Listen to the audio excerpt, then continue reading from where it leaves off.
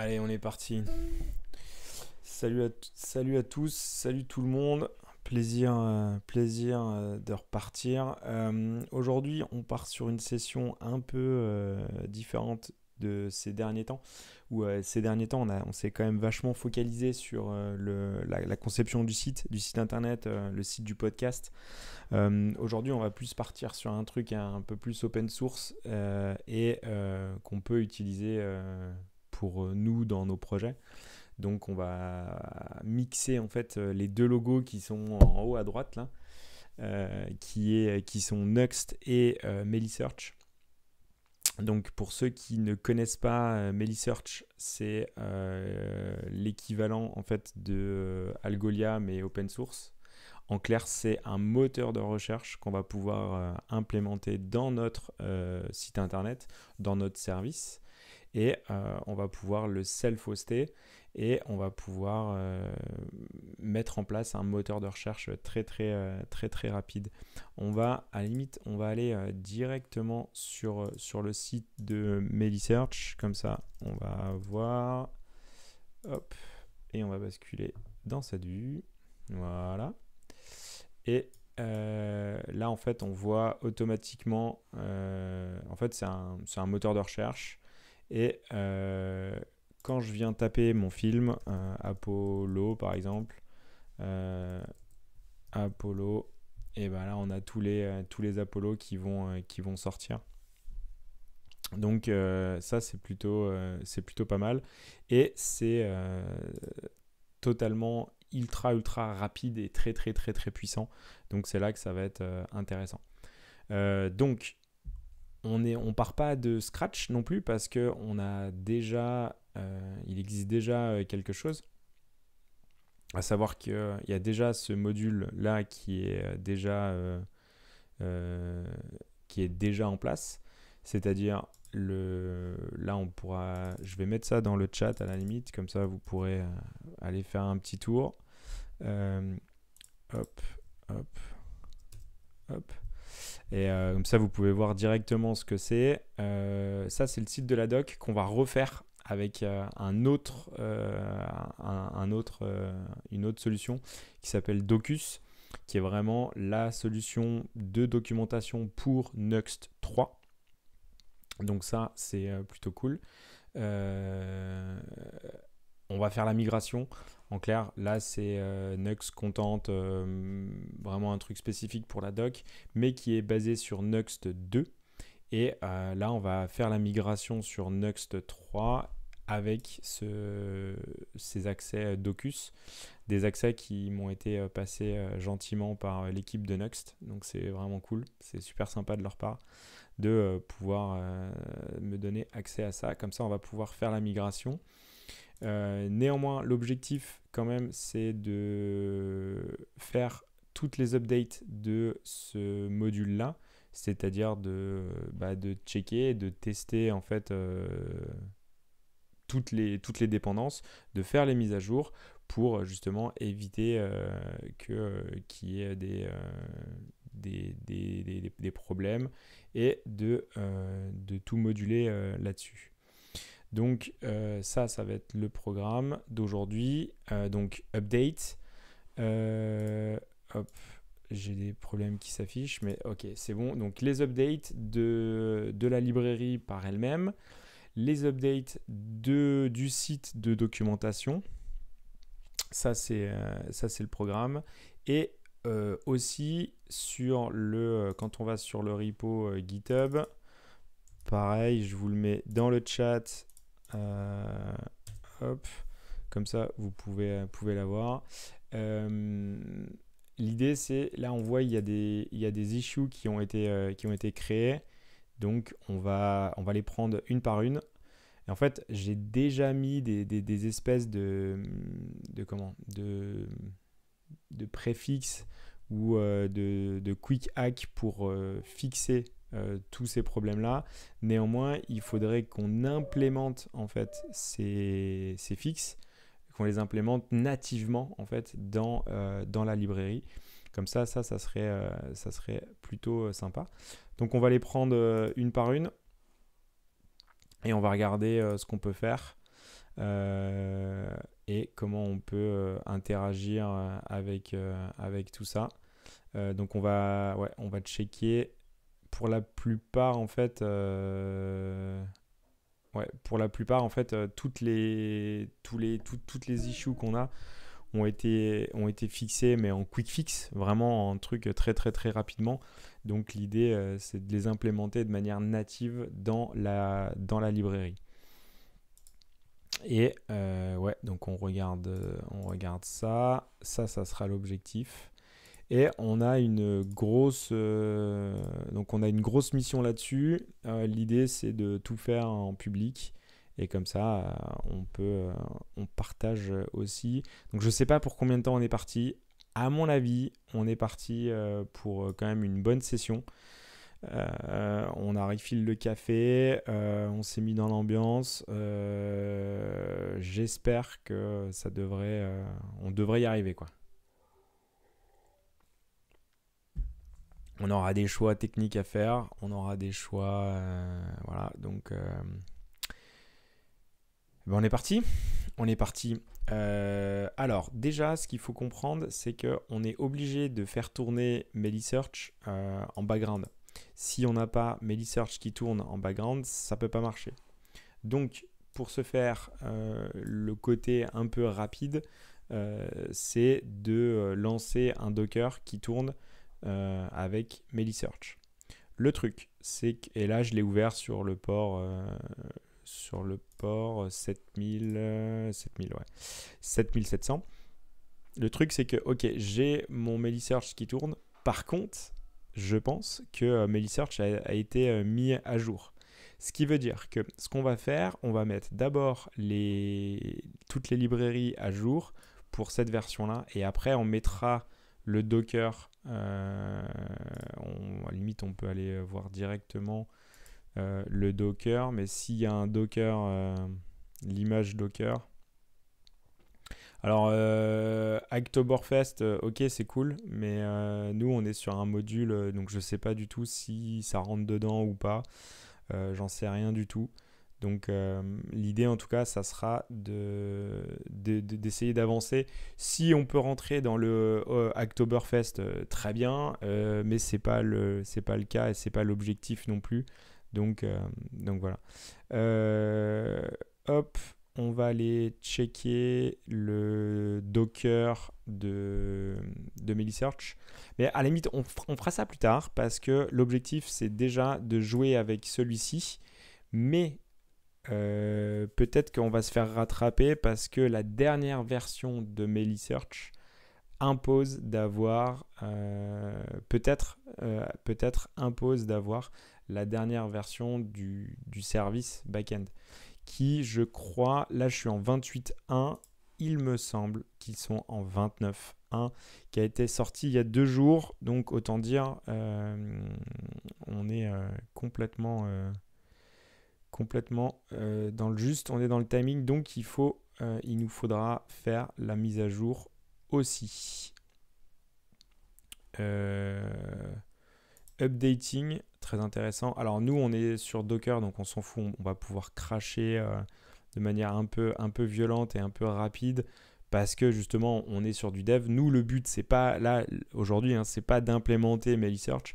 On pourra faire un, live où on vient déployer une instance de MeliSearch sur un service type euh, Fly ou euh, Amazon ou Google ou je sais pas quoi c'est pas le but d'aujourd'hui. Le but d'aujourd'hui, c'est de connecter vraiment euh, les, stickers en haut. Quoi. Les, deux stickers en haut, c'est Next et MeliSearch. C'est vraiment de faire les deux avec un module euh, qui, est, qui est spécifié.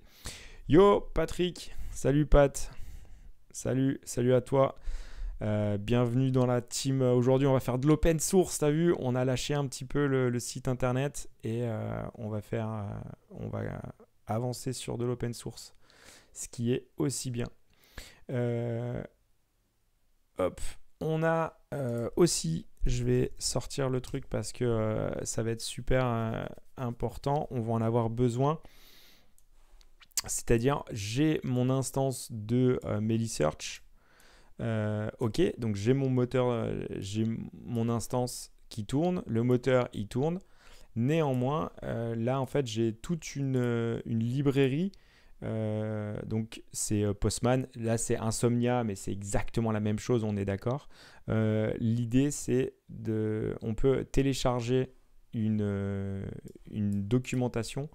Là là, using Postman, on peut télécharger toutes les routes et en fait on a toute la collection de Postman euh, moi, je pense que c'est super bien parce que si vous jouez avec MediSearch, euh, justement, c'est hyper intéressant parce que vous avez euh, toutes les routes qui sont structurées, qui sont déjà faites, ce qui vous donne en fait une super lecture de, toutes les possibilités que vous pouvez faire. Donc, en découverte de l'outil, je trouve ça hyper, hyper, hyper intéressant parce que bah, vous voyez directement ce que c'est.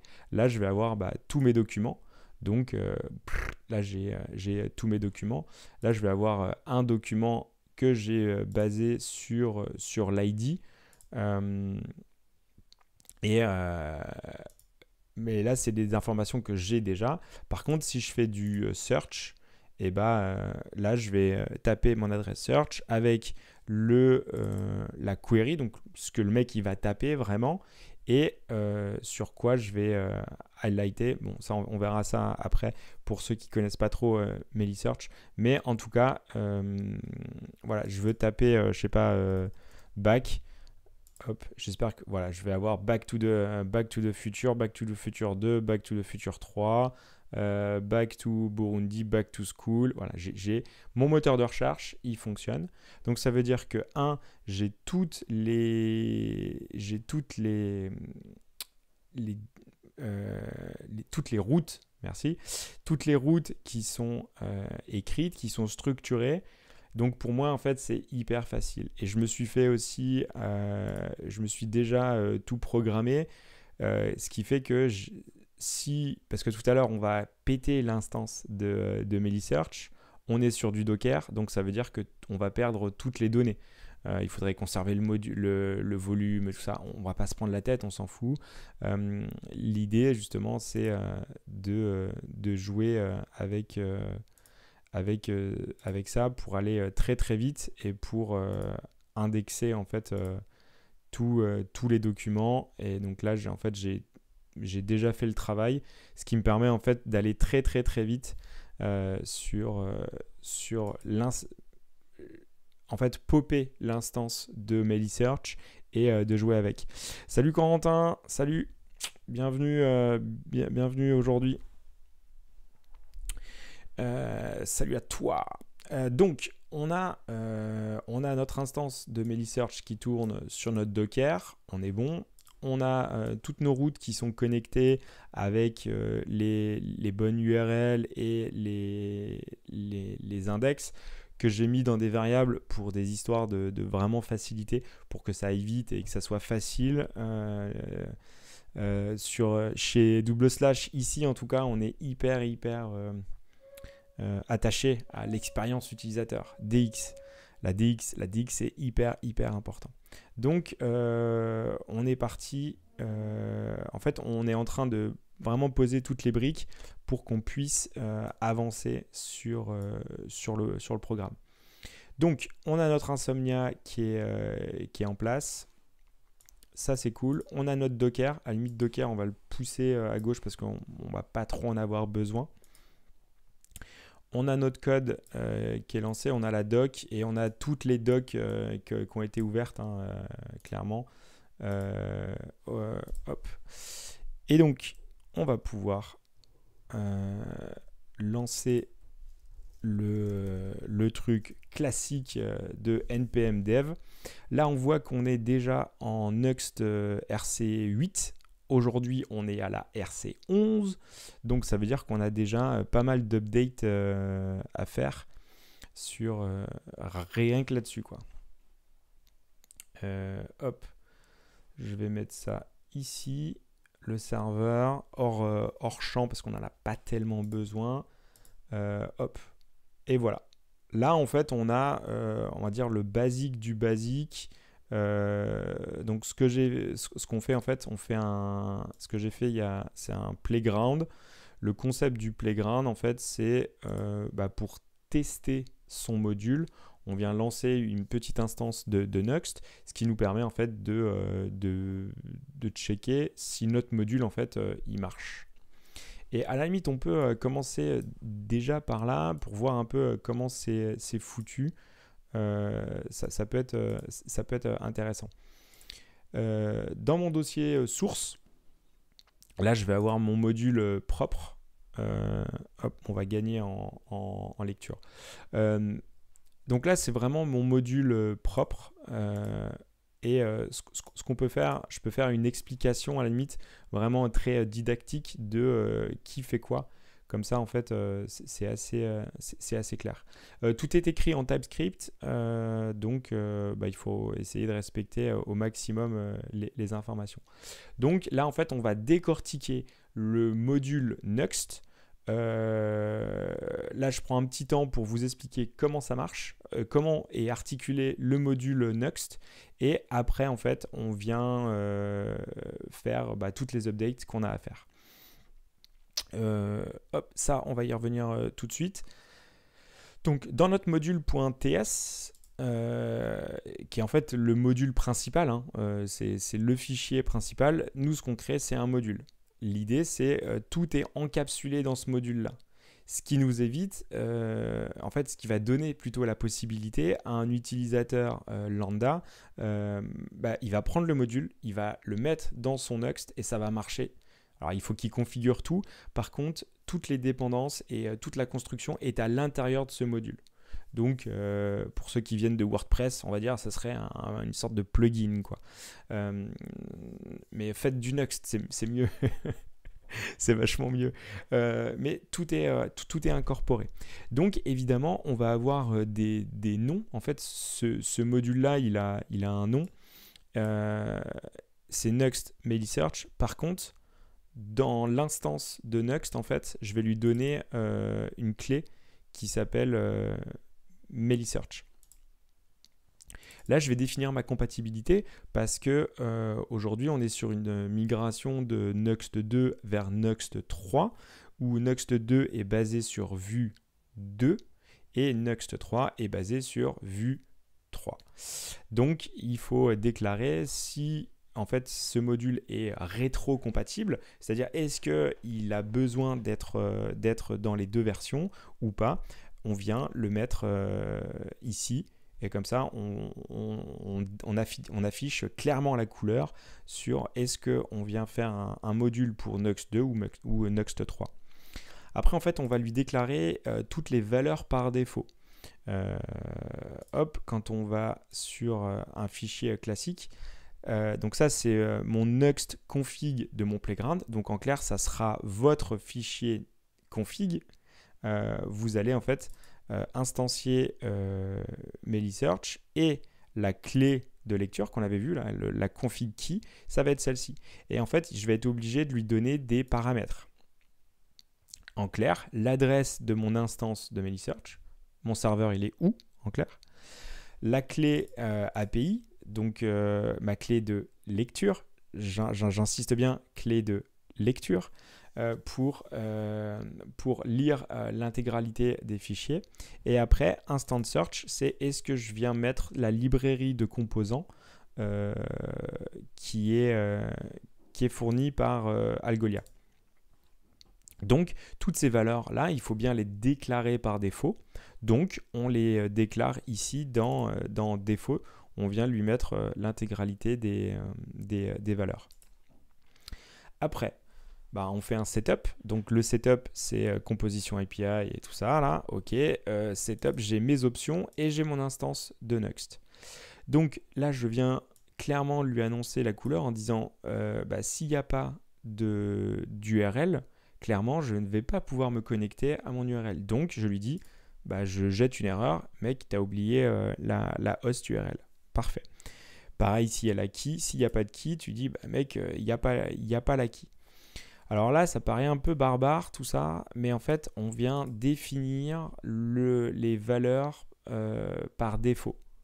Donc en clair, on est venu dans Next déclarer des options sur la config time de public et de MediSearch et on vient lui donner euh, toutes ces infos là. Euh, ça paraît barbare, mais en fait, euh, c'est juste parce que c'est long. En fait, c'est pas, c'est assez, c'est assez facile. Là, bah, notre next, en fait, notre, notre transpile, notre, notre module, il va être implémenté. Donc, je vais lui, je vais lui, je vais le transpiler.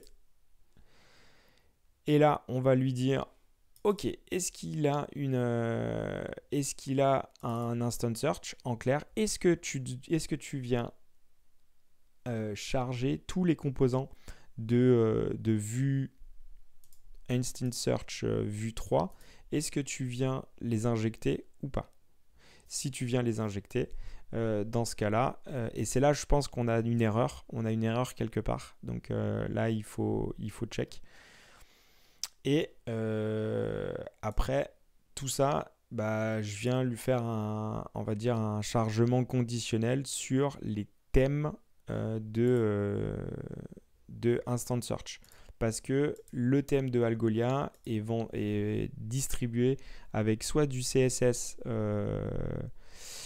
Salut Fred Kiss, salut. Algolia en fait est vendu, enfin non, est pas vendu, et euh, est distribué avec euh, différents thèmes. Même si on peut customiser ces thèmes-là, en fait, il, est, il, est, il arrive avec euh, différents thèmes qu'on peut, qu'on peut choisir. Donc là, en fait, on vient choisir les thèmes. Là, on vient injecter les plugins. et là, on vient injecter euh, le... Alors ça déjà, il y a de la refacto à faire. Euh, parce que je crois que maintenant, il y a une composable qui nous permet de auto-injecter. Donc, euh,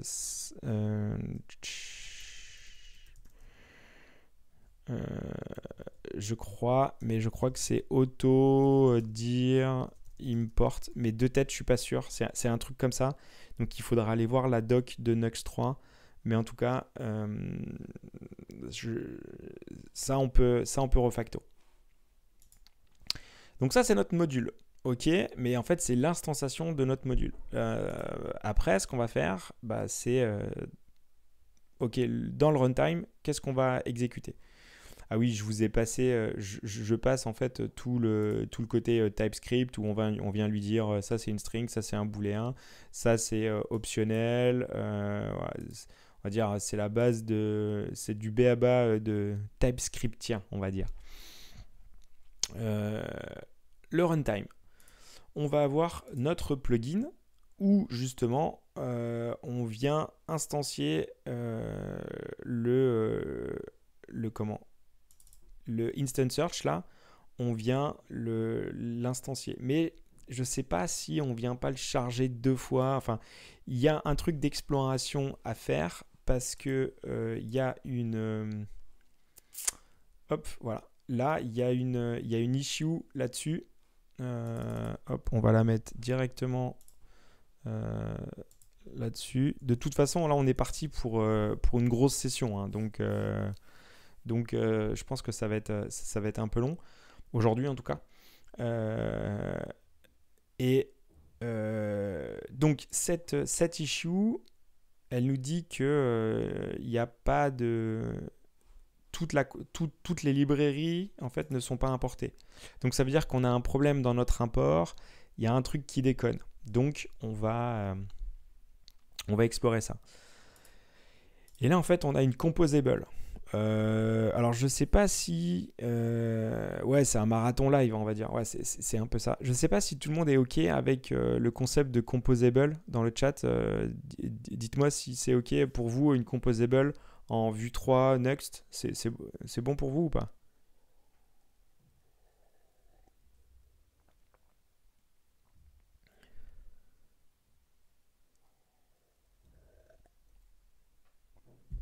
Merci Patrick. Il y, a, Patrick qui me dit ouais, pense à boire, euh, pense à boire. Ouais, je pense que c'est important de, boire. Ouais, alors c'est un peu ça. C'est un peu comme des... pour ceux qui sont déjà familiarisés avec React, c'est vraiment le concept de hook. C'est exactement pareil. C'est des fonctions qu'on va pouvoir utiliser partout. Donc l'idée c'est, euh, là je vais utiliser le client Use Search Client et en fait je vais euh, le, mettre sur, euh, Next. Ok, donc je viens créer cette, fonction. Elle vient s'attacher à, à Next. Là je viens extraire toutes les informations et je viens lancer en fait euh, une, instance de, euh, de du client euh, MeliSearch en front, en JS. Le client, je viens l'instancier avec tous les paramètres que je lui ai donnés dans mon fichier de config. Ce qui fait, et, uniquement en fait, je viens le faire, je viens instancier une nouvelle instance de, du client MeliSearch JS uniquement si il n'y en a pas. Parce que s'il y en a déjà un, bah, ça veut dire que est déjà, la, connexion est déjà faite, donc ça ne sert à rien d'ouvrir une autre instance et, ainsi de suite. Donc l'idée c'est euh, de faire ça et de manière assez euh, facile et, on va dire fluide. Et bah dans mon, dans mon front, je je, n'aurai que à faire ça. C'est-à-dire, j'appelle Search Client Merci les composables, merci à Nuxt de nous faire tous les imports automatiques. Euh, ça, passe automatiquement, ça s'importe automatiquement, donc je n'ai pas à déclarer moi-même import machin parce que c'est déjà importé nativement. Donc euh, ça, euh, ça en fait c'est plutôt, ça c'est plutôt intéressant. Donc ce qui fait que je peux déclarer mes, euh, mes, euh, mes, composants directement. Là où je viens euh, créer mon gros composant principal et je viens lui attacher en fait le, le client et c'est tout. Et j'ai uniquement à faire ça. Hormis. Pardon, excusez-moi. Hormis le fait que j'ai un. Je viens lui dire aussi quel est l'index sur quel index euh, on, va, on va aller euh, exécuter cette recherche. Et là, c'est parti. Donc euh, là, c'était un petit topo en fait de, du, du, système actuel. Ok, comment ça marche Comment ça marche? Le résultat. Bah, en fait, le, le résultat, il est... Alors, ce qu'on va faire, on va sans doute demander. Euh, hop. Là, l'image, on va, euh, on va lui donner une toute petite height parce que là, c'est insupportable. Euh, hop. Height, on va lui dire 200 pixels. Et hop. Width, auto. Et euh, à la limite 200, on s'en fout. L'idée, c'est, c'est juste... Euh, ok. Bon, c'était de gagner en fait en, lisibilité. Hop. On va... C'est pas grave. Euh, c'est pas grave. Toujours est-il que ici, j'ai ma barre de recherche. Euh, je vais taper back, j'ai bien tous mes fichiers qui sont, euh, qui sont, qui, sont arrivés ou qui sont déjà filtrés sur mon moteur de recherche. On parle euh, clairement, on parle de millisecondes, hein. on est d'accord. Donc là, enfin, vous voyez à la vitesse où ça se met à jour, c'est extrêmement, extrêmement, extrêmement rapide. Donc on a une expérience de recherche qui est, qui est juste hyper intéressante. quoi parce que euh, justement ça va aller euh, ça va très très très très très très très très vite. Donc euh, bah, c'est confortable pour les utilisateurs. Donc c'est en ça où c'est intéressant. Donc tout ça c'est des composants qui nous sont déjà fournis par une librairie open source qui est hop hop Algolia. Alors, on va aller sur le site de la doc, customisation, et en fait, Algolia vue, vue 3 Instant Search. Eux aussi, il faut qu'on fasse une mise à jour parce qu'ils ont mis à jour. Par contre, eux, en fait, ils ont construit une bibliothèque de composants qu'on peut utiliser euh, et qui, sont, qui, ont décliné pour React, pour euh, euh, Vue, pour Angular. À savoir que à savoir que tout ça en fait c'est open source et MeliSearch c'est basé sur les conventions de retour sur les conventions en fait de Algolia qui est une société payante enfin qui est un service payant euh, MeliSearch est open source et ils se sont basés sur les mêmes conventions que Algolia. Ce qu'il fait, qu'ils le peuvent utiliser euh, Instant Search euh, directement. Et ça, en fait, bah, c'est euh, super puissant. Quoi. Donc, donc voilà. Fred, aujourd'hui, ça bosse sur quel projet? Et eh ben en fait, on fait le module de Nuxt et MeliSearch. Donc les deux icônes que tu as en haut, là, en haut à droite, là, c'est Nuxt et, MeliSearch. MeliSearch, un moteur de recherche euh, self-hosté. Et donc, on va connecter les deux en créant un module open source. Ça, c'est le projet.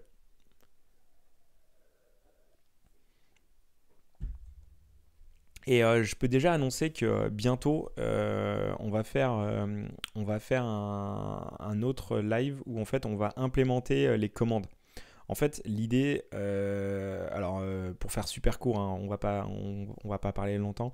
L'idée, c'est euh, à chaque fois en fait, quand on arrive sur un stream, en fait, on sait pas toujours sur, sur quoi il bosse le gars.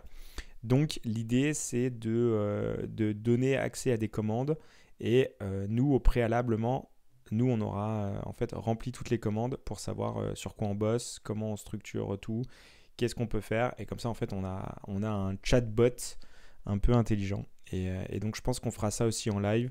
Euh, c'est pas très très compliqué, mais euh, ça, peut être, ça peut être sympa à, mettre en place. Et comme ça, tout le monde sait en fait sur quoi on bosse. Et pareil, entre ma tête et les, les, icônes là, les icônes de Nuxt et MeliSearch, et ben en fait, on va mettre une sorte de, de to-do list. Et comme ça, en fait, on voit tout de suite sur quoi on bosse. ça peut être sympa. donc voilà l'action. Euh, ok, on est, on va commencer par euh, déjà faire euh, les mises à jour des dépendances. Hop, les mises à jour des dépendances. Il y a une petite extension qui est sympa qui s'appelle, qui s'appelle, je sais plus comment elle s'appelle. mais c'est cette icône là. Alors en même temps, on peut aller regarder. Je crois que c'est, euh, je sais pas, euh, ah, je crois que c'est version lens, mais je suis pas sûr. Ouais, c'est ça, version lens. En fait, ce qui me, voilà, c'est ça, c'est version lens et euh, salut Eurostar, yes. Je me rappelle, on s'était, on s'est, croisé sur un, sur le un, stream, euh, je sais plus de qui c'était, mais ouais. Salut à toi. Et eh ben écoute, bienvenue, euh, bienvenue dans la team. Plaisir de te voir là. Euh, c'est Version Lens et en fait on va, on voit tout de suite le delta entre ce que moi j'ai et ce que, ce qui est disponible. Donc, je peux faire mes migrations assez rapidement. Là, en fait, on voit que mon vue instant search il est en 4.4.2. Il y a la 4.4.6 qui est disponible. Donc autant, euh, donc en clair, j'ai du retard. MeliSearch, il y a du 0.27. Ouais, c'était ça, DefMute. DefMute, c'est ça. Euh, MeliSearch, 0.27, euh, ils sont en 0.28. Euh, donc, pareil. Et le. Alors, MeliSearch, ça c'est l'instance JS qu'on va utiliser dans la partie serveur. Euh, va... Donc ça, ça va être intéressant. Par contre, euh, le moteur de recherche, là on est en 1.8.1, ils sont en 1.9. Autant dire, on a, on a, du, on a de la grosse, grosse update à faire. Euh, Next 15, déjà, on va, on va passer en 11. Euh, hop, point 11. Ouais, déjà. Euh, et, et puis, euh, qu'est-ce qu'on fait? On pète tout et on y va? Allez, on pète tout et on y va. C'est c'est complètement, complètement ridicule. Mais, mais on, va, on, on va le faire quand même. Euh, donc là, on pète. Donc c'est-à-dire on vide, on vide le, euh, le point next. On vide le output. On vide le point euh, dist qui est la construction. On va vider aussi le pmpm.lock. Voilà. Et euh, là-dedans, on n'a rien à faire. Et donc...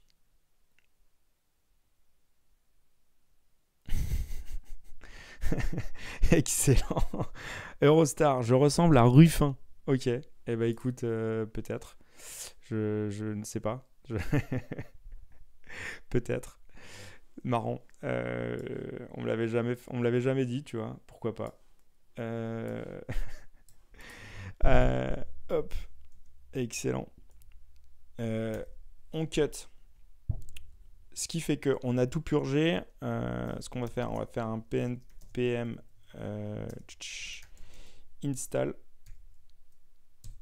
Et on revient, c'est pour le coup, on vient en fait tout, tout réinstaller.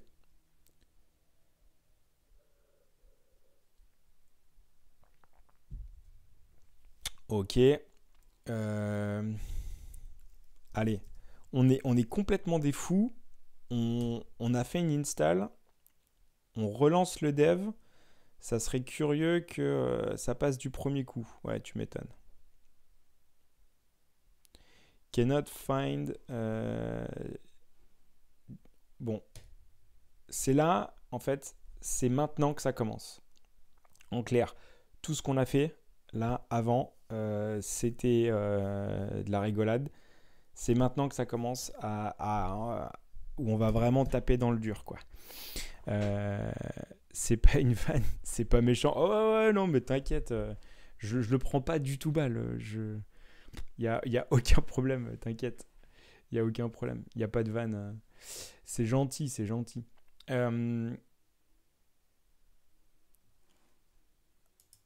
alors, il va falloir qu'on check en fait euh, et qu'on avance pour être sûr que le point dist. Ah oui, on n'a pas. Ok. Donc en fait, quand on, euh, quand on fait un. Hop,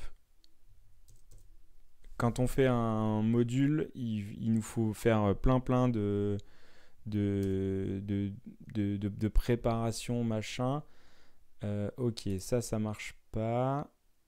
C'est prépack. Euh, prépack, ouais, c'est prépack. Euh, dev prep. Alors, pré... dev prépare. Je me rappelle plus. En fait, euh, il y a tout un, tout un, cycle. Euh, non. Alors, cannot find module.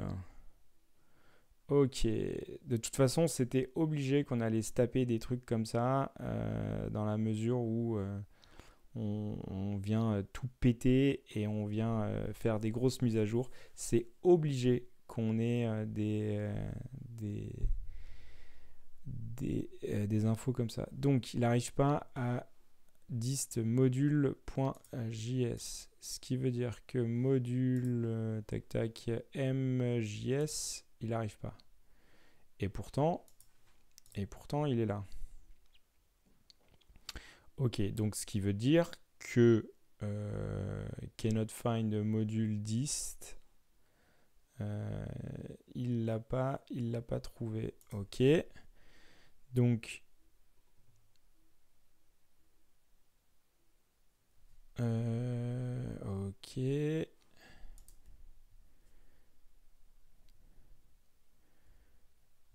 Hop, penpem.dev. Non, il veut pas. Ok, alors pourquoi il veut pas? Il me dit que le module.json n'est pas bon. Le module. Alors attends, c'est quoi c'est? Cannot find module dist. Euh, pack pack. Est-ce que la convention a changé? Il va faire quoi mon module? En fait, mon module, euh, il va implémenter euh, MeliSearch, donc le petit logo euh, de M avec les trois barres roses là, MeliSearch, qui est un moteur de recherche, et il va implémenter dans Nuxt. Et Nuxt, bah, enfin, c'est Nuxt quoi. Donc ça, on va faire la glue entre les deux. On va faire la connexion entre les deux. Il est déjà en place. hop. Tu peux aller euh, faire un tour sur... Euh, non, pas sur ça. Je te mets le, lien. Ça, c'est le site de la doc. Et tu peux aller voir le, GitHub. Euh, lâche une petite star. Lâche une petite star. Et ouais, c'est pour vraiment faciliter...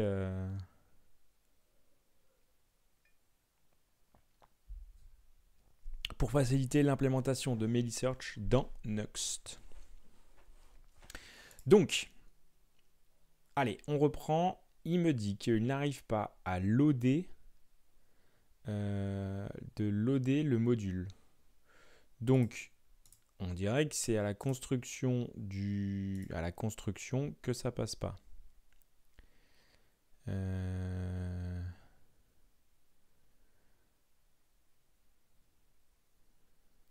Euh, ok, là il aime pas. Alors, est-ce que ça change En fait, euh, ce qu'il faudrait regarder, c'est est-ce que ça n'a pas changé la construction d'un module? Mais clairement, je pense pas. Je pense pas que ça a pété, ça a pété là-dessus, quoi. parce que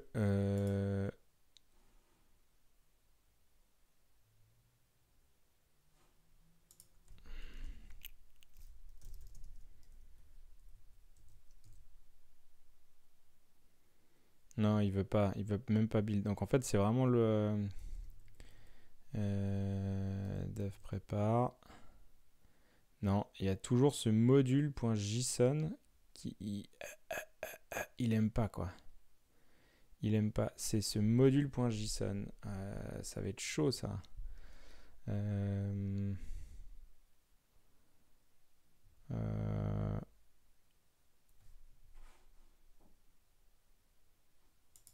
Alors.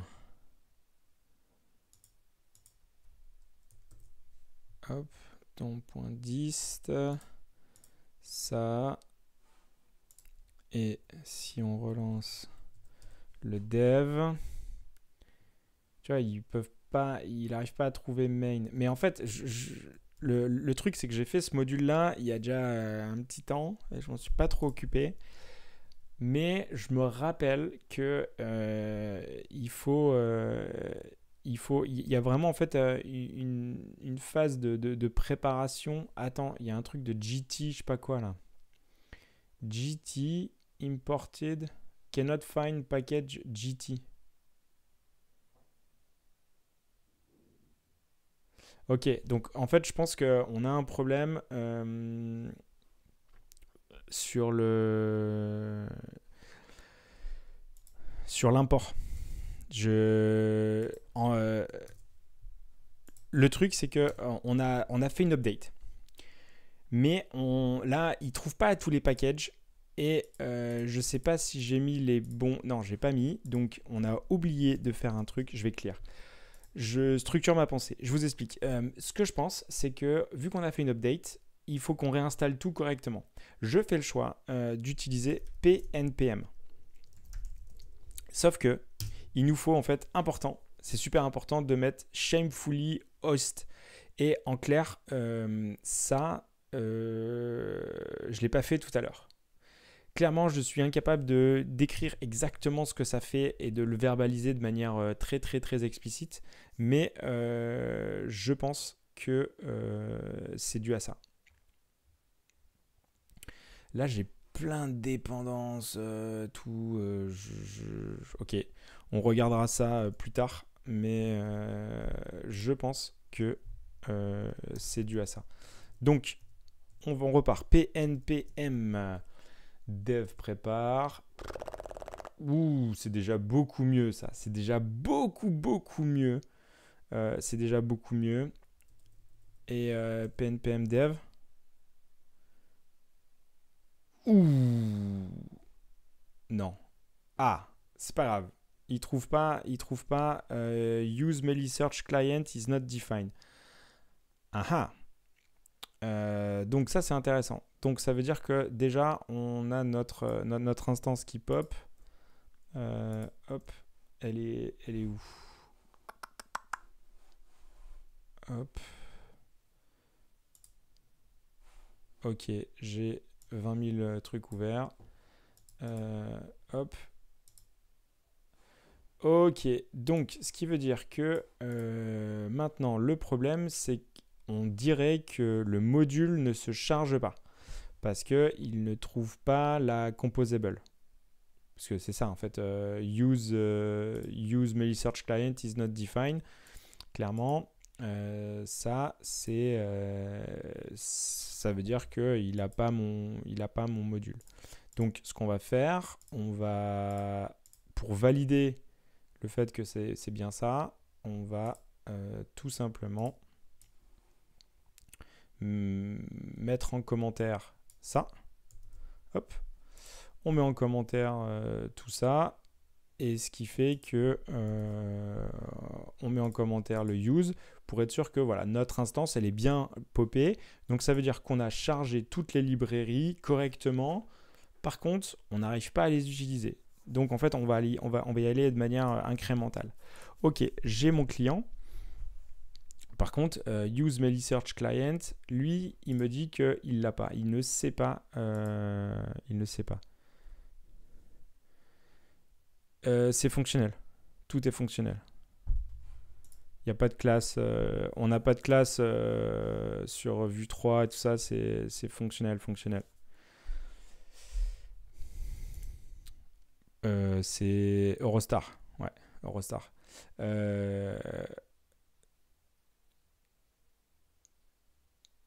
Yes. Salut à toi, euh, Dimitri, blablabla. Dimitri, on va dire. Bienvenue dans la team. Cool, ça fait plaisir. Euh, tu es désormais un double slasher. Euh, je sais pas si tu connais, euh, si tu connais la, le, concept de double slash. à la base, c'est un podcast. Maintenant, on fait des lives, des vidéos sur YouTube, tout ça. Tu as tous les icônes en haut. Mais euh, si tu vas, si, tu écoutes un peu des podcasts de dev, et eh bah, tu vas nous retrouver. Et on fait euh, des, épisodes euh, quasiment tous les 15 jours, un petit peu plus, un peu moins, ça dépend. Mais en tout cas, bienvenue à toi. Et aujourd'hui, on fait de l'open source. On fait de l'open source. On vient connecter Next et Search. Donc, cool, bienvenue à toi. Et bah, on débug quoi, normal, tu vois quand on fait du dev, on fait du debug. Donc euh, ça fait partie euh, du jeu. Use Search is not defined. Donc ça veut dire que ma composable, elle n'est pas installée. C'est ça que ça veut dire. C'est ça que ça veut dire. Donc ça veut dire que mon euh, prépare build. Là je compile tout. Ok. Je relance mon dev. Parce que c'est bizarre hein, quand même. Je vous cache pas que c'est. Putain, il le trouve pas. Euh, ok. Donc, euh, donc c'est pas ça. Je pensais que c'était ça. Euh, Je, j'ai regardé hier, j'ai vu plein de tests unit vraiment nice. Ben ouais.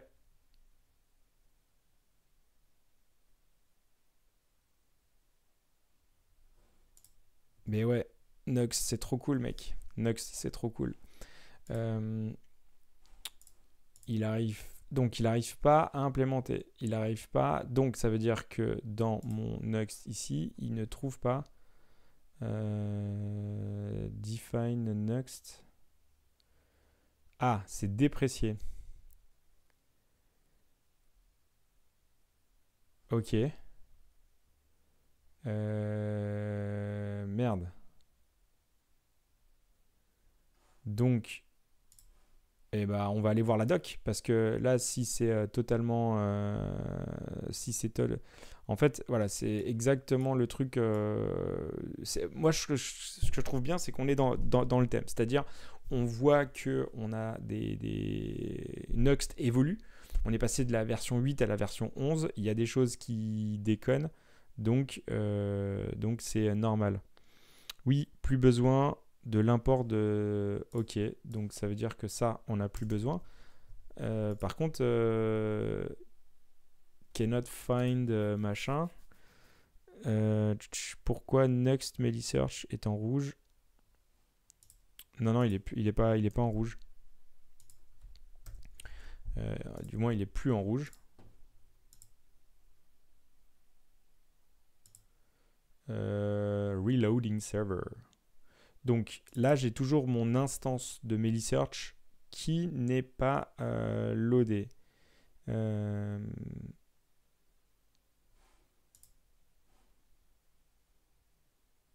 mais euh, là, il n'aime pas le define next config. On va aller faire un petit tour sur la doc de next, next 3. hop. Et normalement, dans next euh, config, next config, next config file, uh -huh. define next helper is a global available without import. Bon, bah voilà, maintenant c'est déclaré. Euh, tu peux l'importer de manière explicite, mais euh, on n'a pas besoin. Bon, bah, c'est clair on n'a pas besoin. Par contre, mon petit euh, ESLint, il dit que euh, il aime pas euh, parce que mais lui peut-être il le sait pas quoi. Donc ah mais peut-être que d'ailleurs il y a last release point 11 ouais Nuxkit, je suis bien en dernière version. Et euh, Next, je suis bien en dernière version aussi. J'avais peur en fait d'avoir une, euh, une, une, dépendance euh, antérieure. Donc non. Ok. parfait. donc normalement ça, ça passe. Par contre, on a l'impression que mon module, il n'est pas du tout, du tout loadé. Parce que s'il ne trouve pas ça, eh ben en fait, on va aller explorer pour savoir qu'est-ce qu'il a. Tout simplement. Euh,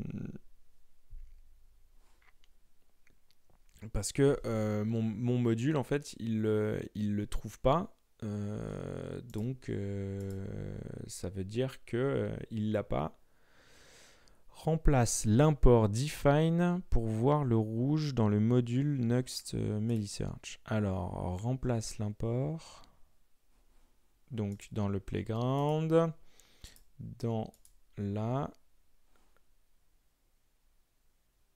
je remplace euh, quoi? Ah En fait, ça, je dois l'importer depuis, euh, depuis ça. Depuis... Euh, hop. Ouais, sauf que, en fait, euh, là, il y a un... En fait, pourquoi j'ai pas mon module? Ok, là, ça me... Hop. Mais en fait, il faut que j'importe mon module. Mais mon module, il est... Alors, tu veux, tu veux que je fasse un pomme Z? Euh, Ok. Euh, après, euh, il, fonctionne, mais il me dit juste que c'est déprécié, quoi. Donc, ça sert à rien de, sert à rien de l'import, je pense. Il est rouge le module. Ouais. Il est, il est rouge. Mais il cannot define next machin. Ouais, ok. Mais c'est déprécié. Et là, Ok, alors on va le laisser.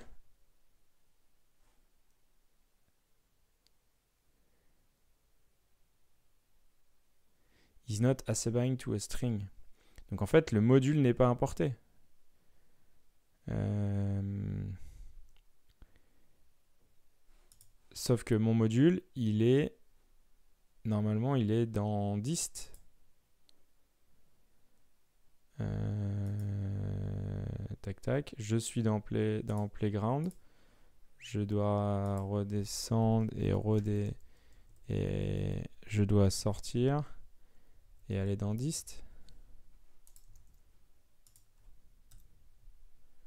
Après, euh, je sais pas, j'en sais. Pour le coup, je comprends pas. Euh, hop. on va faire ça, ça. Euh, on va aller dans App, on va loader notre ça là pour être sûr en fait qu'il est bien loadé.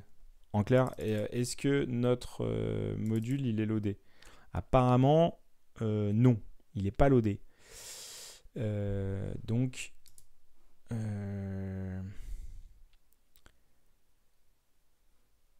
Mais non, ça c'est pété. Mais en fait, ce que je comprends pas, c'est pourquoi. Euh, pourquoi. En fait, euh, avant ça fonctionnait, mais bon, là on, constate euh, que, que, ça ne marche pas. C'est évident. Donc ça veut dire qu'il ne, il ne l'importe pas. T'as raison, Rostar. On va aller voir la console. Que dit la console? Read the fucking log, guys. Read the fucking logs. Euh, hop. Hop. Hop. Ok, lui, il me dit qu'il n'arrive pas à trouver use search. Donc ça veut dire que mon module, il n'est pas loadé. Donc ça veut dire que je ne charge pas mon, mon module. Alors, Patrick qui nous envoie un lien. Euh, ah. Read the fucking manual, Alex. Read the fucking manual. Euh, donc, euh, pack from. Et donc, sauf que. Ah, tu, montes, le build ou pas euh,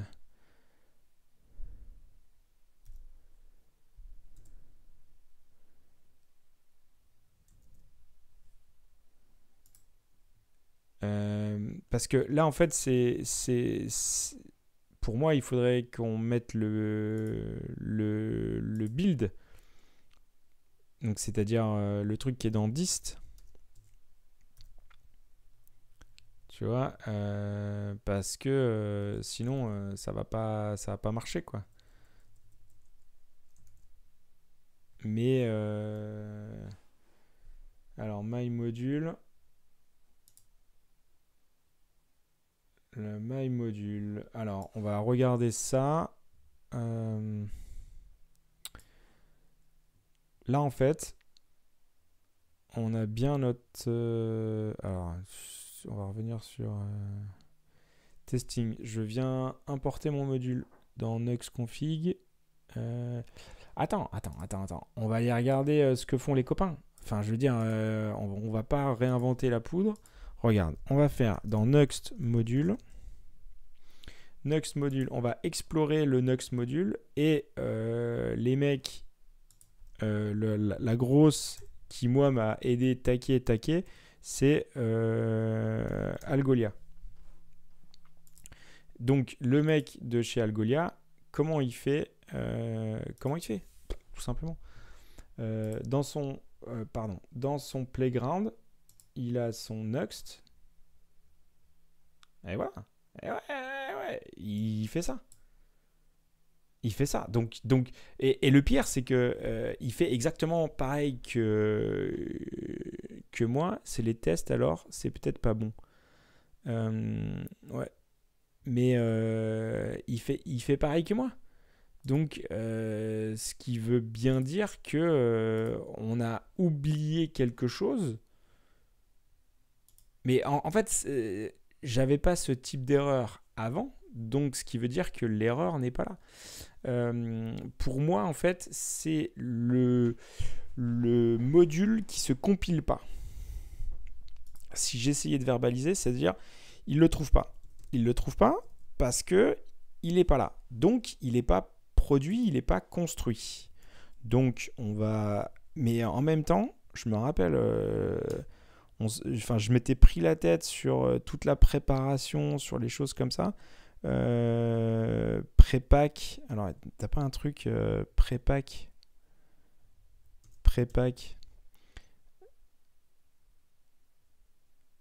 Ah.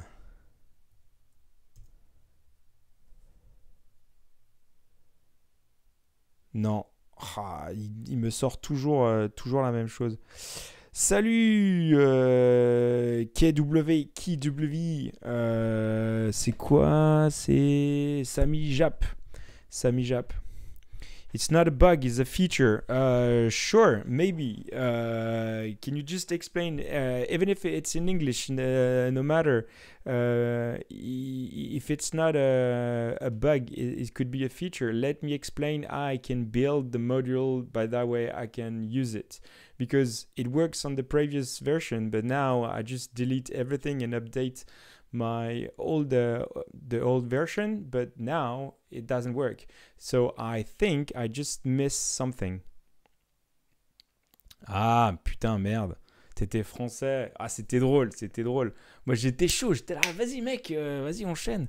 Euh, excellent et euh, si, c'est pas une bug c'est une feature ouais c'est peut-être ça en plus le truc c'est que c'est peut-être ça mais ça m'a fait marrer ça m'a fait marrer cette petite session où j'ai enchaîné direct, euh, c'était drôle. Euh, il y a bien tes exports dans ton module. Euh, bah en fait, ouais, mon module, là, il est bien, tu vois, il y a, y a, bien tout ça, quoi. Donc, il, est, il est construit. Il s'appelle bien comme il faut. Il y a tout ce qu'il faut. il est typé. Il y a le runtime dedans. Il y a les composables. Donc dans mon fichier dist, il est bien construit quoi. Et c'est là où je comprends pas trop le pourquoi du comment. Pourquoi il n'arrive pas à trouver euh, ça?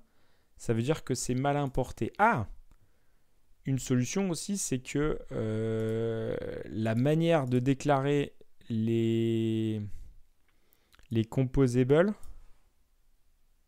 Ah On avait dit, eh, on l'avait dit tout à l'heure ça là, peut-être que ça, ça a changé. Et donc en fait, euh, il ne le trouve pas parce qu'il ne trouve pas la composable. On va trouver, euh, on va explorer ça.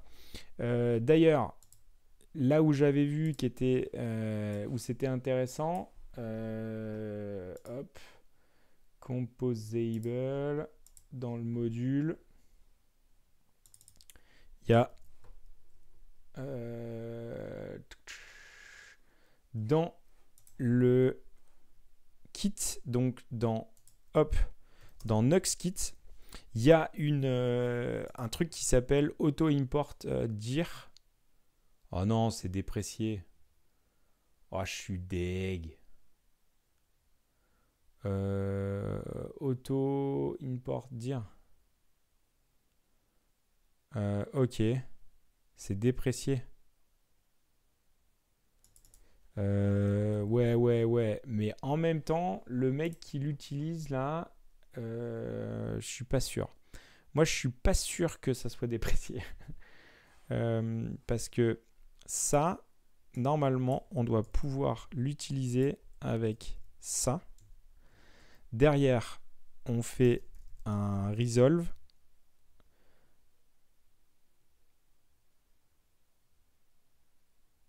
De la même chose que euh, runtime dire.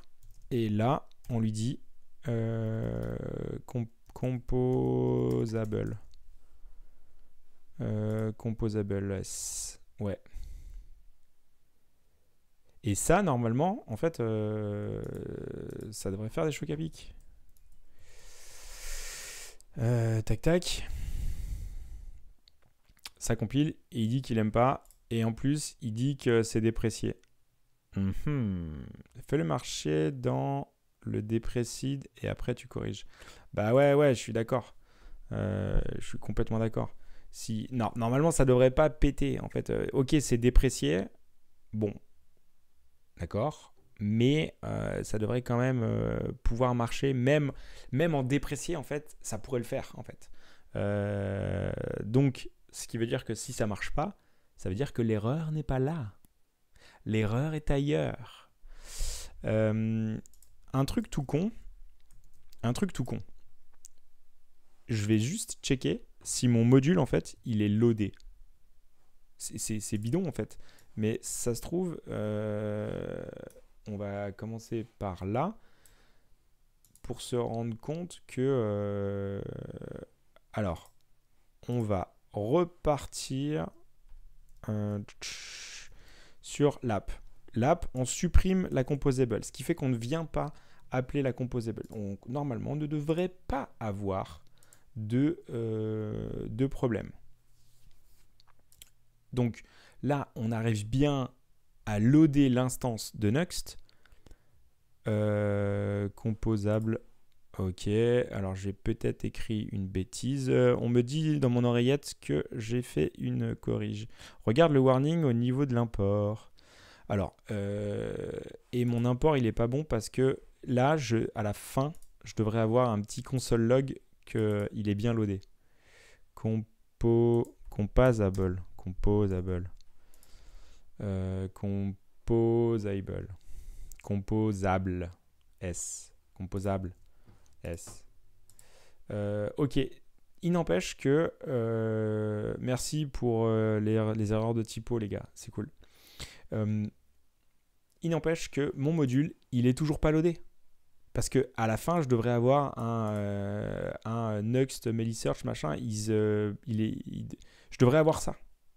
Or, il n'est pas, il est pas, il est pas affiché. Donc, euh, mon, je reste intimement convaincu que mon module complet euh,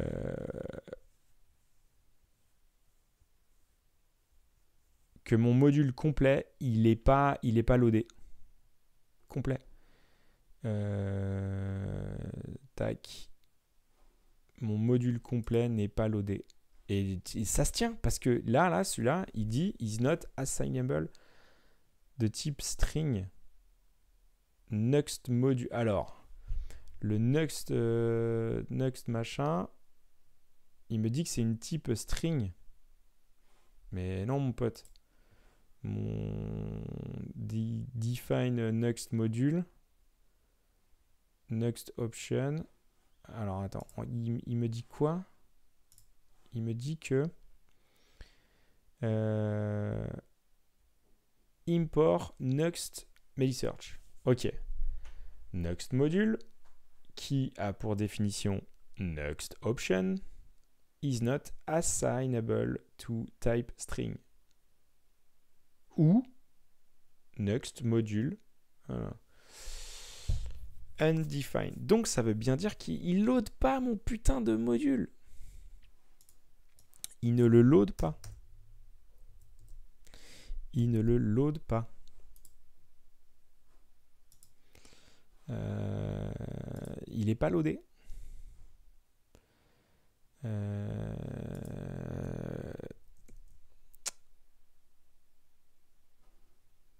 il n'est pas loadé. C'est sûr, il n'est pas loadé.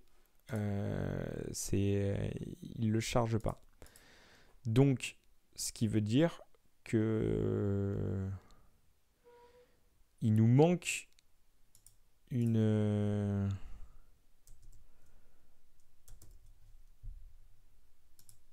on pète tout, on pète tout, on pète tout, on est des fous. Euh, hop, et normalement il devrait euh, tout repartir. Euh, ouais. Hop, on va faire un. Là, dev prépare.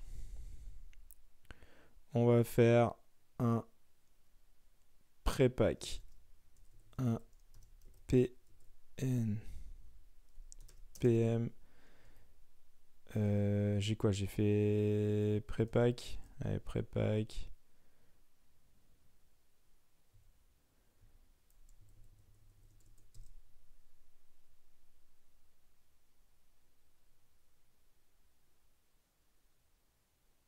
Uh -huh.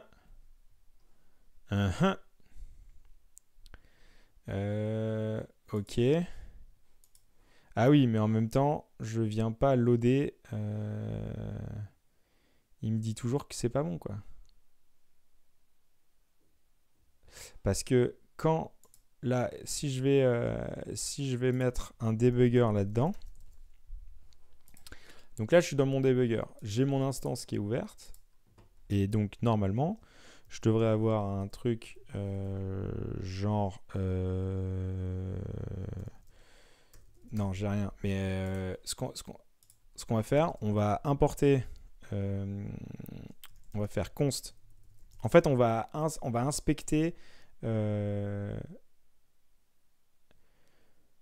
t'as vu le warning Nux search is incompatible? Alors. Je vais aller au bout de, mon truc vite fetch là et, et, je te lis. Et use next app. Voilà. Comme ça, dans mon... Euh, mais pourquoi il m'importe des trucs automatiques là? C'est relou ça. Euh, hop, je, reload. Évidemment, il a pété. Euh, peut-être qu'il n'a pas aimé le debug. Voilà. Donc normalement, là je devrais avoir Next. Et ici, j'ai mon instance de Next. Alors pour ceux qui ne voient pas, peut-être un petit peu abusé quand même là.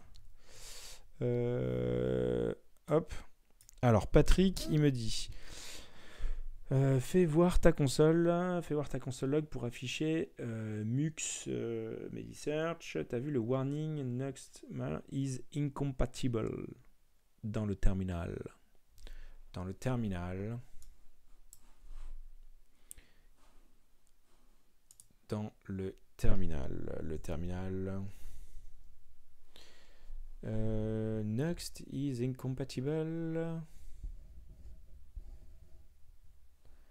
Ah, module next search is disabled due to incompatible issue.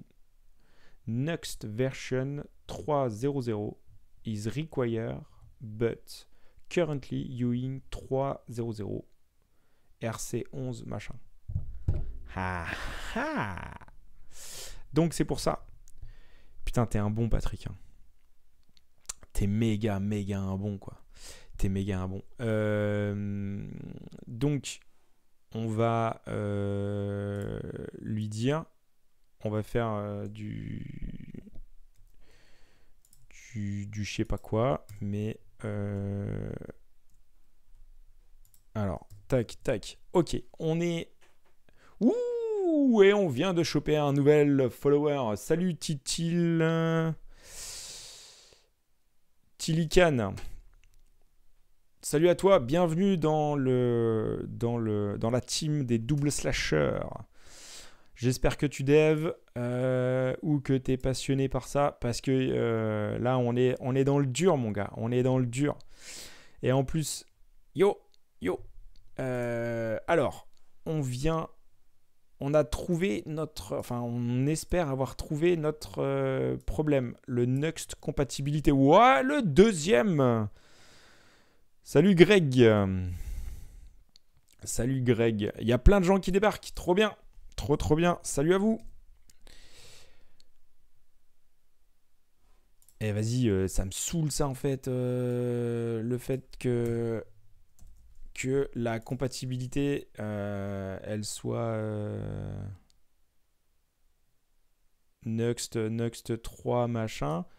mais normalement, si on fait, si on fait chapeau là, si on fait chapeau, normalement c'est supérieur. On devrait pas avoir de problème. Je vois pas pourquoi il nous, bloque le, le loulou là. Bon, bah, bienvenue à vous, euh, les, mecs, qui les mecs qui débarquaient. Euh, donc, euh, cool. Greg, je ne savais pas que vous étiez sur Twitch. Ah, tu nous connaissais déjà sur le podcast, ce qui veut dire. Ce qui veut dire que tu nous connaissais déjà. Donc, ça, c'est top. Trop bien. Euh, et ben ouais, on est passé sur Twitch. Euh, même si je crois que sur les deux derniers épisodes, on, le dit qu'on est aussi sur, euh, Twitch. Mais, mais, mais cool. Tilican, React. React quoi? React quoi? Je, je connais pas moi. Je, React. C'est quoi ce truc? Next Compatibility. Alors, est-ce que je vais, faire un peu le bourrin là et je vais supprimer euh, la compatibilité. Est-ce que ça pose problème ou pas? Ouais, ça pose problème. Euh, waouh, c'est chiant ça. Ben oui, il faut troller les gars, il faut troller. Il faut troller. Euh, évidemment. je fais ma propagande. Mais t'inquiète, nous on est là, on va lutter contre la propagande et on va mettre notre propre et on va faire notre propre propagande. Que les choses soient claires. Euh, néanmoins, je pense qu'on a spoté un peu le problème, c'est euh, cette histoire de compatibility euh, machin. on va regarder ce que font les copains. donc machin. Pour Next 3, en clair, comment ils font euh, chez les autres. Euh, un truc qui m'a pas mal aidé aussi, c'était euh, Superbase, Superbaser, Superbase. Superbase, lui, il a une compatibilité aussi. Euh, il faut aller voir le GitHub. On va aller dans le source, le module. Module. Ouais, il, a mis. Il a. Ah Vas-y. Mais en fait, si on fait ça. Et ça se trouve. Euh, en clair, euh, peut-être qu'on avait mis 3. Euh, et le fait d'avoir mettre des RC machin, tout, c'est pété. Peut-être que ça marche pas à cause de ça. On va, on va checker. hop. Hop. ok, on revient.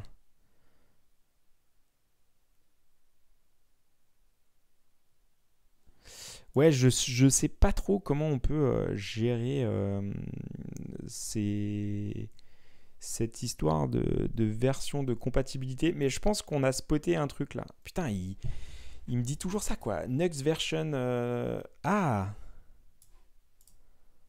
hmm. Next version is require but currently using RC11. Ouais, mais. Euh, ok. Allez, on va mettre ça. Euh, on va essayer de ne pas faire de bêtises. Vas-y, on va mettre ça. Vas-y. Euh, tac.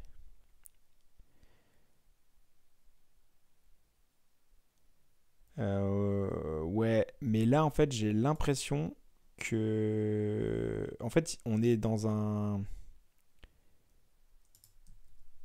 On est euh, dans, dans la rat race là. On fait, des trucs pétés. Euh, si on met 11, vas-y, on, on, casse tout. Alors, Titican. Moi, j'aime bien titiller les gens. Ouais, ok. T'as raison, il faut, il faut titiller les gens. Euh, la RC11 refait des yarns. Entre temps, une bonne endroit de la compatibilité. Euh, ouais, non, non, non. Ça, c'est sûr que en termes de compatibilité, c'est ça. Après, est-ce que, à la limite, euh, on s'en bat les steaks, mais on, fait, on fait ça? Il veut pas. Par contre, en fait, euh, je pense aussi qu'il ne prend pas en compte parce que on n'a pas. Il faut qu'on qu'on rebuild des machins. Donc, on fait la grosse purge. on fait la grosse purge. hop, hop. Voilà. Et on refait le pré-pack, euh, on fait tout là, les, les pré-pack, les, les prépares, les euh, dev prépare, bim blam bla bla bla bla bla bim bam bam. Voilà. Et on fait le dev.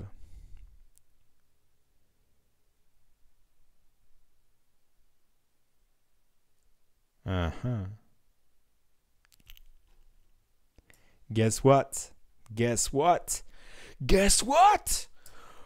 Guess what? Euh, On a notre module. On a notre module qui est loadé. Et donc, euh, intéressant. Et là, on devrait faire. Euh, on se détend. Next. Non, Meli. Ah, je suis tellement. Je suis, trop pressé là. Je. je c'est pas bien. Ok, on, revient sur App. Là, hop, on vire notre debugger. Euh, hop. Allez, on déroule.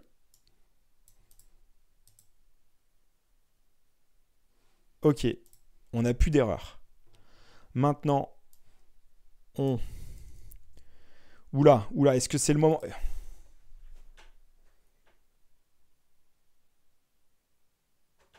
C'est bon. On a réussi. On a réussi. Euh, ok, on a, pas, on, a, fait tous les updates. Euh, mais on a viré le système de compatibilité. Donc ça, c'est pas top. Parce que euh, il faudrait quand même afficher cette histoire de compatibilité. Je pense que c'est mieux pour que tout le monde puisse avoir un peu des, infos pour dire ok là hum, hum, il faut, euh, il faut quand même euh, avoir Next 3 parce que clairement, le Next 2 a d'autres problématiques et déjà faire un module open source, moi à mon niveau, déjà je, suis déjà plus que limite. Faire ça en live, c'est complètement stupide, mais c'est marrant. Euh, mais en tout cas, moi je touche ma limite et je veux pas entretenir un truc sur Next 2. déjà Next 3, ça sera déjà bien.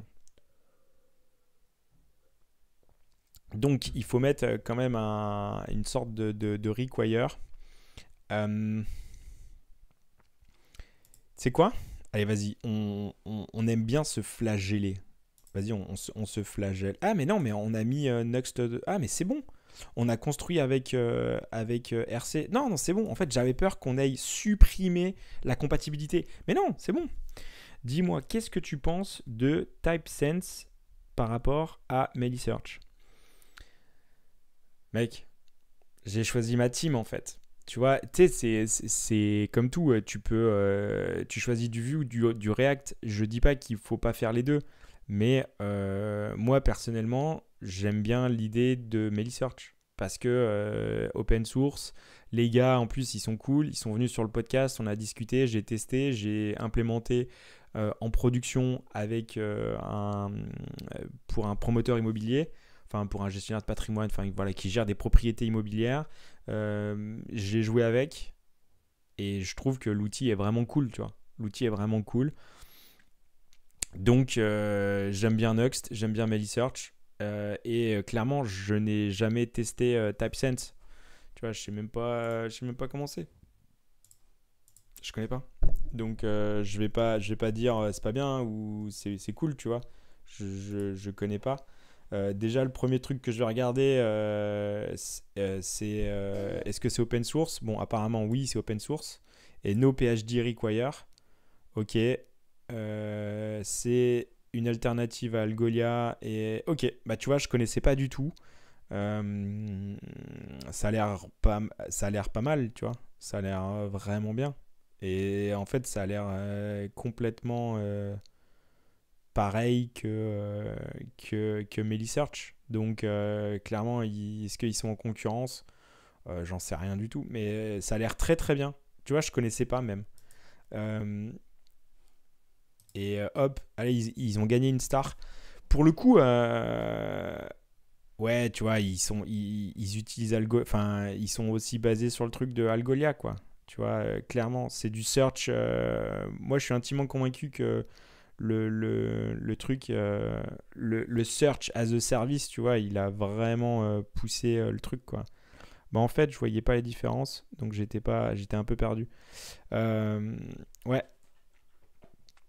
euh, alors, l'épisode du podcast euh, sur les gars de Melisearch, euh, il, ça, il, est un petit peu vieux, tu vois. Il a, il a un peu bougé, mais le concept et le corps, il est toujours là, quoi. Et en plus, ils viennent de, faire une petite levée de fonds de 15 millions d'euros, Melisearch. Donc, ça veut dire que voilà, ils vont pouvoir, ils vont avoir les moyens de leur ambition, et ils vont pouvoir instaurer et mettre en place le truc, tout. Donc, euh, ce qu'il faut regarder euh, pour, euh, pour TypeSense, par exemple, ça serait de voir la, roadmap et surtout, en fait, à quel, à quel niveau de maturité ils sont, quoi. Tu vois Parce que au départ, c'est la course aux features. Donc, donc il, faut, il faut mettre des, des, des, features intéressantes. Et après, bah, ils vont stabiliser le truc. et après, ils ont trouvé leur market bien, bien, spécifique. Quoi. Après, euh, personnellement, moi je suis très très très attaché à la DX, hein, à la développeur expérience. C'est vraiment, euh, c'est vraiment important. Mais euh, intéressant, intéressant TypeSense. on fera peut-être un test là-dessus, histoire de, de, de, crash tester un peu le truc. ça me paraît pas mal à tester. mais nous, on a fait le choix. On est sur Melisearch. Donc, euh, voilà. Ok. Allez, euh, bon, on a fait une petite victoire déjà. On a récupéré euh, toutes les updates. Parfait. On continue toujours. Le problème qu'on avait, c'est maintenant sur les imports.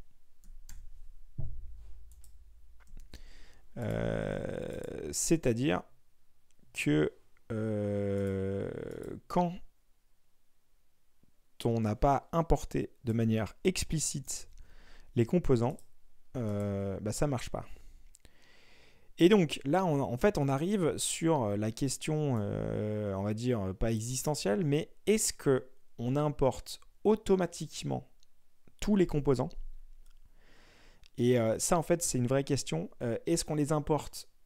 Moi, je serais d'avis de euh, dire que quand on va aller sur euh, là là, quand j'ai décidé d'importer Instant Search, je voudrais que tous les composants soient disponibles. Mais que je les importe de manière globale, comme ça, j'ai pas besoin de les importer, euh, mais en même temps, ça fait un, un, bundle size un petit peu plus élevé. Euh, je ne sais pas si c'est bien ou pas, ou il est préférable d'avoir un, niveau de granularité euh, intéressant. Moi, ça me paraît pas mal d'avoir un niveau de granularité plus intéressant parce que je peux choisir les composants que j'importe. Mais ça me prend la tête de les... En fait, j'en sais rien. Euh, je, réfléchis, hein. mais je me dis que les importer en fait, euh, l'expérience de recherche, euh, ça va pas être sur 20 000 composants. Je me dis que je vais pas, euh, je vais pas l'utiliser partout dans mon appli. Quoi. mon moteur de recherche, c'est juste mon moteur de recherche, donc je peux les importer, on va dire classiquement. Ça, ça, pourrait le faire, quoi. C'est pas, ça me paraît pas, pas, pas déconnant, quoi. Donc, est-ce que je le dis de manière explicite? De dire bah en fait il faut vous importer vos, vos composants et, comme ça euh, ça passe euh, moi ça me paraît euh, pas mal quoi. En fait. Env c'est quoi? Ouais ok. Donc ce qui veut dire que donc déjà mes composables ça c'est bon. Euh, mais, d'ailleurs, si on fait ça, hop, Euh, hop. Là, c'est la même chose. Euh, hop, hop. Euh, est-ce que là, ça fait la même chose ou pas? Normalement, je pense que oui, mais il faudrait recompiler. on, va, on va rester là-dessus parce qu'apparemment, c'était un, truc qui était déprécié. Donc, on va pas, on, va pas pousser. ok. Allez, on va s'attaquer maintenant euh, à ça. Instant Search. Ça veut dire que si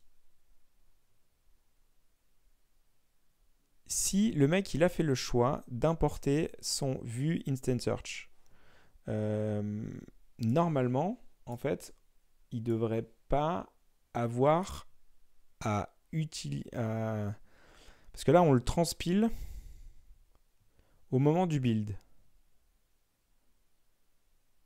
Sauf, sauf, sauf, parce que, attends, on va revenir sur les, sur les issues. Parce que le but, c'est quand même de solder tous ces, euh, de, solder toutes ces, de toutes ces issues. Donc, euh, tac, tac, il est où? Ouais. Là, alors, il y avait une histoire de Hogan.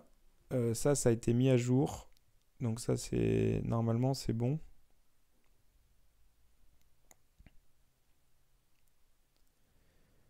Euh, ok.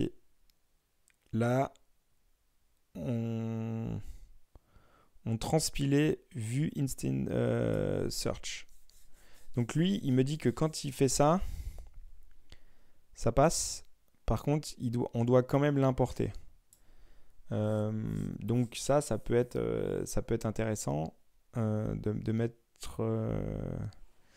En clair, c'est est-ce qu'on l'importe automatiquement ou on le met dans la doc Les gars, il faut l'importer. Ça, de toute façon, on le laisse parce que c'est les compos, c'est le, on va dire, c'est le design. donc ça, on n'a pas besoin d'aller y toucher. Par contre, pourquoi vue 3 euh, Ok, vue instant search. Alors, on va aller explorer euh, les, les, les bas-fonds de, de, euh, de vue. Instant search. Ah ouais, il y a vue 2 et vue 3. Et eh ouais. Donc c'est pour ça. Après, il y a du. Ah ouais, en fait, c'est en MIG. Alors, la question, c'est est-ce que on pourrait partir du principe que en vue 3, on peut importer que, du, en, que en ES Est-ce que, en clair, on se tire une balle? Et ça, moi, j'ai pas assez de, matière et euh, d'expérience là-dedans, quoi. Euh parce que euh, je ne sais pas quelles seraient les, bonnes pratiques. En clair, on devrait faire euh, tac, ES euh, vue 3 slash ES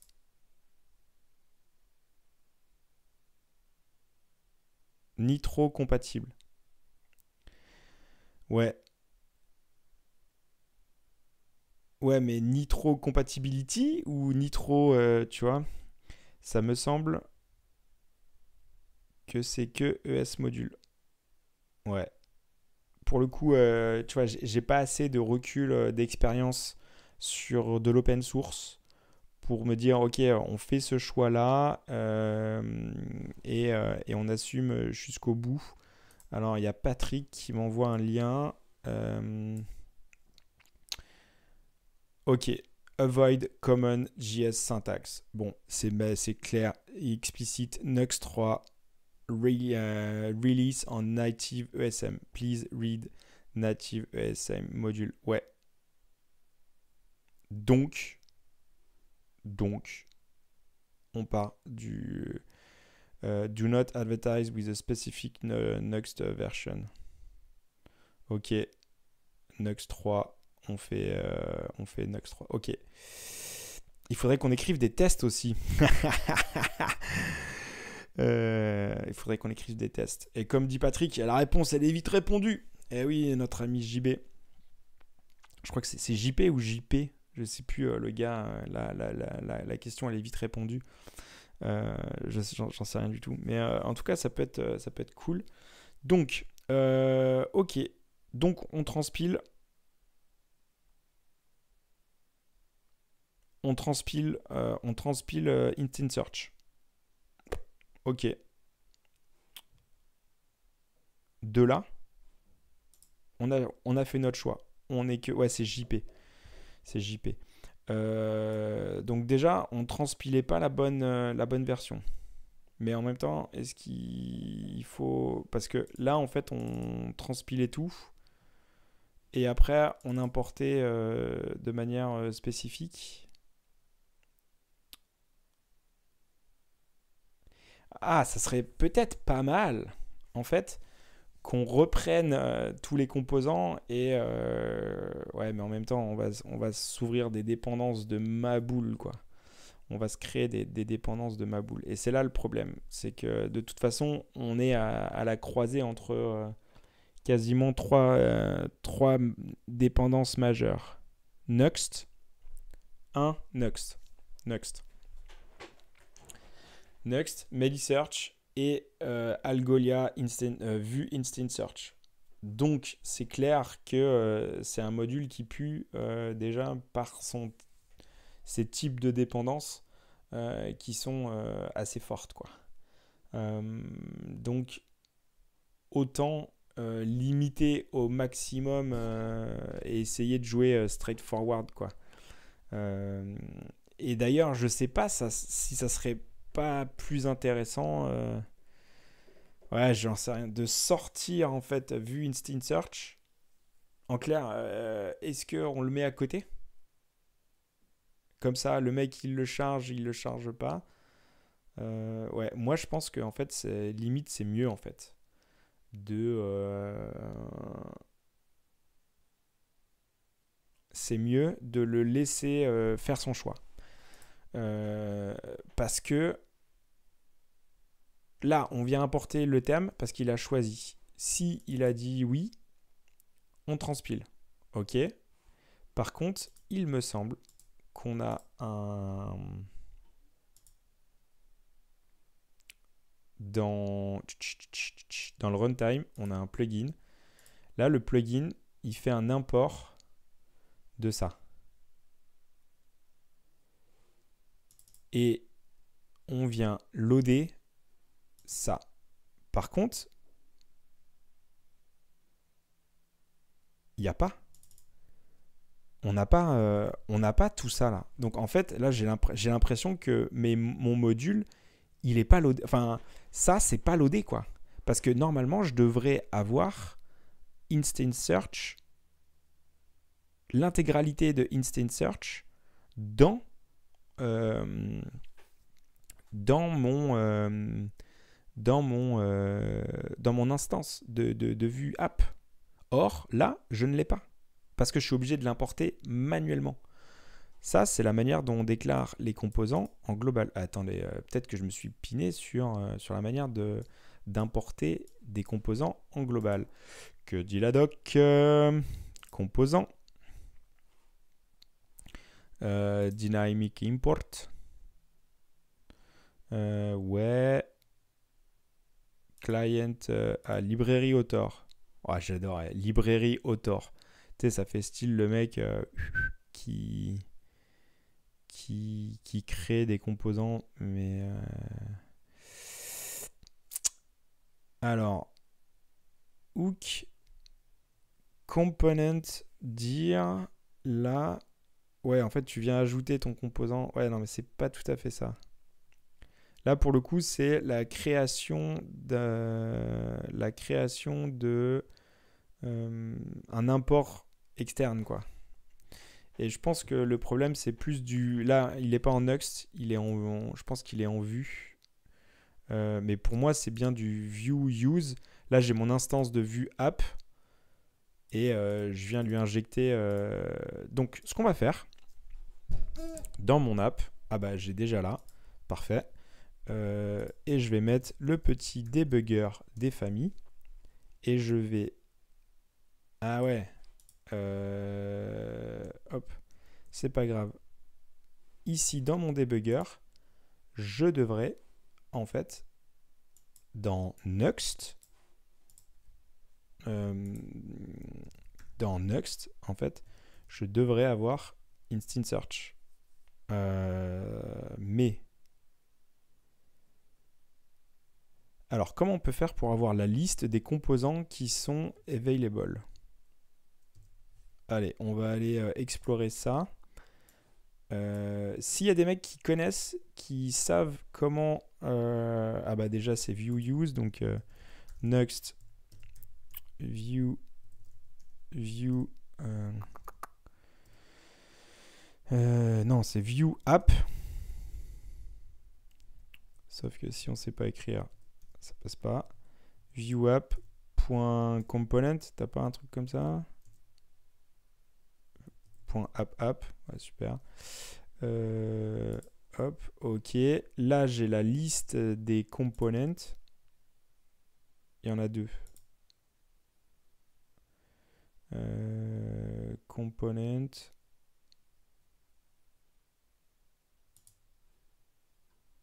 Render. Euh, ouais. En fait, je pense. Parce que. Contexte. Euh, alors, il te faut ton contexte Non, moi ce que je voudrais c'est savoir si mes composants ils sont importés. En clair, j'émets un doute sur le fait que là, ça c'est c'est une config, c'est un, paramètre, c'est une option. Et euh, il se trouve que euh, potentiellement, il n'y a pas de... Ça, c'est une option. Donc, si le mec, il a import... Ah, mais il n'y a pas une histoire de... Ah. Je sais pas si... Hop. On va faire ça. Lib je crois que c'est peut-être une histoire de nom. En fait, ce que je voudrais, c'est importer. Là, j'importe la lib et je la rends disponible. Et d'ailleurs, ça serait intéressant. Je sais pas si on peut. Euh, hop, on verra ça plus tard. Mais en fait, là, j'importe la lib et je viens euh, rendre disponible toute la lib.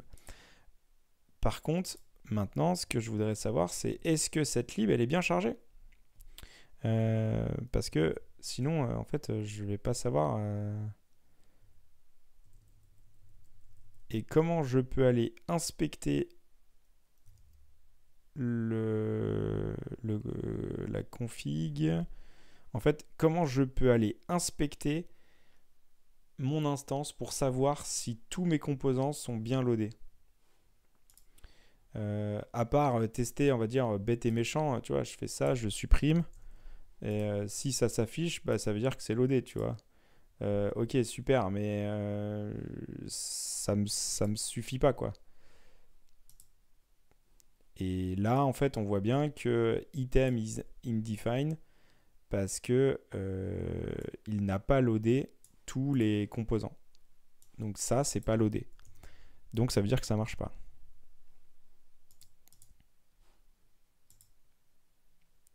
Donc je dois les importer de manière manuelle. Et ça, moi, je, ça, je veux pas. Moi, je voudrais euh, que ça se fasse automatiquement.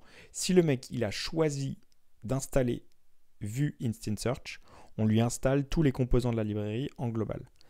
Euh, comment arrêter euh,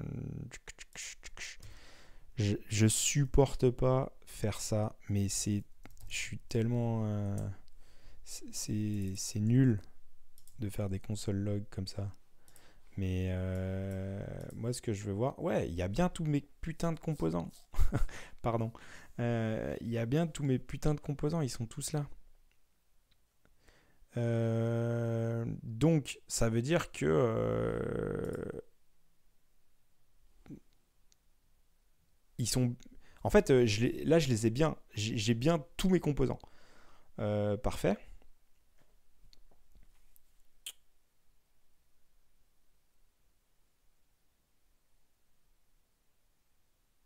Et là, si par exemple, euh, on voudrait faire ça, c'est-à-dire, là, on vient euh, déconstruire la librairie et on vient euh, importer que euh, celui-là. Normalement, on devrait avoir. Hop. On devrait avoir que uniquement l'im- l'import, quoi. Pif pouf paf, pourquoi tu. Ok.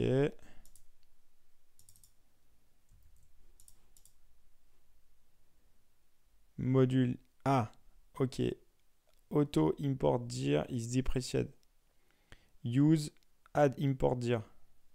Ok, cool. Ben, on vient de fixer, euh, on vient de fixer un, un autre. Enfin, fixer, on l'a pas encore fait.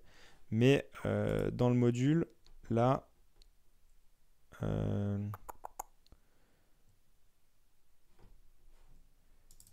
c'est add import dir, ce qui veut dire que là, on va supprimer ça.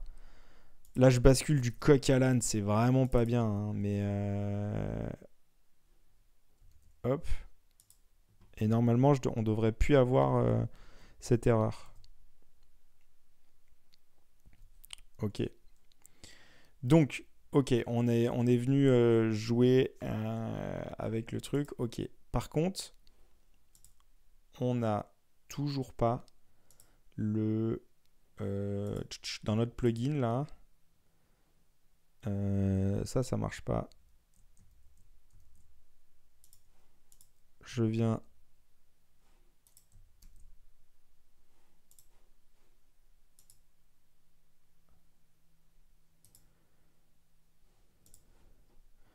Ok, il est venu. Alors, on va revenir en arrière sur le snippet. Hop. Et là, on a bien le. Hop. On a bien le R snippet.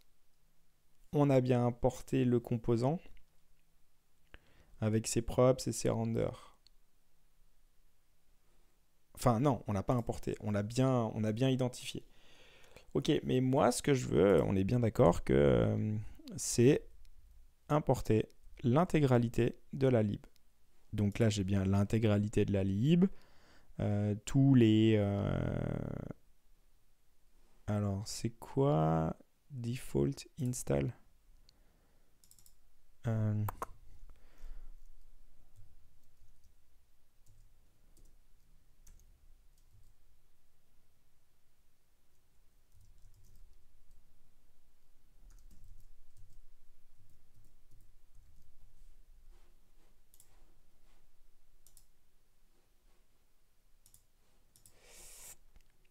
Et ok, c'est une fonction. D'accord. Et elle fait quoi? Euh, Cannot redefine component. Euh, ok. À la c'est pas gênant. Euh, on va aller explorer, je pense notre problème, il est sur, euh, sur vue 3, sur importer, import, all component, euh, lib, euh, component, in, se calme, in vue 3, add to import library into vue 3 project, Ouais, c'est bien. Ouais, mais c'est ça quoi, c'est view use. euh,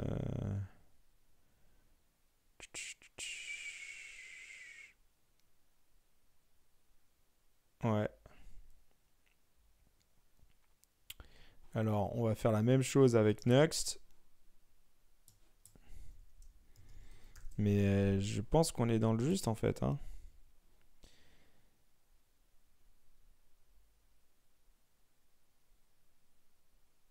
Resolve component.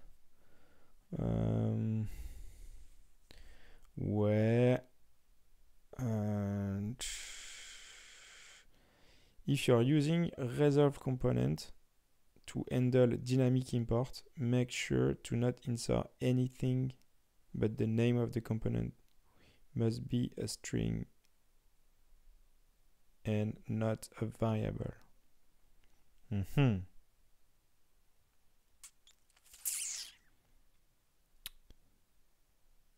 Dynamic import avec le lazy machin, ouais.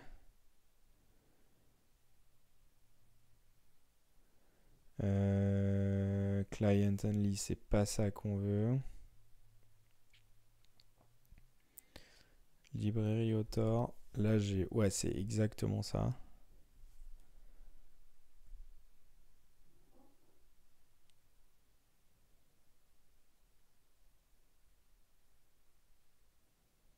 Ah mais on est débile. On a un hook.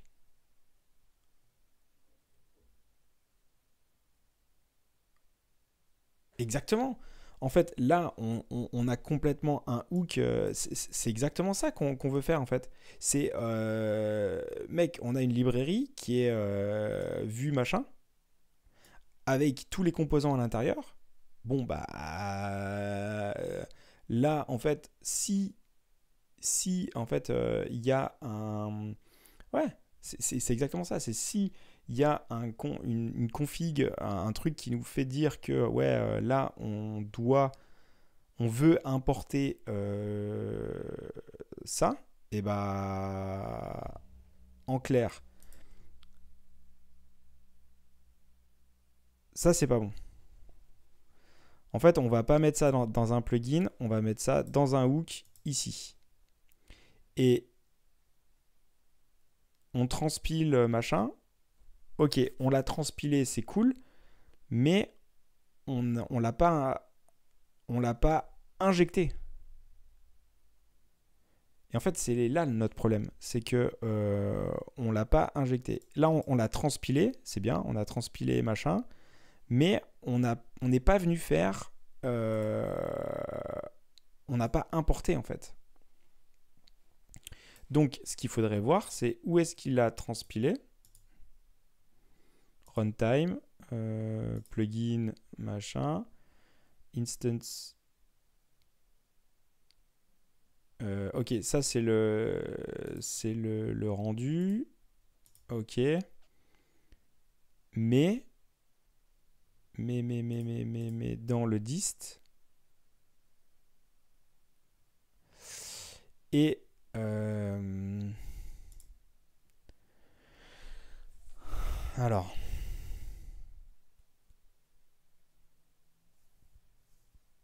Ouais, mais en même temps, il fait transpile push.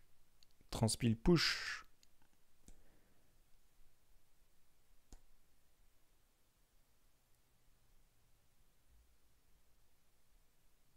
Est-ce que...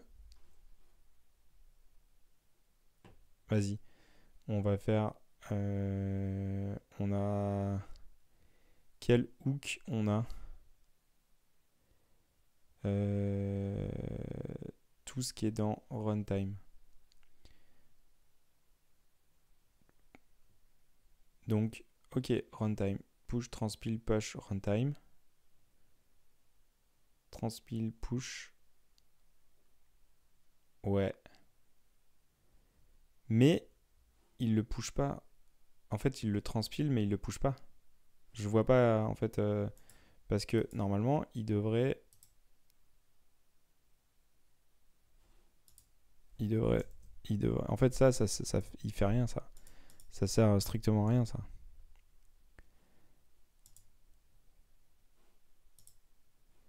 Il sert à rien. Euh, il sert strictement à rien. Donc, D, c'est si tu mis, si tu importes ça, alors tu vas euh, importer tout le bordel.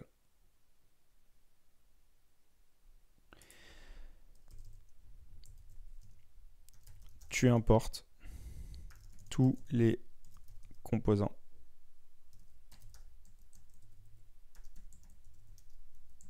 Ok, et comme ça, là, en fait, euh, on, est, euh, on, est, euh, on est dans le juste. Je pense. Hein. Je pense. Public. ok. On a notre runtime dire. On a composable. Et là, en fait, on voit bien que dans notre rendu, on n'a pas les composants machin. Donc, bah, c'est ce qu'on va lui dire elle est où notre page euh, d'info là? Euh, On va lui dire. Tu fais ça? Euh, donc,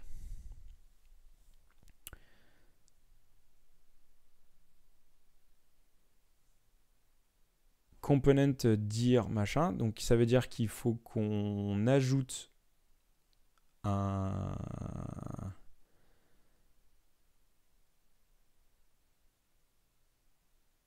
define module. Ok, alors on va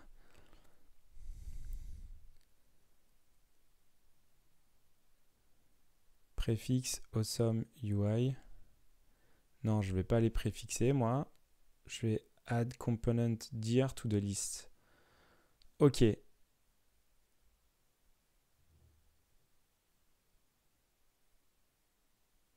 Oui, c'est ça que je veux.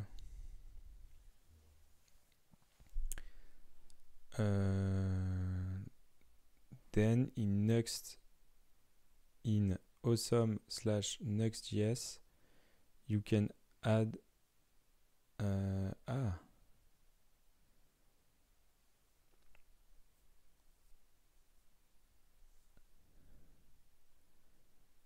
Hmm, ouais, c'est exactement ça qu'on veut faire.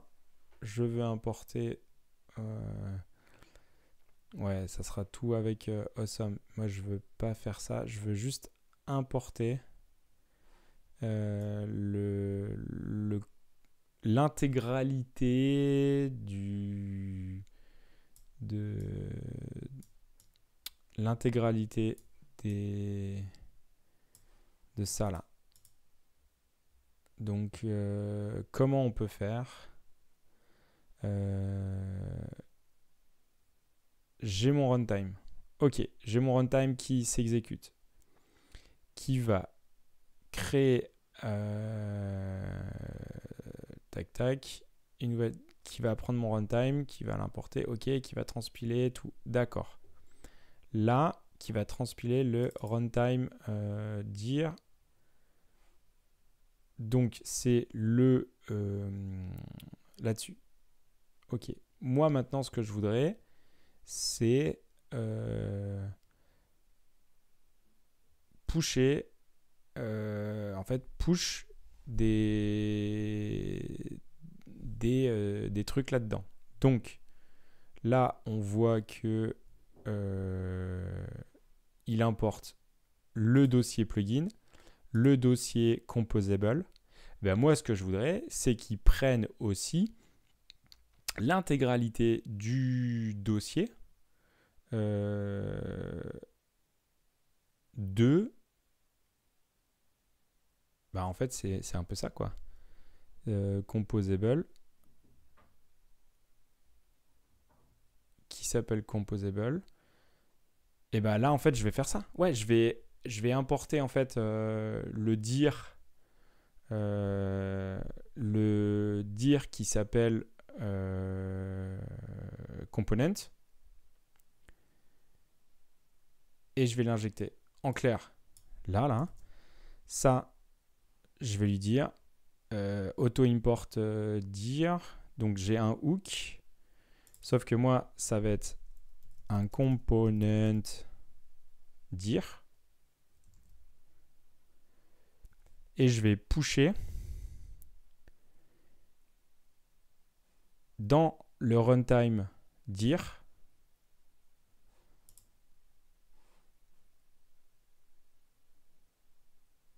dans le runtime dir, je vais pusher non pas un truc qui s'appelle composable, euh, mais un truc euh, qui est en fait ça.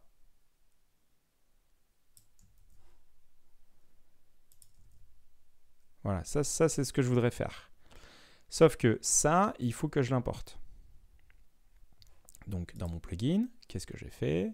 J'ai fait un truc comme ça. Ça c'est mon plugin. Dans mon module, je vais mettre ça ici. Hop. Ça c'est mon plugin. Euh, donc euh, je pense qu'on est déjà dans cette option-là. Oui, si... Donc, ça veut dire que ça, il faut déjà le mettre dans la bonne condition. C'est-à-dire dans le mettre... Hop, dans le mettre... Euh, tac. Si il est... Euh, s'il a choisi d'installer Instant Search il va, qu'on va faire déjà, le premier truc qu'on va faire, on va importer tous les composants. Donc, ce qu'on, euh, hop, ça, on va le mettre en haut. Ça, c'est juste pour, pour la lecture, pour moi, que ça soit plus facile. Ce qu'on faisait dans le plugin, c'était de, euh, de lui dire tu importes toute la librairie.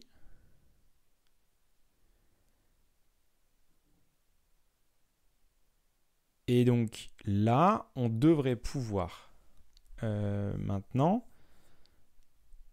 si il l'a, on l'importe. Donc là, on a l'intégralité euh, des des composants qui est importé. Ok, on a tous nos composants, ils sont importés. Maintenant, on veut en fait euh, les mettre à l'intérieur euh, push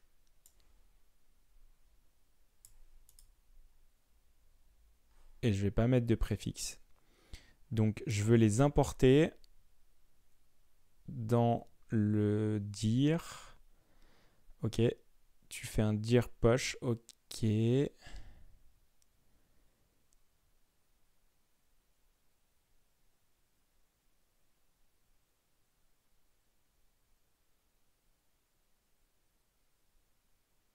Euh, qu'est-ce qui me manque là? Il manque en fait euh, l'intégralité euh, de euh,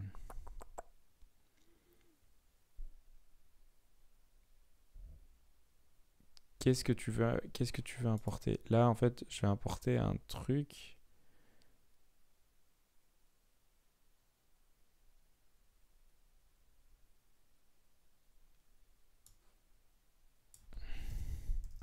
Comp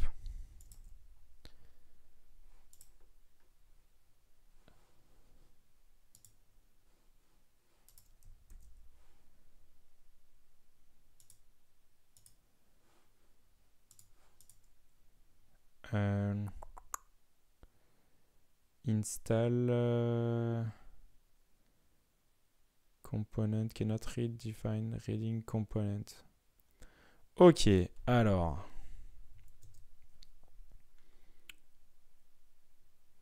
Await. Il aime pas le mot await.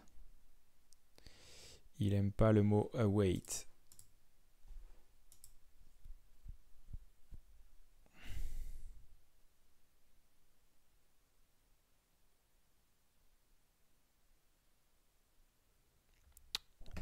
Re, ça persiste ton souci. Euh, alors, je sais pas sur quel souci tu étais, euh, bloqué. Euh, je sais pas du tout euh, sur quoi tu étais, bloqué.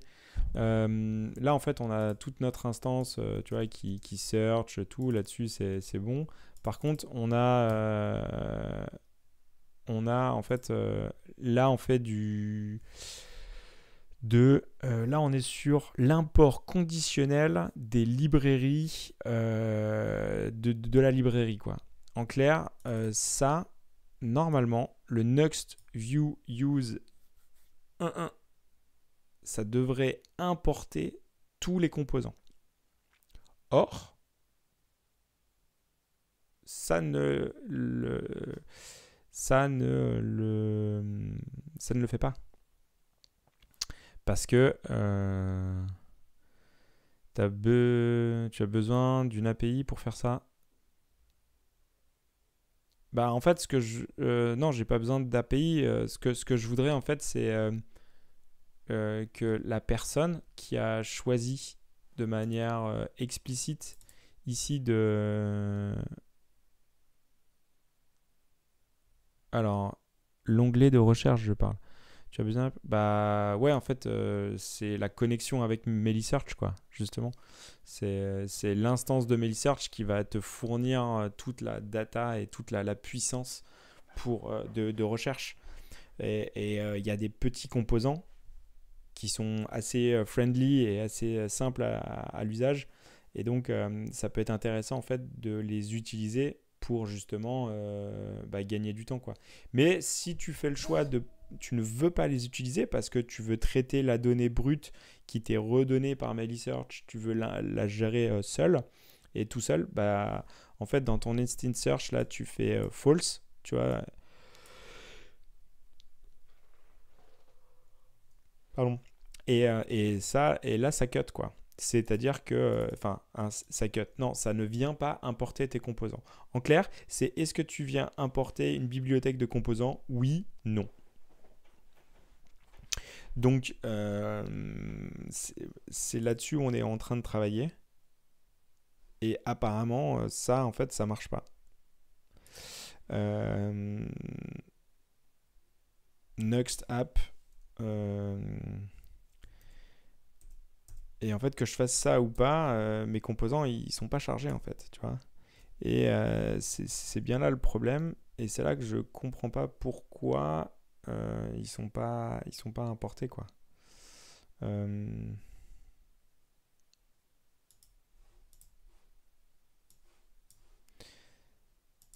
c'est là que je comprends pas.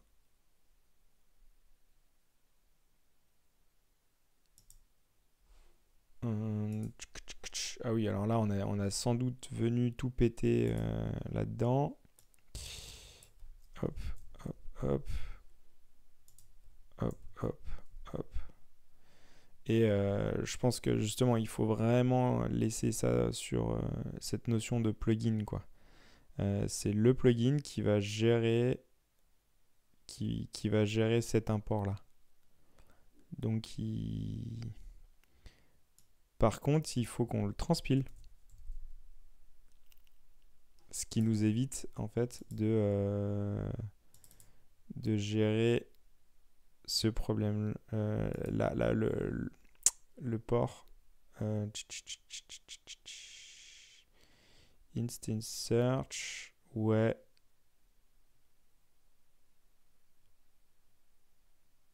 Temporary fix. Euh, ouais ça ça ça ça ça ça marche. Mais moi je veux pas le mettre dans en fait je veux que ça soit importé automatiquement quoi. Si j'ai fait le choix d'importer.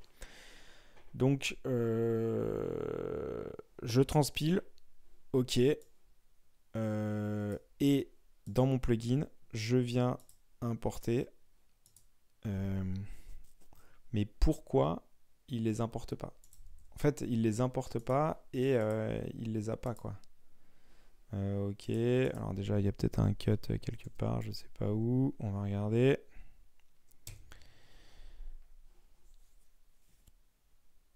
Hmm. Ok, là on a bien... Euh, ok, on a notre module qui, qui remarche. Par contre, par contre, il n'y a pas cette euh, fucking import euh, auto, quoi. Et c'est là où je comprends pas, en fait, pourquoi...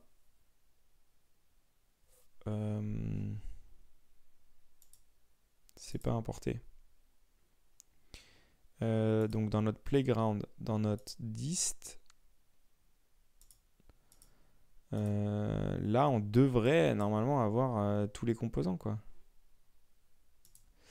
Il me manque en fait sans doute des, outils de debug. tu vois, je suis pas, pas super au clair avec ça.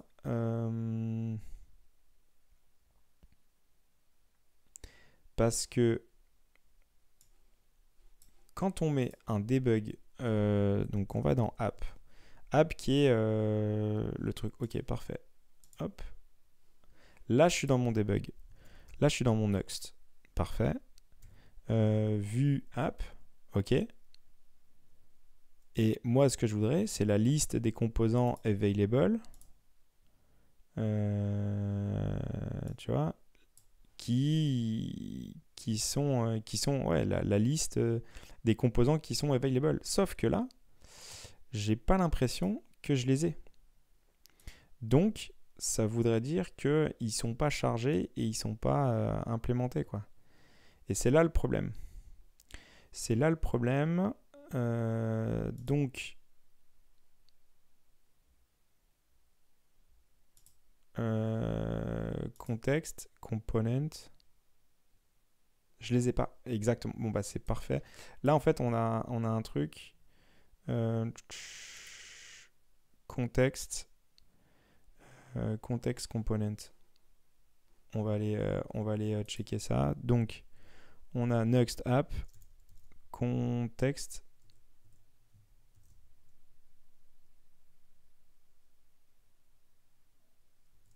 Component Non, c'est pas ça. je l'ai perdu. C'était quoi? C'était underscore context component. Donc, hop, underscore con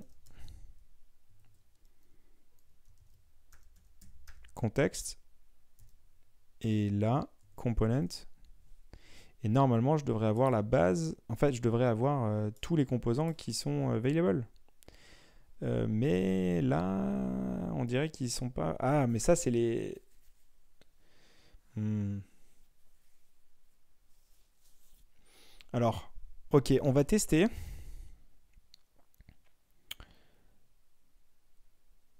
dans notre playground, on va créer un folder qui s'appelle euh, component. À l'intérieur, on va créer un folder qui s'appelle global. Et à l'intérieur, on va créer un fichier qui s'appelle alex. Point vue. Et donc là-dedans, on va créer un truc qui s'appelle h1 euh, Alex. Et donc normalement, il devrait être importé. Donc, il devrait sortir dans cette liste-là. Parce qu'il est importé de manière globale. Voilà. On a bien notre composant Alex. Donc, ce qui veut bien dire que euh, déjà, on a bien targeté euh, dans, notre, contexte importer euh, des composants. Donc ça veut dire que ça c'est cool. T'es en mode vendeur de chez Darty. Exactement. Voilà. donc ça, ça veut dire que le truc de notre système d'import global, est il ne fonctionne pas. Donc, ce qui veut dire que notre système d'import de, de là, de notre plugin, bah en fait, il est pété, quoi. Il est pété. Euh, donc, ce qui voudrait dire qu'il nous faut euh, faire autrement. Et je pense que euh, le problème, il est que on n'a pas view use app. En fait, dans mon contexte, je l'ai pas. Ok, mais euh, qu'est-ce que j'ai autre à ma disposition? J'ai les components. Ouais, mais ça c'est pas bon.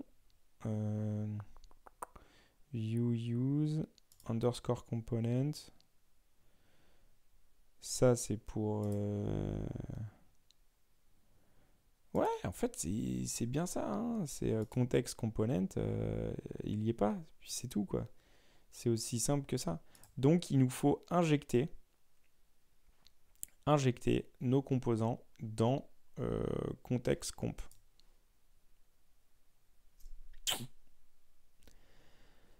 Et eh bah, au premier abord, j'aurais envie de dire que c'est ça qu'il faut faire.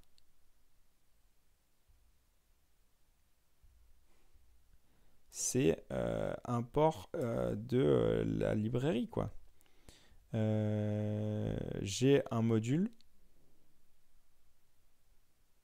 et je viens push files to URL, bah ça c'est de hop hop avec un préfixe. Et je pense qu'on est tellement, mais on est tellement prêt, on est tellement prêt.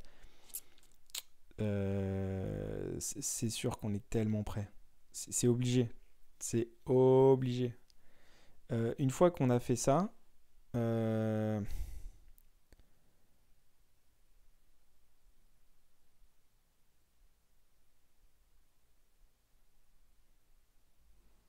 en fait notre plugin là il sert à rien. Il sert à rien. Il est complètement useless. Donc on revient sur notre module de base et on va aller explorer ça parce que c'est ici que ça se donne. C'est ici que ça se gagne. En fait, si on suit la doc, ça, nous dit quoi? Ça nous dit que tu, dois importer. Euh, hop, donc déjà, hop, ok. Avec c'est le pass de ton bordel. File to pass, c'est quoi? Tout file to pass, on importe file to pass, je l'ai déjà, c'est parfait. File, to, euh, file URL to pass. Euh, donc, ça, ça dégage.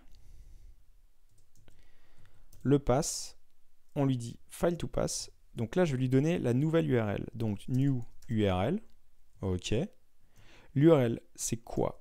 Bah, L'URL, c'est ça c'est euh, le vue instant search euh, machin.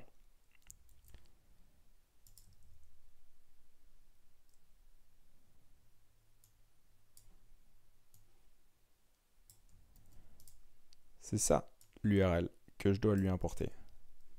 Ok? Et donc, là, je lui fais import euh, meta URL.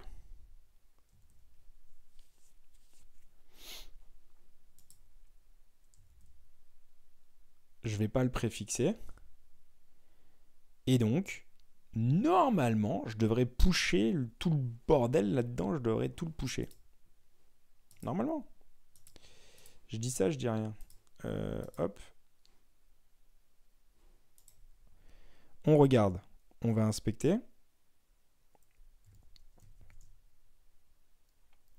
Contexte. Contexte. Point comp. Et là, est-ce que j'ai... Non, j'ai pas grand-chose de plus. Euh, ok. Et normalement, dans mon, dans mon runtime, composable, ok. Et si je prépack et tout ça là, invalide URL. Ok.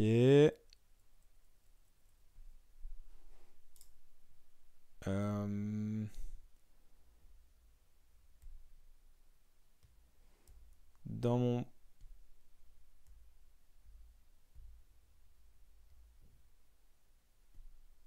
j'importe Allez, on va se détendre. On va faire. Hop.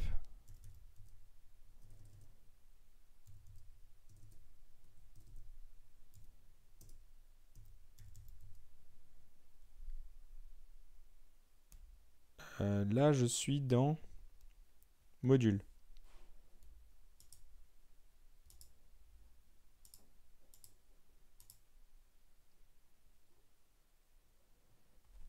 Euh, pourquoi je transpile euh, quelque chose? Je ne sais pas. Si, là je vais dans mon pass, je vais importer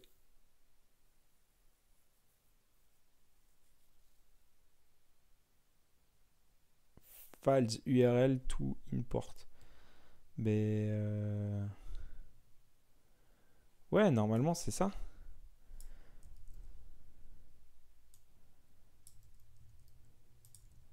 Normalement. Normalement, euh, c'est ça quoi. Et euh,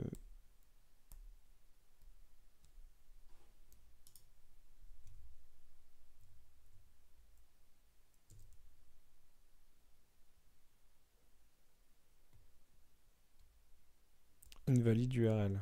Donc c'est pas bon. Dev. Ok, invalide, il reject, il reject. Euh, donc ça veut dire que mon URL n'est pas bonne.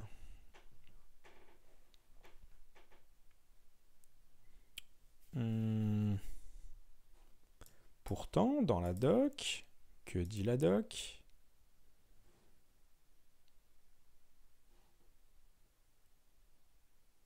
Node awesome UI. Ah Mais oui, putain. Ok, il faut que j'aille chercher... Euh,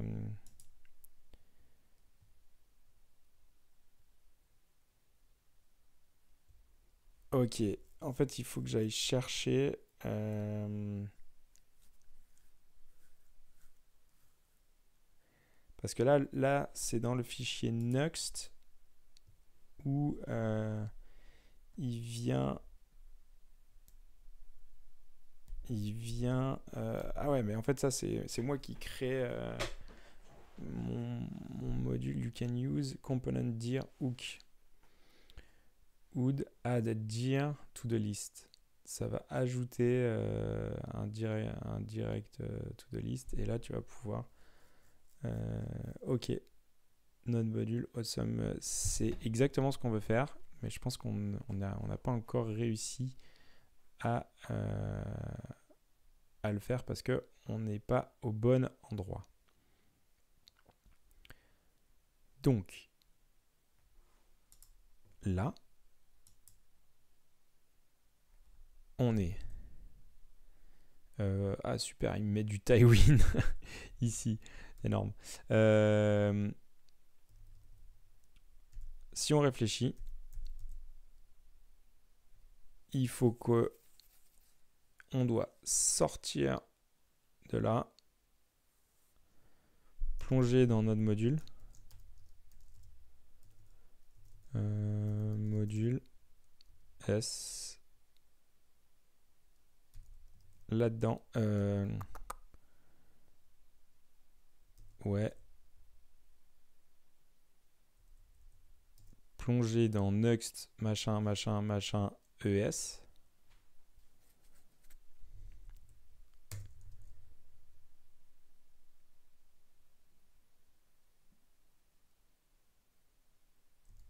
Et normalement, ça devrait... Euh, enfin, normalement. Là-dessus, ça devrait être déjà un peu mieux. On va tester.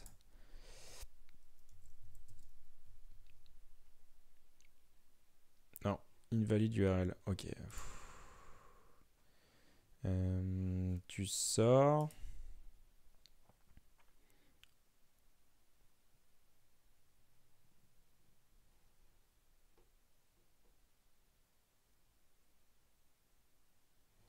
Add import dir. Euh, mais en fait... Euh...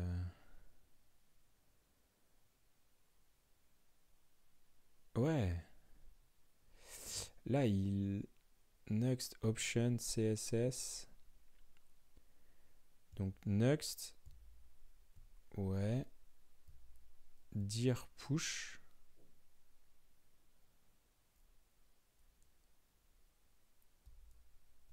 Et pourquoi je peux pas euh, dire push euh, ça en fait? directement.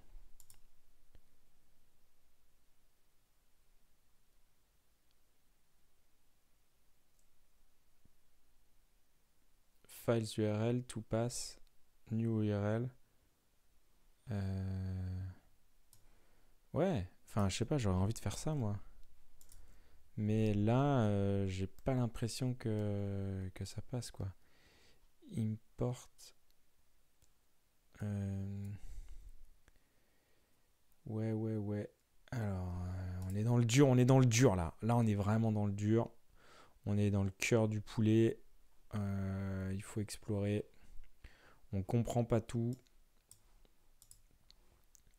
Mais on va y arriver. On a un hook. Ouais.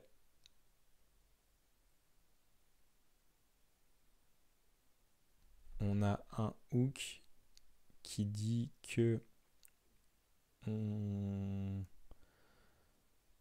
va ajouter, on va push, on va ajouter un des, des, des components. Ouais, on va ajouter des components, c'est ça. Euh, ok.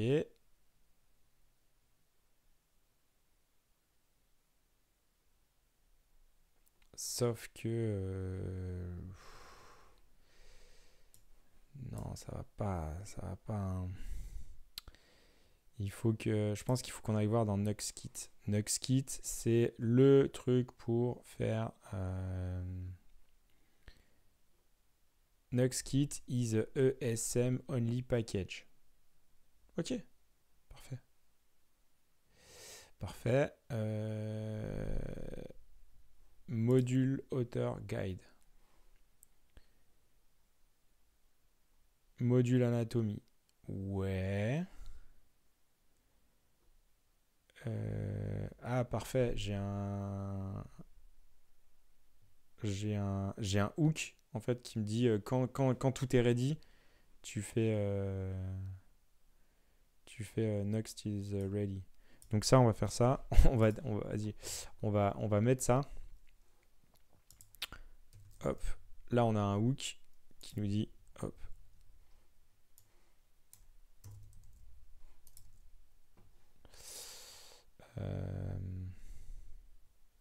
ok. Là, je load le define next module. Là, on a tout le define. Ok. Après, on a ah, on a le setup async. Ah, ok. Setup. Est-ce que mon setup il est async? Non, il n'est pas async. Ok, je vais mettre mon setup. Ce qui veut dire que là, je pourrais, ah, je pourrais importer ma lib. Et on pourrait pas faire euh, juste euh, dire push euh, ça là comme des gros gorés.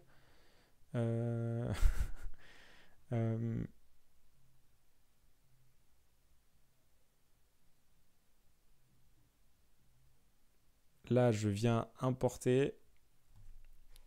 Je viens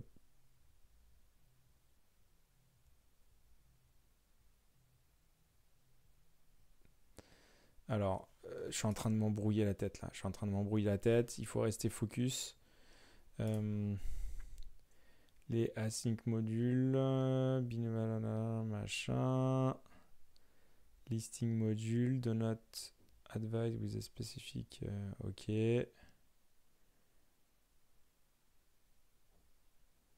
Je. ouais.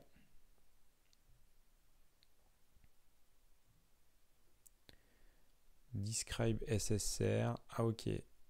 Test setup. Ok, ça c'est pour les, le mock. Ok.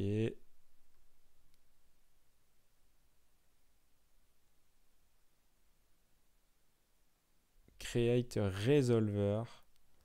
Euh, define next module. Ok. Setup. Create euh, resolve to resolve relative pass. Bah ouais, ça c'est quand même pas mal. Adding a plugin. Ok, ça c'est ça, on l'a déjà fait en fait. Ok. Et là, je vais injecter euh, Next Option CSS. Ouais.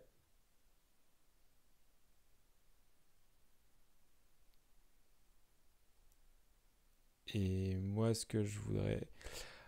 On va aller, euh, explorer euh, chez nos amis du Next, euh, Next module de chez. Qu'est-ce qu'ils font? En clair, le module de chez Algolia, comment ils font?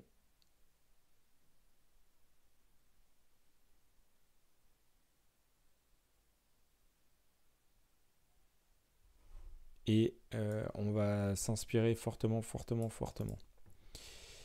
Euh,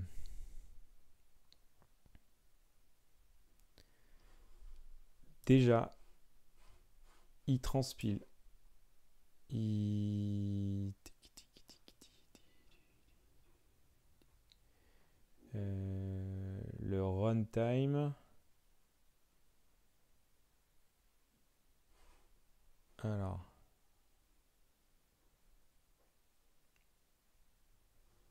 Il transpile tout ce qu'il y a dans le runtime. Ok. Tout ce qu'il y a dans le runtime, il transpile. pour que ça soit bien. Ok. Là-dessus, on est d'accord. Après, on va, regarder ensemble. Euh, les API keys, oui, c'est pas bien, c'est pas bien, c'est pas bien, il n'y en a pas, il n'y en a pas, ouais, ok, il y en a, il y en a, il n'y en a pas. Oui. Euh, on est d'accord.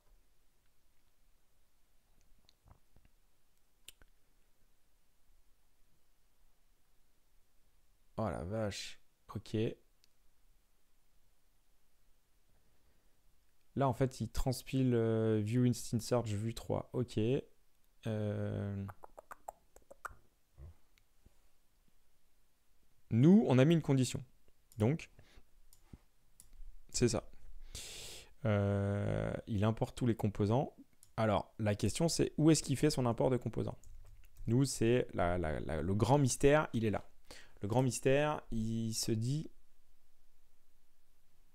il importe, il auto-importe, euh, ok, les composables, ça marche. Mais euh, là, il n'a pas importé les composants.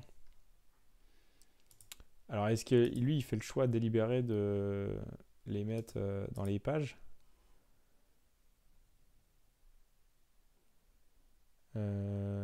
Ah putain, ok, on se prend la tête en fait on se prend la tête. Euh, il a. Il a. ok.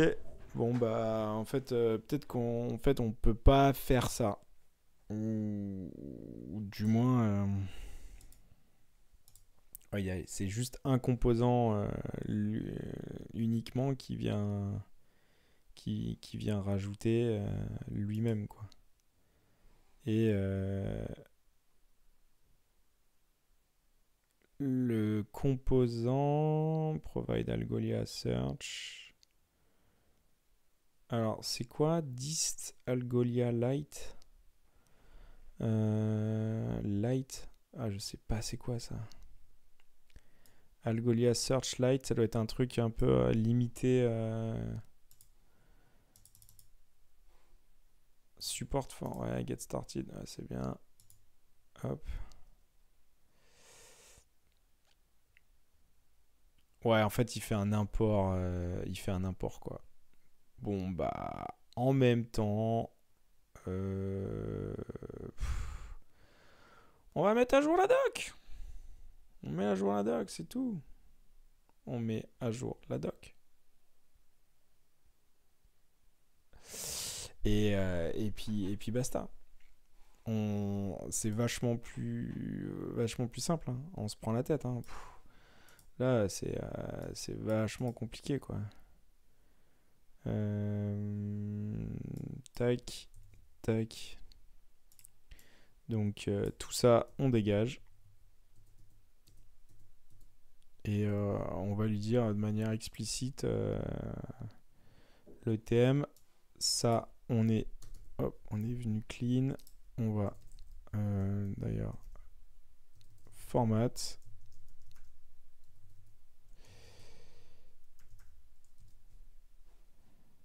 Ok, euh, on va on clean euh, on va clean tout ça hein, parce que là on s'est mis euh, on s'est mis du fire fire pour pas grand chose quoi.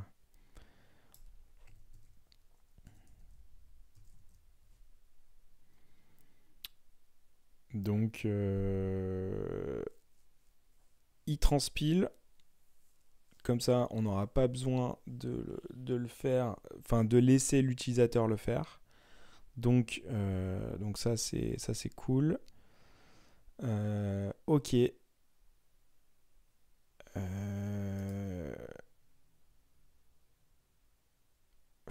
ça aurait été bien quand même, hein.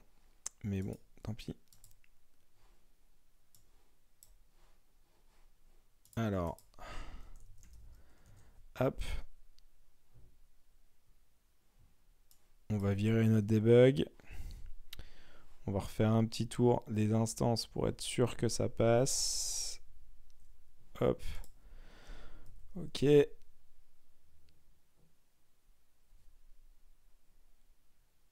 Allez, le next module, il est compilé. On a notre search. Réservoir Dog, très bon, très très bon. Très bon, Réservoir Dog. Très bon choix. Très bon choix.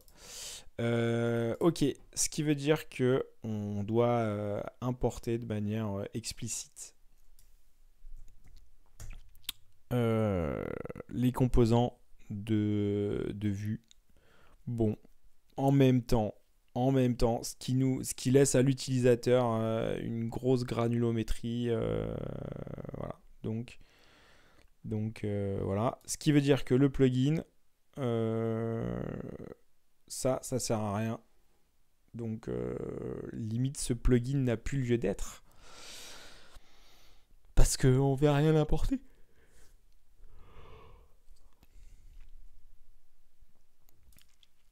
Euh, donc, on va quand même le laisser. L'idéal, ça serait quand même de peut-être de le virer. Mais non. En fait, on va le laisser et euh, on fera. Ok on fera ça euh, next. Mais euh, là, on a notre module, on a nos composables. On vient brancher euh, le tout. Ce qui veut dire, en fait, est-ce qu'on a bloqué les... est-ce qu'on a résolu ça? Est-ce qu'on... Alors, ça, non ça en fait maintenant on n'aura pas le choix ça sera pas on n'aura pas le choix ça sera obligé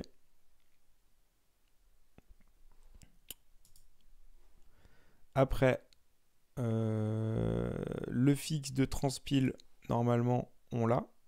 Donc on a résolu ce problème-là. On a pu le, le, le, transpile, le truc avec Hogan, machin, ça c'est fini. Euh, là-dessus c'est bon.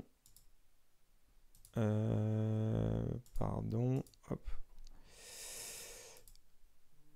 Et les autres euh, hop, Iris List.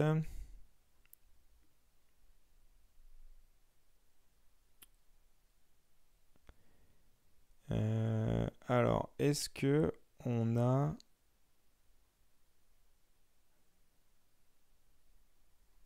Ok.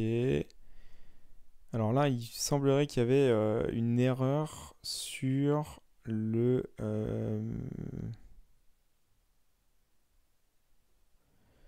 sur ce composant-là. Alors, on va regarder, est-ce que tu peux l'implémenter?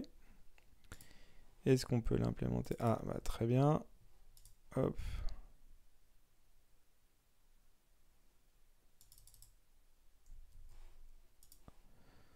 Implémentons, testons-le pour voir si on l'a. Et euh, dans les catégories, qu'est-ce qu'on a comme... Euh, qu'est-ce qu'on a comme... Euh, euh, bah, je vais dire genre, vas-y. Qui pourrait se rapprocher en fait euh, attribute. Chez moi c'est genre. Donc. Ok. Et là j'ai une API error. Mais comme on le disait dans la dans la, la dans la dans l'issue, en fait euh, la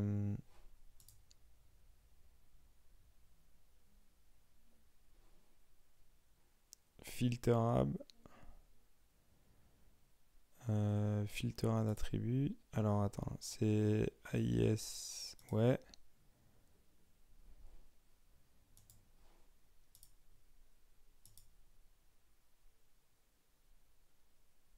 Filter, ouais. Là, il faut qu'on ait un but by default filterable attribute is empty. Ok. Donc, on va aller regarder dans euh, Insomnia et on va aller euh, regarder euh, comment on peut modifier en fait cette, ce settings là. Donc, filterable, on doit avoir un truc on doit avoir un truc spécifique sur les filterables. Filterable, get, filterable, euh, machin. Donc c'est un réseau. Là, on va faire un update sur genre. Ah, il aime pas. Il dit qu'il aime pas du tout. Euh, alors, d'abord, on va regarder mes documents. Et c'est bien, ouais, c'est genre S. Ok. Donc, on va mettre un filterable attribute à genre S. Get filterable attribute. C'est pas passé. Ça veut dire que celui-ci, il est pas passé. Hmm, c'est bizarre que la structure get filterable attribute, ouais. Sauf que là, le post euh, filterable attribute, ça passe méthode node allow. Ok. Euh, cette méthode n'est pas allow. Très bien. Que dit la doc? Euh, Filterable attribute by default, filterable attribute is empty. This means that the filter does not working first explicitly adding attribute to the filterable attribute list. En clair, il faut déclarer de manière euh, très claire quels sont les filtres que tu, les attributs que tu veux filtrer. Donc, il nous faut injecter euh, des informations pour euh, pour euh, marquer euh, tout ça. Très bien. On va regarder les index. Ouais. Hmm, d'accord. Là, je suis update stop word. Donc, euh, en fait, je vais regarder get stop word. Ok. update stop word. Ok, là j'ai un problème parce que il veut pas. Il veut pas. Il, me dit que la méthode is not allow. Hmm, d'accord. Allez, on va aller regarder dans la doc. Reference. Euh, c'est quoi? Settings. Update. Euh, la gueule de l'objet me plaît pas du tout. Donc, euh, qu'est-ce que j'envoie distinct, filtrable attribute. Euh, ok. Et euh, filtrable attribute. Ah bah non. C'est euh, plutôt propre. Alors, est-ce que c'est vraiment comme ça? Index, oui. Settings. Alors, get filtrable attribute filtrable attribute, ouais, get, il me renvoie rien, parfait. Euh, ah, c'est pas un post update? Ah bah, c'est pas un post, c'est un put. Ils ont changé. Voilà, parfait. Donc, euh, ok, c'est un put. Put Ce qui veut dire que là maintenant, on, est venu injecter euh, notre euh, genre dans les filtrable attributes. Ce qui veut dire que... Euh, normalement, là,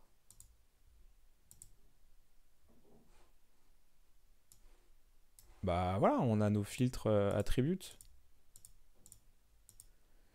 Euh, donc, eh bah, la bonne nouvelle, c'est que euh, on, a, on a résolu notre problème. Donc, oh, salut à toi, Arzouz. Arzouz, salut. Bienvenue dans l'équipe, bienvenue dans l'équipe de Double Slash. bienvenue à toi. Euh, je sais pas où est-ce que tu as pris le live, euh, si tu viens de débarquer ou si tu as pris le live depuis un certain temps. Mais euh, là, on résout tous les problèmes, tous les issues de, la lib. On a mis à jour tout ça. Et en fait, on se rend compte que bah, monsieur qui nous a écrit une petite issue en mode ouais, ça marche pas. Et ben en fait, le truc, c'est que ça marche. Sauf qu'il faut bien configurer les choses. Donc, euh, bah, ça, c'est à lui de faire sa mise à jour pour que, ça marche. Donc, on va euh, fermer cette issue. Et en, tout cas, bienvenue à toi, Arzouz. Euh, comment on close Alors, je vais pas delete, mais on va lui faire un petit message quand même. Euh, ouais, alors on va lui faire after update euh, your. Euh, c'était quoi le truc là?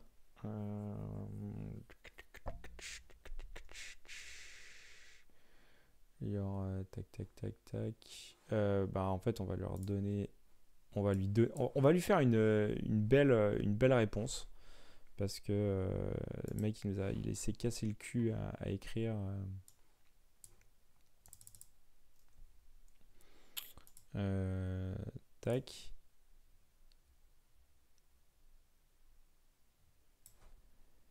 Et tu sais quoi? On va même lui faire une petite une petite screenshot. Un petit screenshot. Allez on est on est des fous. Tac. Voilà et hop, ça, on va le drag and drop. After update it, euh, donc c'est quoi? C'est fast time? Non, c'est pas fast time. c'est, euh, on a dit quoi? Filterable attribute.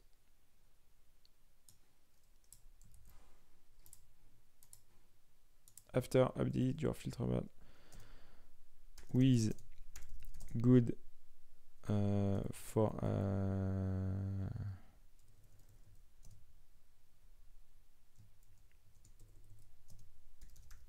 Oui, dans son exemple, c'était quoi? Euh, Lui, ce voulait pas, il comprenait pas pourquoi ça marchait pas, parce que il avait pas le mot catégorie. Et ben voilà. Donc tu vas dire with in your case catégorie. It should work. Euh, paf, paf. It should works. Et en même temps, euh, tac. It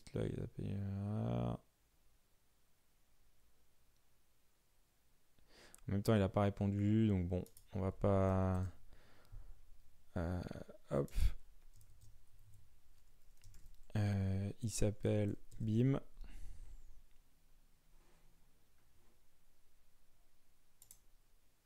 Comment? Allez, BIM. Close the issue. Euh, ok. Parfait. File to resolve the component. En fait, on a tous le même, euh, on a tous le même, enfin, ils ont tous le même problème là-dessus. Donc, Ouais.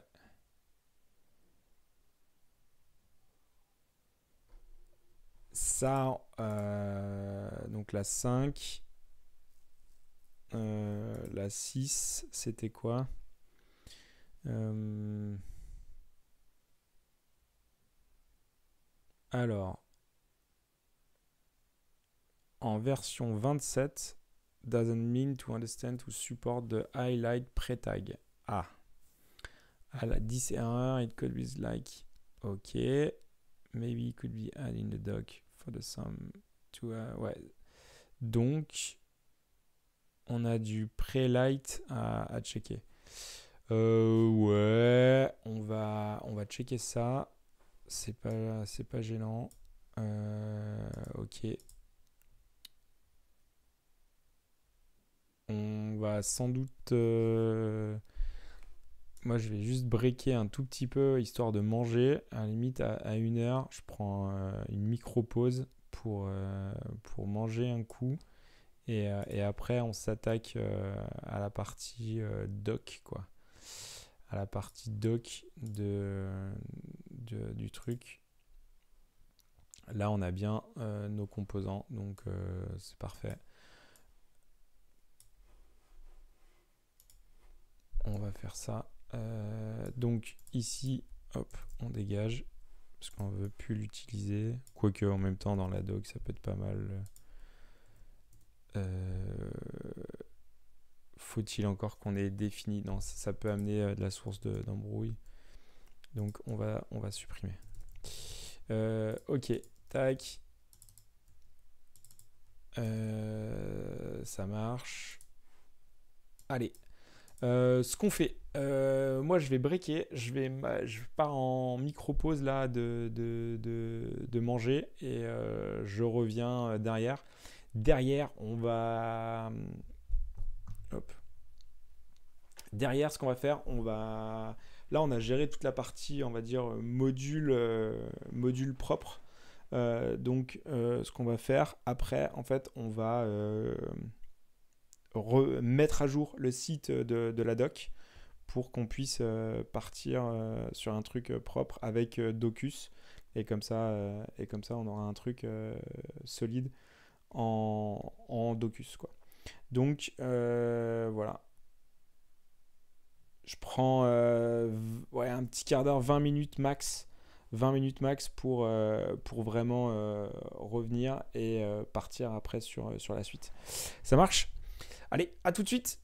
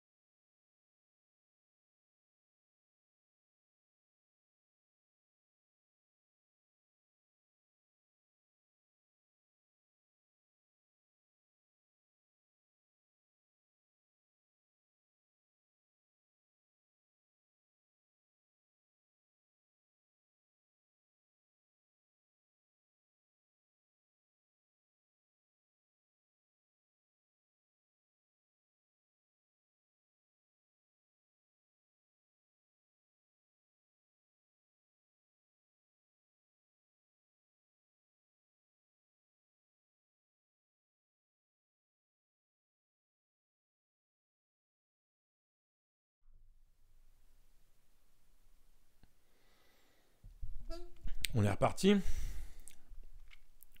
On est reparti, ça peut être... Euh, ok, on arrive dans la deuxième partie euh, du truc, de la, de la journée. L'objectif là maintenant, ça va être de, euh, un, publier ce gros bordel là avec une release pour qu'on puisse l'utiliser à côté.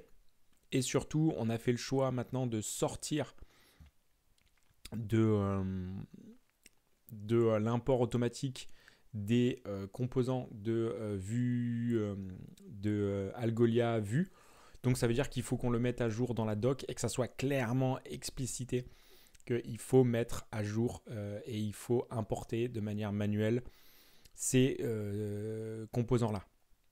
Comme ça, en fait, on est sûr d'être dans le terme. Et en fait, c'est pas gênant, mais il faut que ça soit au moins documenté. Et comme ça, là, on est, euh, on est, on est juste. Donc, on va, un, on va publier le, plugin de euh, grosses mises à jour sur, euh, la doc. Et euh, un, on va déjà s'occuper de la doc, de créer, de, mettre à jour la doc. et après, je pense que on va faire la migration sur Docus. Docus, pour ceux qui ne connaissent pas, c'est ça. D'ailleurs, on va le mettre en dark parce qu'il est vachement mieux en dark. Non, il n'y a pas en dark? Euh, ouais, en dark, voilà. Euh, en fait, euh, Docus, c'est le système qui utilise Nuxt pour générer des pages des, de la documentation, en fait. Et tout est, voilà, c'est orienté vraiment pour, pour de la doc. Donc, c'est c'est quand même assez stylé. Je remercie Sébastien Chopin de m'avoir donné les, les, les, comment, les accès. Et euh, ça, j'ai pu regarder euh, comment, euh, comment c'était fait, comment, comment ça marche. Donc, donc ça, c'est cool. Et, et, donc, je vais, on, va, on va utiliser ça et on va créer, créer le, la suite. Quoi. Donc, donc c'est cool. Et en fait, on va virer, on va virer ça. On va virer ça. Mais d'abord, on, publie. Allez, on va d'abord publier. Euh, par contre, on a beaucoup, beaucoup de commits en, retard. Donc, on va. Euh, ouais. Ça, c'est pour euh, les exemples. Donc, on va faire ça. Ça. Ça, c'est juste les update package. Donc, update dependencies. Dependencies. Ouais. Ok. Euh, ça, on va aller sur le, le, plugin, on va supprimer parce qu'on n'en a plus du tout besoin. Euh, ça sert à rien. Hop. Donc on n'en a plus besoin. Voilà. Le module, qu'est-ce qu'on a fait comme module euh, Ok. Hmm. On a juste mis à jour et on a refacto. Donc, hop, on va faire refacto du module module.ts module.ts ok.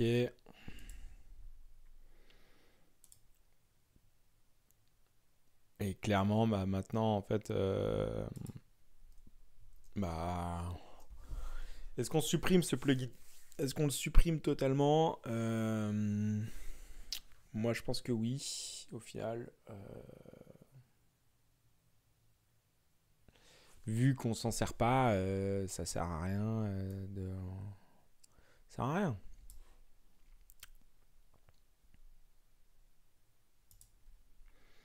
Donc on supprime.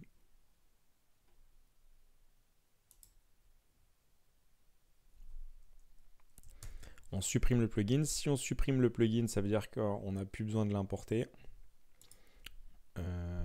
donc on dégage, on dégage ça. On garde le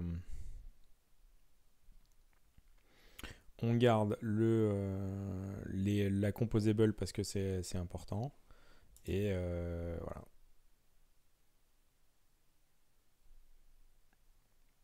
Hop.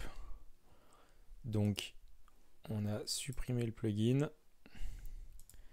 Donc là, c'est fit. Ouais, on va dire euh, cleaning.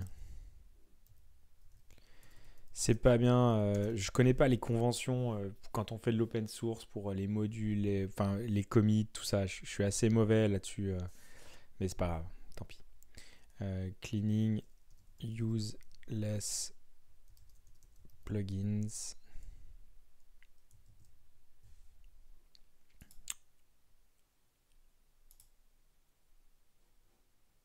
Hop. Et là, on part sur du force. Euh, non, c'est explicite. Explicite euh, import euh, Algolia. Algolia vue search lib. Hop. Et là, comme ça, on l'a euh, vraiment mis euh, et fait de manière euh, très explicite. Ok, on a notre branche, on a poussé sur notre branche. On va aller vite fait sur la poulerie. On va ouvrir la pull request si c'est pas déjà fait. GitHub Web. On crée, on, la pull request. on crée. Euh, review require merging is blocking. Bim, allez. Merge can be performed automatically with one approval. Euh, ok, et bah je crois que c'est moi qui va approval le truc. Review is require. Très bien. C'est moi qui vais euh, assign to yourself. Reviewer. Et request up to 15 viewers. Qu'est-ce que c'est que ce délire? Alors, euh, j'ai dû changer. Euh, bypass de branch protection. Euh, ça, c'est dangereux, ça. Ça, c'est dangereux.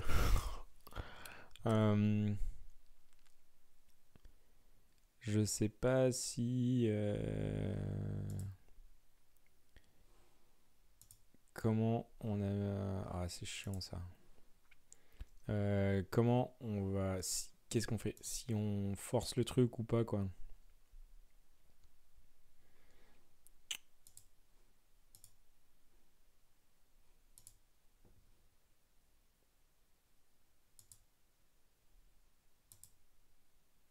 Je suis un fou.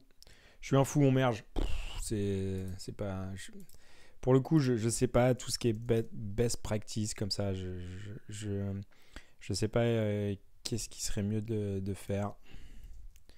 Euh, master. Check out master. Git pull. Git pull. Origine. Master. ok. On va faire ça. On va faire ça. On est dans. Euh, on va rester là. On va rester dans notre euh, VS Code. Et là, ce qu'on va faire, euh, deux têtes, je ne sais plus du tout comment on fait, mais il me semble que c'est PN. PNPM. Euh, release. Sauf que dans ma release, il faut que je mette un truc dans le package.json et euh, allez, on est des fous, on va passer en deux. PNPM release. Et en fait, je crois que ça build. Eh ben, ça build pas. Allez, bim. Bon, bah déjà, premier problème. Alors, qu'est-ce qu'il dit? Euh, Inline explicit external default. Ok. Alors. PNPM build. En même temps, j'ai pas, j'ai pas lancé le build. Euh.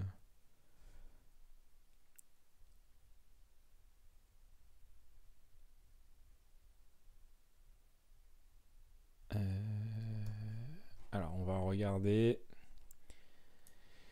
Que dit mon ma propre ma propre doc? Nux module build, shared version, git push, follow tag. Ok, donc en fait c'est vraiment release. Euh,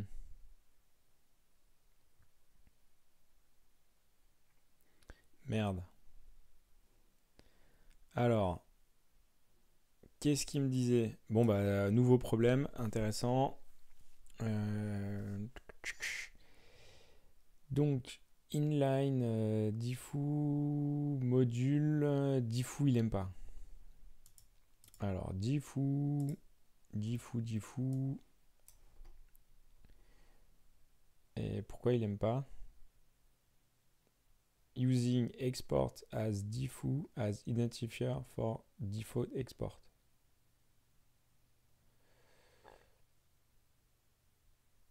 Mhm. Et ok, les petits copains, ils font quoi hmm. Import diffu from diffu. Ok, merci. Euh, et pourquoi il veut pas C'est dur à l'informatique, c'est dur. C'est dur.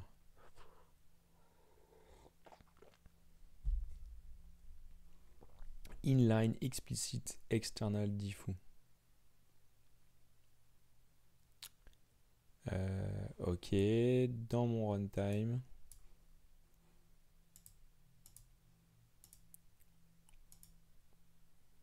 Non, pas là. Non plus. Euh, ok. Non. Non. Là, il fait, il fait ce qu'il a besoin de faire. Hmm. Pourquoi, pourquoi j'arrive pas à push?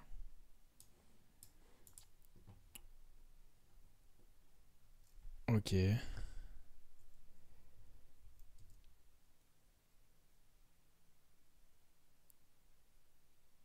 Building success mais. Ah, ça, c'est un warning. Ok, c'est pas gênant. Ah, ok, en fait, c'est pas, c'est pas gênant. Par contre, c'est euh, le e-life.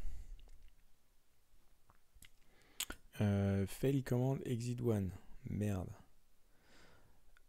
C'est un warning. Donc, ça, c'est pas ça qui pose problème en fait. Building. Euh, uh c'est ballot ça, dis donc.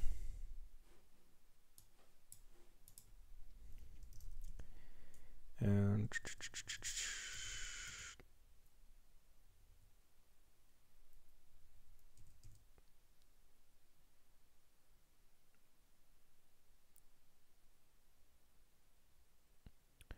ok, pourtant...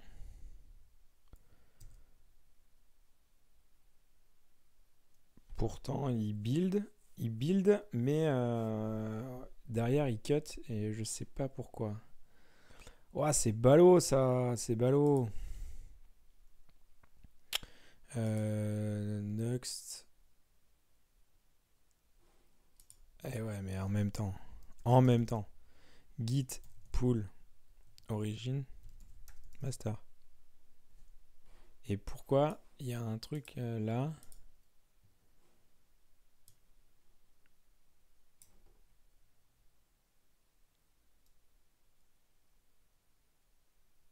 Euh, ok. New release. Ouais, on fait du on fait du YOLO là, du YOLO YOLO euh, grave.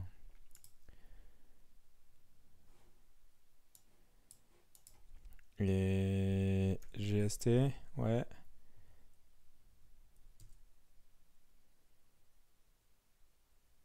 Non. Ah, ça c'est ballot. Parce que là, on n'a rien comme valeur, quoi. Successful, build. Ok, alors en fait, qu'est-ce qu'il fait? Il fait next module build.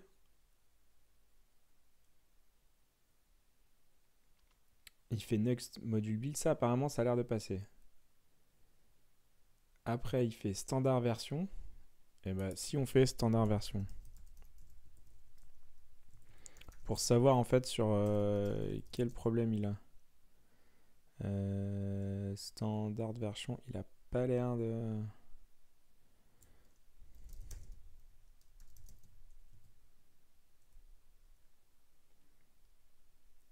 Ok, c'est ça qu'il aime pas. Euh, en même temps, en même temps, euh, ok. Comment on fait pour utiliser standard version?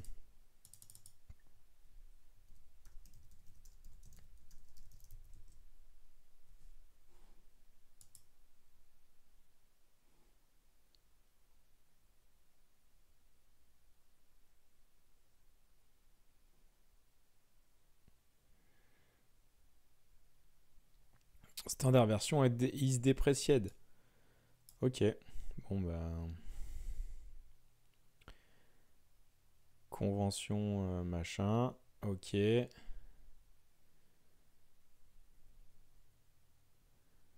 Euh, ça marche. On va. Une fois de plus, on va aller regarder comment gèrent les petits copains. Comment les mecs ils font. Hmm. Putain, ils font ça, quoi. Ils font pareil. Merde. Euh, standard version 9.3.2. Donc standard version, package, euh, standard euh, 9.5.0. Euh, ok. Ah merde. Bon. On a un problème là-dessus.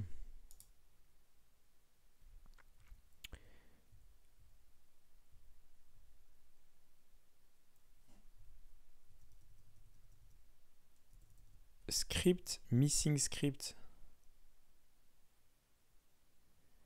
Euh, ok, en fait, c'est pas du tout le, même. Le même message d'erreur. Donc on dirait que euh, ça passe git push follow tag et build. Alors est-ce que si on fait si on fait euh, git push euh, follow tag ça, ça passe. Donc ça, ça veut dire que c'est bon. Il y a cette histoire de standard version qui nous pose problème.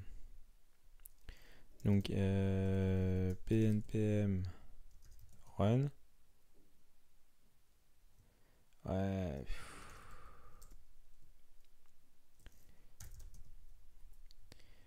Allez, la release, la release quoi. Euh, release. Ouais, il compile. Ça, ça passe, mais il va, il veut pas le reste, quoi.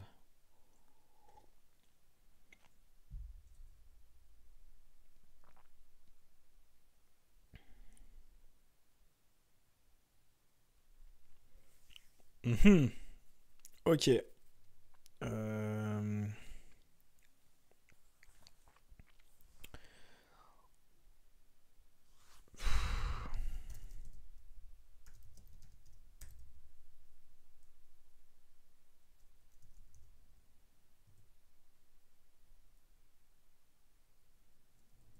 Oui, ok.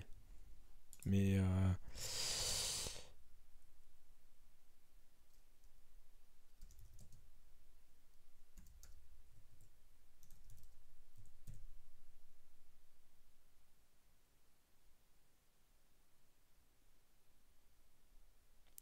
Version. Ok. Euh, très bien.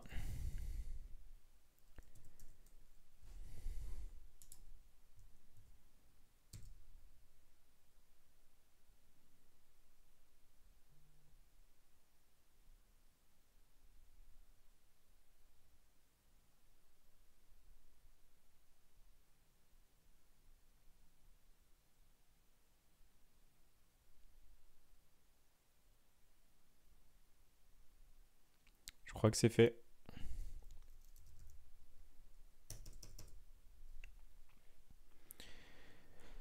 Allez, euh, on va regarder ça sur NPM. NPM. Euh, ouais, NPM. Et on va regarder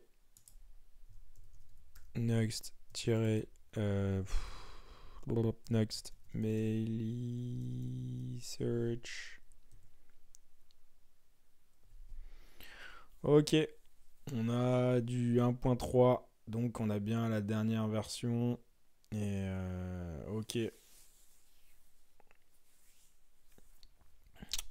Donc, euh, donc là-dessus, on est bon. Euh, est-ce qu'on pourrait...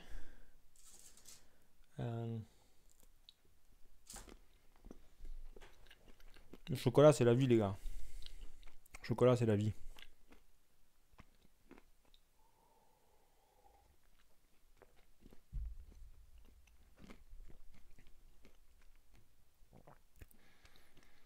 Ok. On est bon. On va, on a réussi à publier. Euh, c'est à jour. Euh, c'est pas, c'est pas massif, mais euh, c'est pas grave. Ça passe. Et l'idée, ça serait de...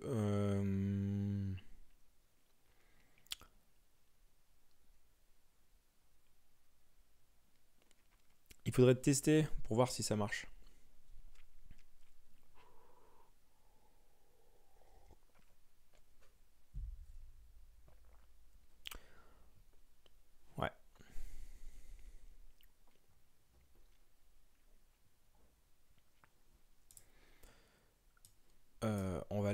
On va laisser comme ça.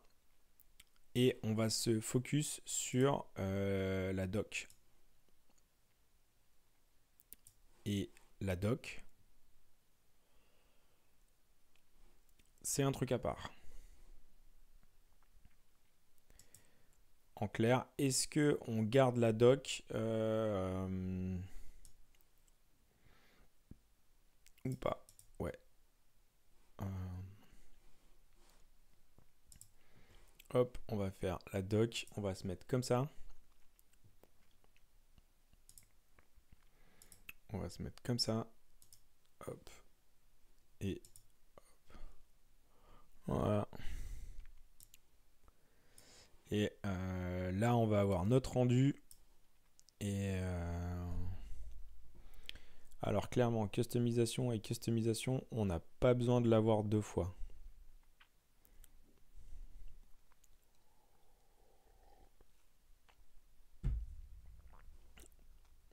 Customisation, ça c'est euh, machin. Ça c'est hyper important maintenant. On se doit en fait d'informer. Euh, euh, tac. Ouais.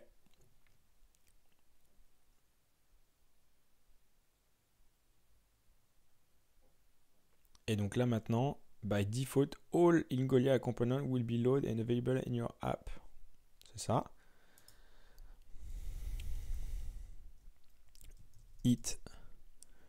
Euh, et donc, là maintenant, il faut leur dire qu'ils peuvent, ils doivent l'importer quoi.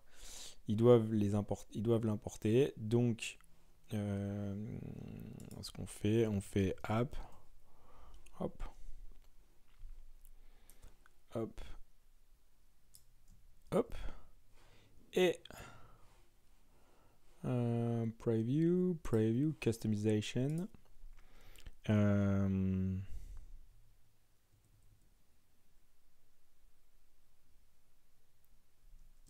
in your component import um, view instant search like so. Après, hop, hop, hop. C'est du vu.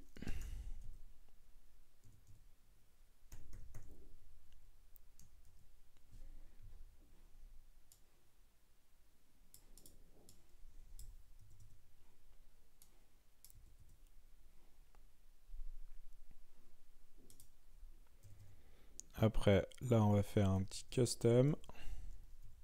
Euh, design, on va dire. Design. Je sais pas si. Ouais, design. Euh, hop. Alors, ça, on va supprimer. Et euh, comme ça, en fait, on a, on a une vision un petit peu plus claire de ce qu'on est en train de...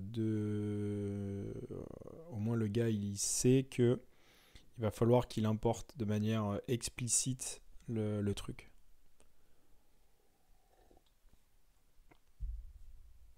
Hmm.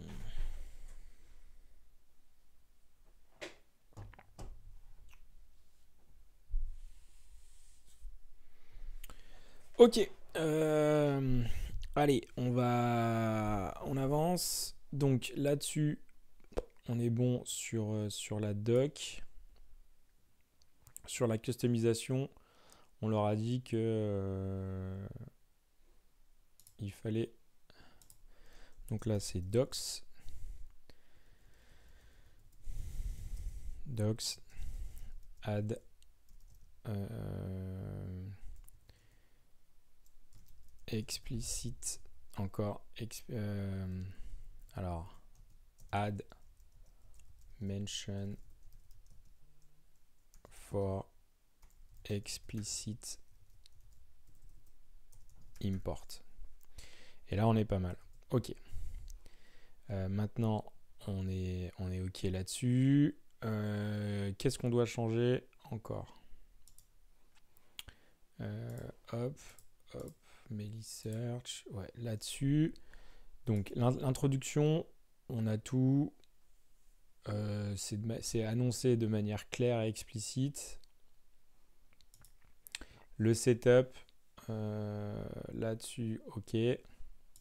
Customisation,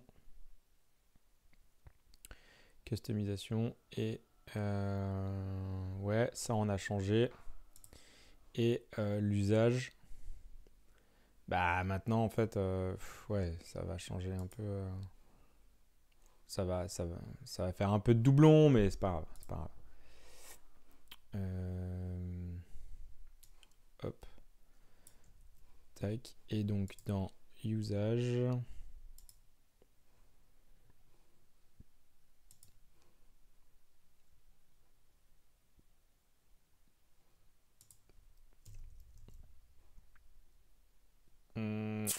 Church.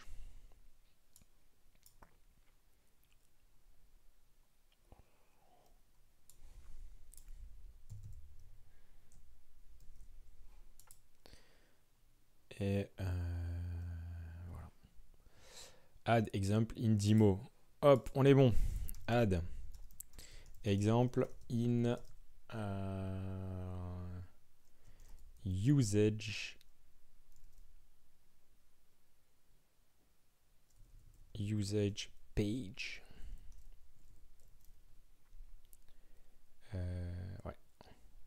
Ok. On commit. Euh, on est sur master. C'est pas bien. Faut pas faire ça. L'avantage de ce que je vois, c'est que. Alors, il n'y a pas une CDCI, mais euh, ce site devrait se mettre à jour normalement.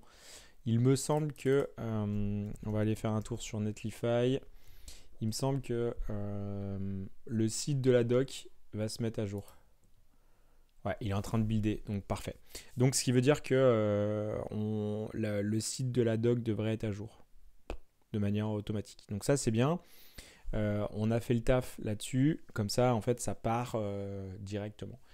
Et euh, moi, je suis super chaud, les gars. Euh, si vous avez, euh, si vraiment, en fait, vous voulez tester le truc, crash tester l'application, enfin le, la lib.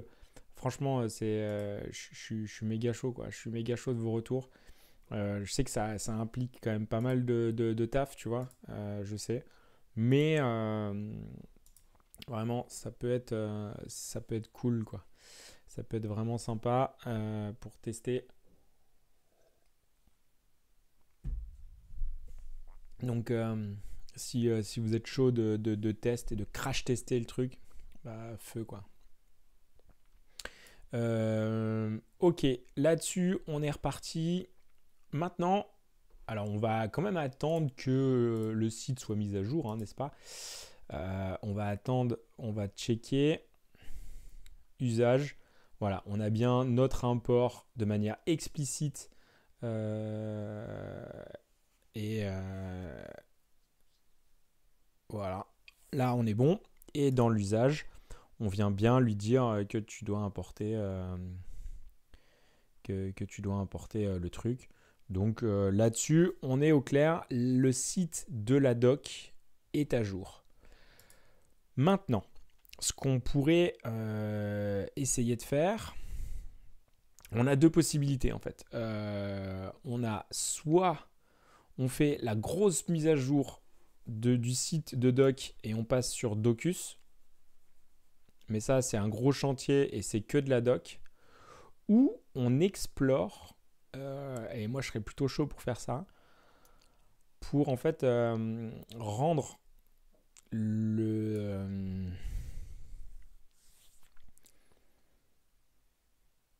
le, module en fait compatible avec pour qu'on puisse en fait injecter.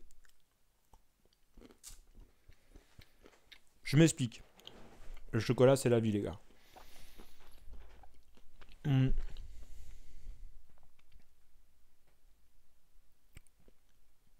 dans MediSearch, tu peux que lire des fichiers. La, principale activité, ça va être de lire des fichiers. Mais Next a une fonction euh, server-side. Donc, ce qui serait intéressant, c'est de pouvoir utiliser ce plugin euh, de MediSearch dans mon backend dans le, dans le côté back-end de, euh, de, euh, de, euh, pour justement, en fait, de Next, pardon, pour pouvoir utiliser ce plugin-là dans le côté serveur. Et ça, ça pourrait être super cool parce que, bah, ouais, ça m'évite, enfin, ouais, j'utilise en fait le plein potentiel de Next sur une fonctionnalité comme ça. Donc ça, ça serait euh, plutôt, euh, plutôt pas mal. Et en clair, c'est ça. Server usage to index document. C'est vraiment euh, moi ce qui me botte, ce qui me botte quoi. Par contre, clairement, je ne sais pas comment faire. Clairement, je ne sais pas comment faire, mais on peut, on peut, on peut essayer, on peut expérimenter. Et après, la migration sur Docus, ok, c'est vrai, c'est vrai que c'est stylé, tu vois, le, côté, le côté euh, euh, bien, euh, bien, bien classe de la doc. Tout, c'est cool, hein. Là-dessus, il n'y a pas photo. c'est en plus avec du tie-wing, c'est machin, tout, très bien. Parfait, quoi.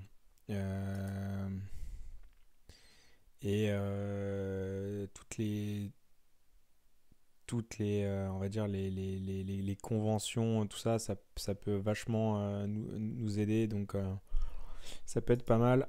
néanmoins, en termes de features, c'est un peu moins intéressant, quoi. Pour moi. Je, je, trouve que ça serait quand même pas mal de pouvoir. mais par contre, est-ce qu'on n'ouvre pas la boîte de Pandore, quoi?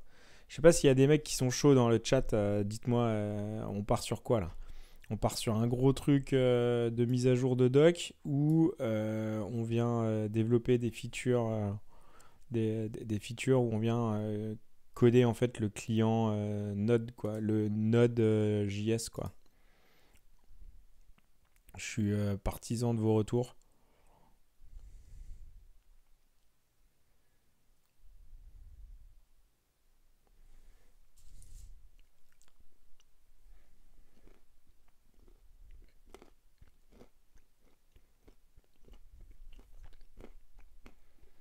Mhm.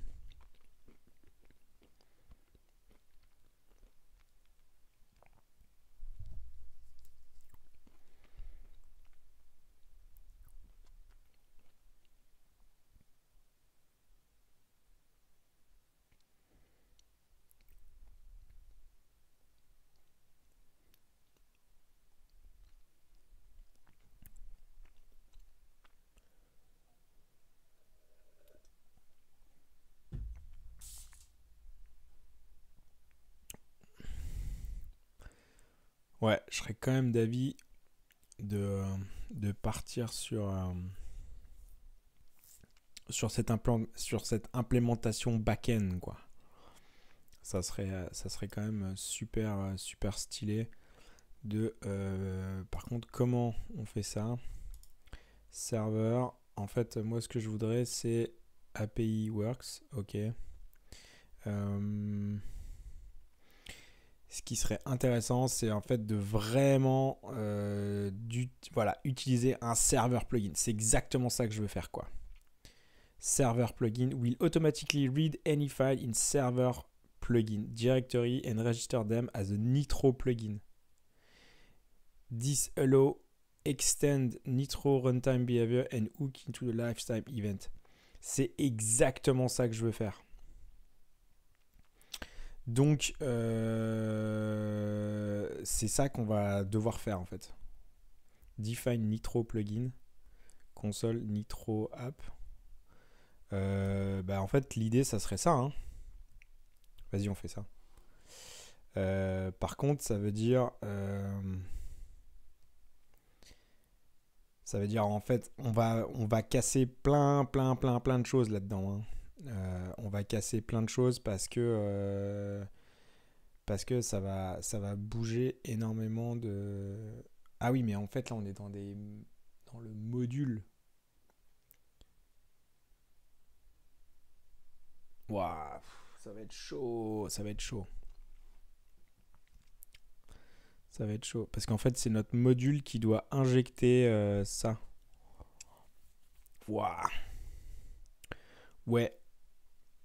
En fait, euh, si on le fait dans le, on va dire le truc classique, euh, ça serait plus facile. Mais là, en fait, on est dans un module. Donc notre module, il doit injecter un plugin. Casse la tienne. Euh, allez, on y va. On y va et on part, on part là-dessus. Vu qu'on est sur une nouvelle feature, on va implémenter directement. On part de master, on crée une nouvelle branche et on va l'appeler server side. Euh, qu'est-ce qu'il me dit? Ah, ça existe déjà, super. Euh, euh, ok. tac. Je suis sur server side. Qu'est-ce que j'avais déjà fait dans server side qui est pas composable, plugin, module? Euh, j'avais déjà avancé là-dessus. Ah alors c'était. Euh, non, on va, on va partir. Euh, hop. Git checkout mais master. Et on va partir sur serveur. hop, serveur. On repart là-dessus. Donc l'idée, c'est euh, d'injecter, et ça c'est l'objectif, c'est d'injecter en fait un plugin côté serveur dans Nuxt euh, pour pouvoir utiliser euh, tout le, client JS de, de MeliSearch. tac tac, MeliSearch, hop. Donc MeliSearch, intégration JavaScript. Ouais, JavaScript. Hop, on a du JavaScript, documentation, installation, j'installe euh, machin, super. Euh, j'ai mon, run. J'installe un nouveau client. Et ce nouveau client-là, il faut qu'il aille chercher les infos dans les paramètres qu'on aura au préalablement définis. Une fois que euh, sera défini et injecté, on aura accès euh, à tous les documents, donc client euh, index, machin, et on pourra en fait euh, injecter, injecter les documents, donc add document, add machin, et pourquoi pas aussi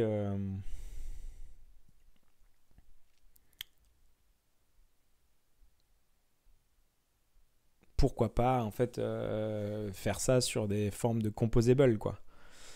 Mais, euh, là, il y, a du, gros gros taf quoi. Il y a du gros gros taf.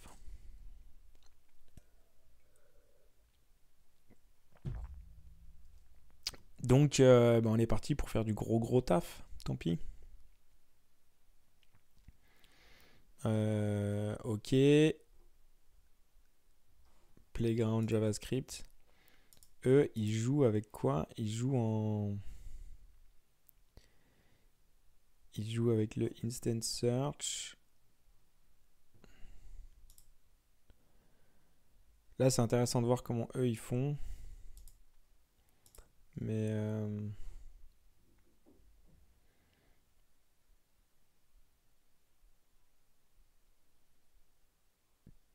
le client. Euh, le client, il crée un. Ok, ils, importent le dataset et tout ça. Moi, c'est ça qui m'intéresserait, c'est de pouvoir l'utiliser côté serveur.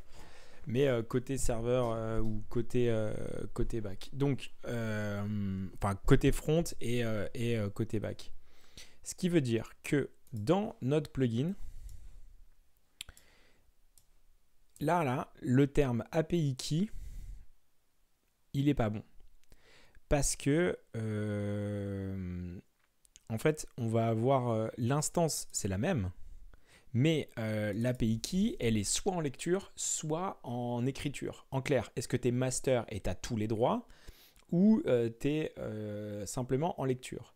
Si tu es uniquement en lecture, et eh ben, en fait, tu vas pas pouvoir, enfin, tu vas l'utiliser dans le côté front de Next, mais tu veux utiliser master ou une autre, mais avec les, les, les clés d'écriture.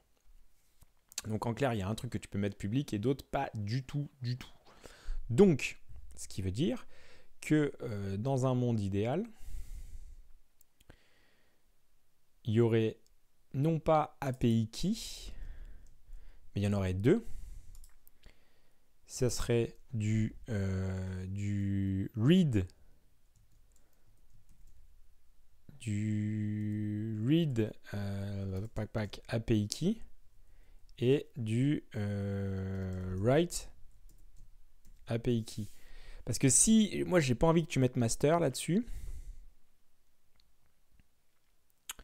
Donc, euh, donc déjà c'est pas read, c'est write.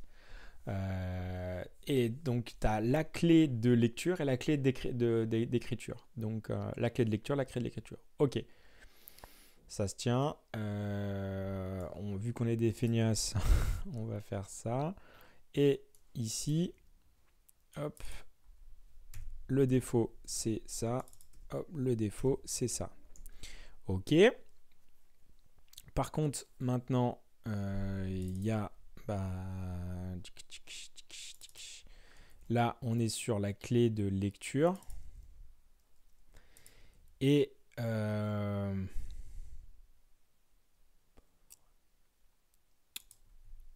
ça, ça serait pas mal que ça soit optionnel. En fait, euh, on n'en a pas besoin obligatoirement. Parce que la clé, si le mec, il l'installe pas sur le serveur, on n'a pas besoin. Et donc, euh, tu vois, on pourrait mettre euh, use in server, tu vois, ou server true, ou un truc comme ça ou serveur, euh, serveur usage, ou alors on pourrait. Euh, alors on va laisser les keys et là en fait on fait on ferait un serveur server side usage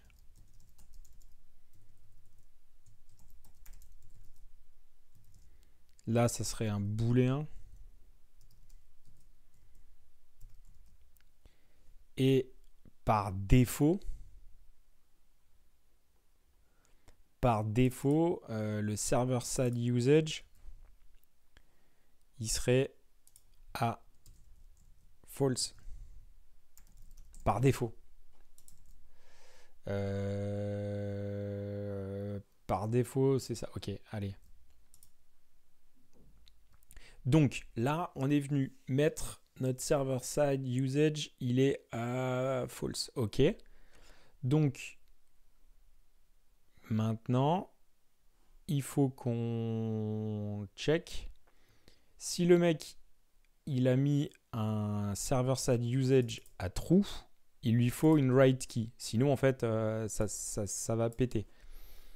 Euh, donc, dans la gestion des erreurs, il nous faut, euh, on va dupliquer ça. Si option server-side usage, donc si il a mis, alors pour le coup, c'est si il a mis ça, mais il n'a pas mis de write API key, alors tu lui dis, euh, mec, euh, tu as, une erreur. Pour monter ton server-side, je vais avoir besoin de ta write, ta clé d'écriture. Et ça, c'est ta clé de lecture. Évidemment, le host, ça sera la même. Euh, et comme ça, en fait, on vient bien distinguer. Alors, on amène un nouveau concept, hein, euh, enfin, une, différenciation. Donc, euh, faut. Je sais pas, à voir. Faut tester. on va déjà faire un draft à la limite. Et, après, on pourra aller voir, on pingera les mecs de chez Search et on verra ce qu'ils en pensent pour voir si c'est pété, euh, si c'est pété ou pas quoi. Mais euh, dans l'idée, euh, ok. Dans notre server side, alors la config du runtime. Maintenant, on, est venu changer. on est venu changer le runtime. Donc, là, c'est plus Hop. Ça, c'est hop, hop, option. On prend les mêmes, on fait right. On fait right, on fait right. Et euh, on a notre nouvelle clé. Hop.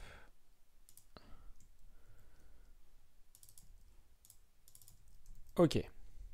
Là, en fait, on est venu euh, définir la valeur par défaut de notre runtime euh, avec les valeurs qu'on est venu écrire par défaut de manière très explicite euh, ici. Là, on lui dit, bah écoute, tu nous crées notre runtime avec un truc qui s'appelle MeliSearch. MeliSearch. ouais. Ok. Notre runtime, on vient le compiler, machin, runtime dire, tout est bon, ok.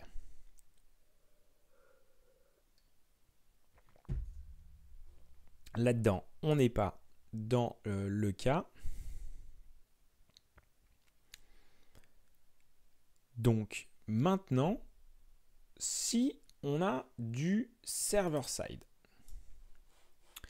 et euh, pour le coup, on va aller voir les copains de chez euh. Euh, non. Nope. On va aller voir les copains de chez Next Supabase. Comment ils font pour injecter? Voilà. Euh, comment ils font pour injecter des infos côté serveur? Dans le runtime, serveur, API, service. Est-ce qu'on va mettre une API Non, ça va être un service, je pense. Ok, parfait. Serveur, euh, c'est vraiment ça qu'on veut. Donc, euh, intéressant.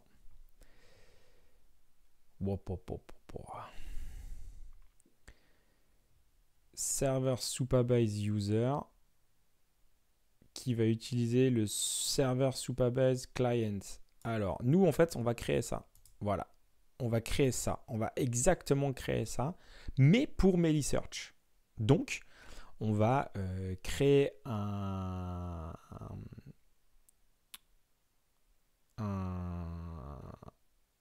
En fait, c'est exactement ça qu'on va faire. Euh,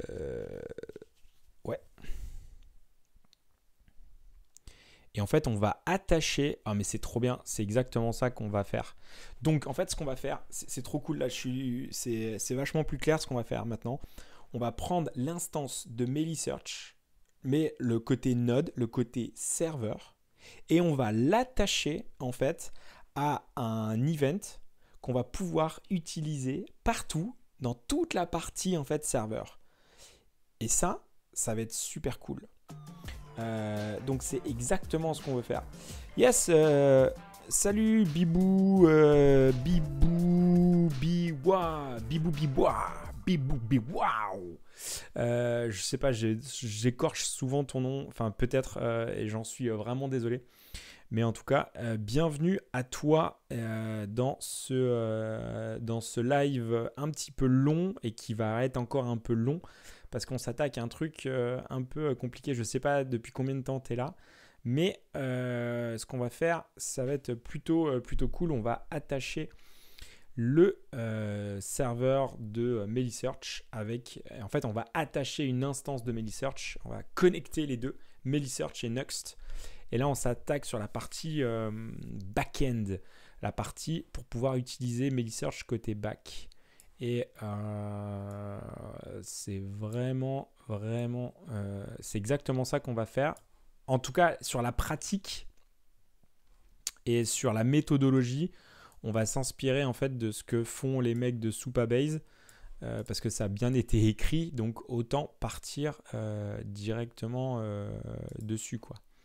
Euh, donc, on va partir déjà du module et comment il injecte la partie euh, la partie euh, serveur. Ah, trop bien. session. API session, session, ok. Euh, et là, il y a un add template avec les types. Ok. Le event vite. Ouais, alors là, je suis clairement à la limite de ma compétence, hein, que les choses soient claires. Euh, là, je suis vraiment, vraiment à la limite. Euh, je, touche ma limite en termes de compétences. Hein.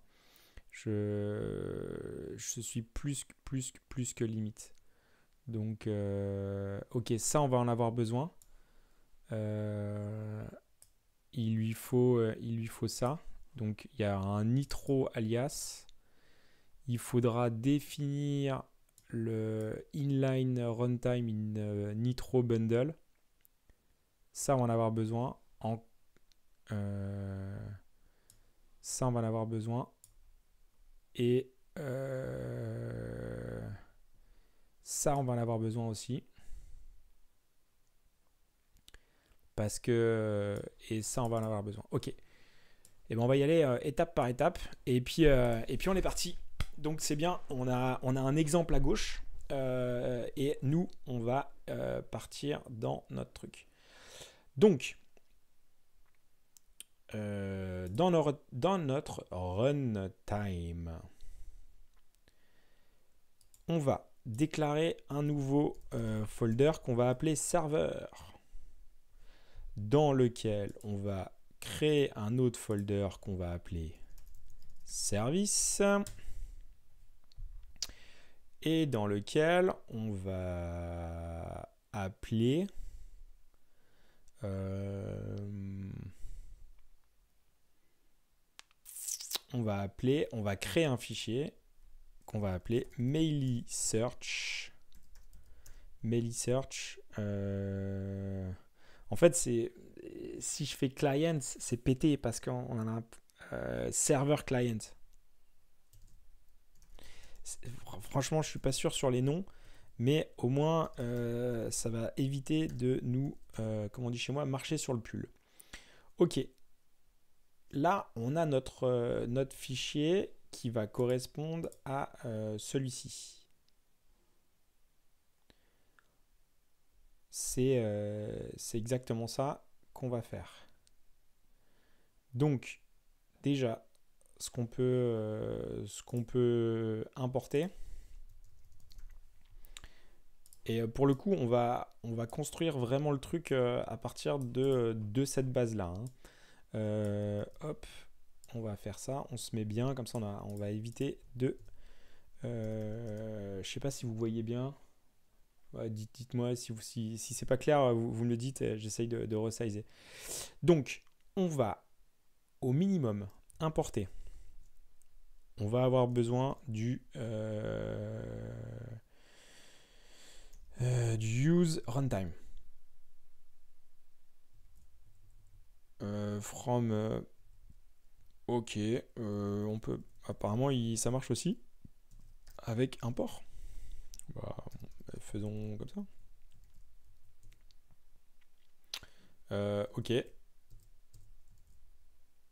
Bon pour l'instant ok export.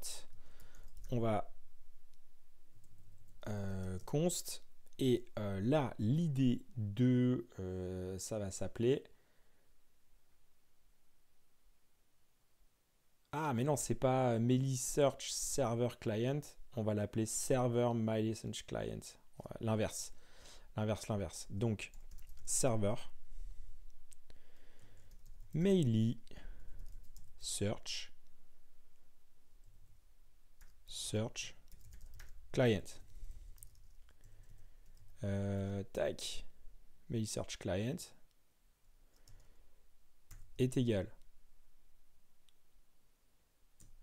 Là, on va prendre l'event et euh, compatibility, compatibility, je l'ai pas, Ok, je l'ai pas. Ah bah oui. Ok. J'importe. Je vais importer H3. Donc H3 qui est le moteur de machin. De compatibility event. Ok. Donc ça. Et je vais importer base client. Ah. Sauf que moi, j'ai pas encore mon, euh, mon mail search. Mais si, je dois l'avoir. Import.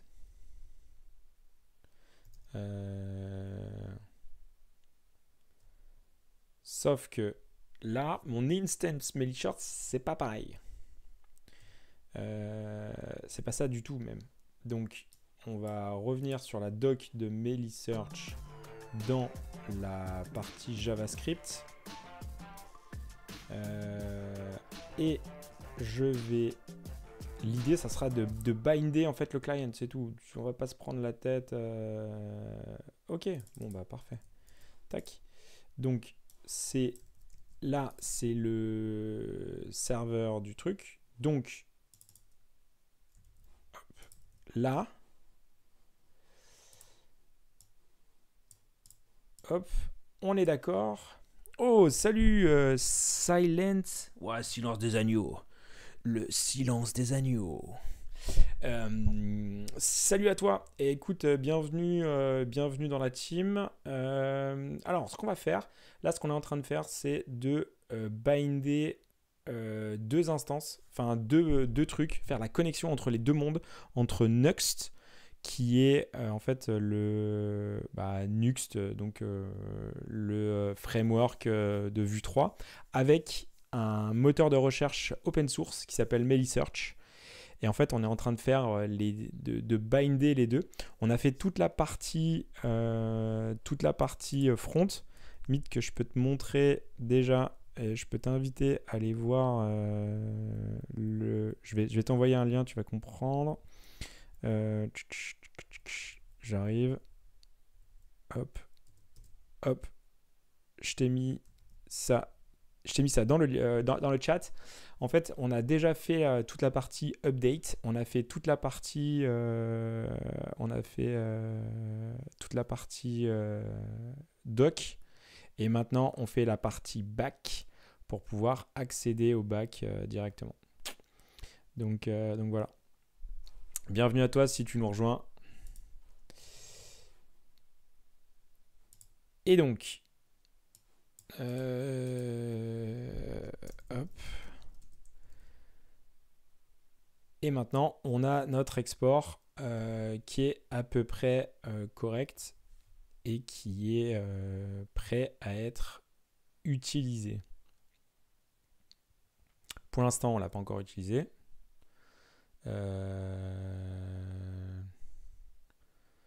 Ah.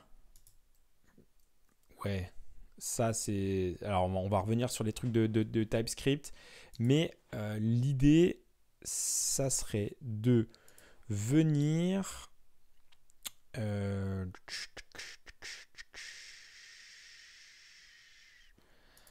un truc tout con. On prend event,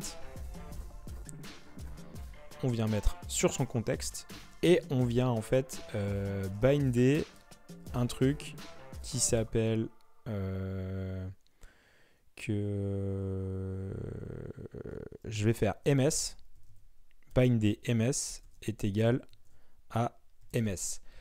Pourquoi on fait ça? Euh, Avant d'injecter en mode bourrin euh, de, de, toute la lib, ce qu'on va faire, on va simplifier, on va juste vérifier que le concept marche. C'est-à-dire que j'ai mon contexte dans n'importe quelle branche de mon backend, je vais avoir toutes les infos. Donc, euh... et ouais, et bah bienvenue à vous. S'il y a des, il y a, y a des mecs de Melisearch qui viennent de tweeter un truc, euh, du coup ça, ça apparaît. Et euh, donc en fait l'idée c'est de, de vérifier l'injection de un truc qui s'appelle MS pour l'instant, enfin pour l'instant MS, et euh, dans le bac. Et comme ça, on verra si, euh, si ça passe et euh, si, si on est bon. Au moins, ça nous permet de vérifier ça et de se concentrer sur le module sur le module et sur l'injection des informations qu'on a dans le module public, euh, runtime, non. On avait dit que c'était dans euh, ça. Plugin, Superbase Server. J'ai un Superbase Server.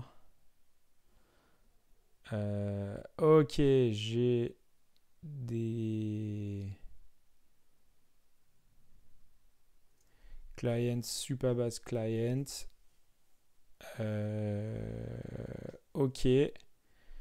Alors, est-ce que je dois le mettre dans, mon, dans un plugin? Moi, je pense plutôt que euh, j'aurais plutôt besoin de mettre ça dans un service. Donc, on va rester sur, euh, sur l'idée première. Donc ça, on n'en a pas besoin. Et il faut qu'on add Superbad session endpoint to store the session on server side.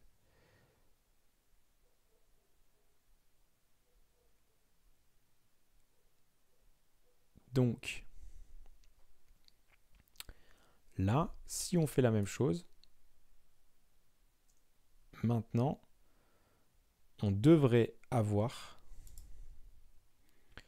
les composables OK, euh, les composables server API session.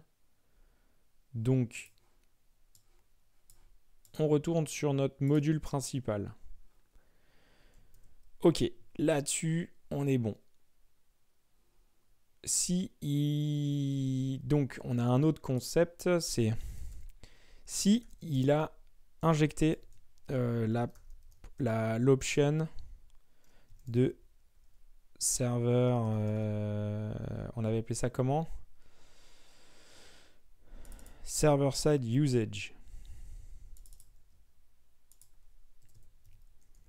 Donc déjà, si il a ça, alors il va exécuter euh, autre chose. Salut euh, Biboubi Wow Biboubi Wow Coucou, c'est moi qui maintiens JS et Instant. C'est super intéressant de voir l'intégrer dans Noxt. Eh ben écoute, c'est trop bien que tu sois là. écoute, c'est euh, c'est trop trop bien. Euh, c'est trop cool parce que euh, j'ai peut-être des questions. Donc, c'est pas dit que. Et en fait, on a plein de. On a fait des choix stratégiques. Enfin, j'ai fait des choix stratégiques. Et je sais pas si c'est pertinent. Mais en tout cas, ton, ton retour il, sera, sera super intéressant. Après, en live, tu peux tacler directement. Tu, tu tacles aux amygdales. Hein, il n'y a aucun problème. tu, tu me tacles tout de suite quand je fais une énorme connerie. Euh, par contre, euh, l'exercice de style euh, me plaît bien. pour être super honnête, je touche ma limite en termes de compétences. Là, je suis vraiment limite limite quoi. Donc, je vais m'inspirer énormément de ce qui a déjà été fait sur le module de Nuxt avec Supabase. Euh, parce qu'ils ont des contraintes de front et de back et le client est partagé aussi entre les deux dans le côté back de Nuxt et dans le côté front de Nuxt. On retrouve la même, euh, la même euh, on va dire, problématique dans Search parce que tu vas search avec des clés publiques, enfin publiques, des clés de lecture et des clés d'écriture, mais tu n'as pas les mêmes droits. Donc on se retrouve un petit peu dans le même, dans le même euh, concept. Euh, à savoir que je sais pas si tu as déjà vu, euh, si tu remontes dans le chat, il y a Next Melisearch Doc. C'est un truc qui, est déjà, qui a déjà été en place. Toute la, tout ce qu'on a fait depuis ce matin, ça, on, a, on, a, mis à jour en fait toutes les libs, vos libs que vous avez mis à jour. Ben, on les a intégrés dans le module et on a publié le module. Ça, c'est déjà fait. Et là, maintenant, on s'attaque sur la partie back-end, c'est-à-dire de pouvoir binder un client JS dans Nuxt pour pouvoir utiliser euh, le client, euh, on va dire, en écriture, pour pouvoir injecter des documents, des, choses comme ça, depuis la, partie back de, de, Nuxt. Donc voilà euh, un petit topo rapide mais ça fait euh, super euh, plaisir euh, que tu viennes sur le live. Je sais pas comment tu as eu l'info, mais c'est cool. Après, je sais que ton, big boss, il, a retweeté, mon tweet. Donc peut-être c'est comme ça que tu as eu l'info. Mais super intéressant en tout cas. N'hésite pas à, me mettre des gros stops dans, le chat. Et euh, pour info, mes DM sont aussi ouverts euh, sur euh, Twitter. Donc je suis curieux de tous vos retours. Quoi. Mais là, pour l'instant, on est encore en phase d'expérimentation, quoi, que les choses soient claires. Donc, donc voilà. Je, après, je sais pas, intéressant de savoir si tu bosses chez Melisearch ou tu, tu fais ça en open source sur, ton side, ton side job. Quoi. Donc euh, intéressant de savoir ça.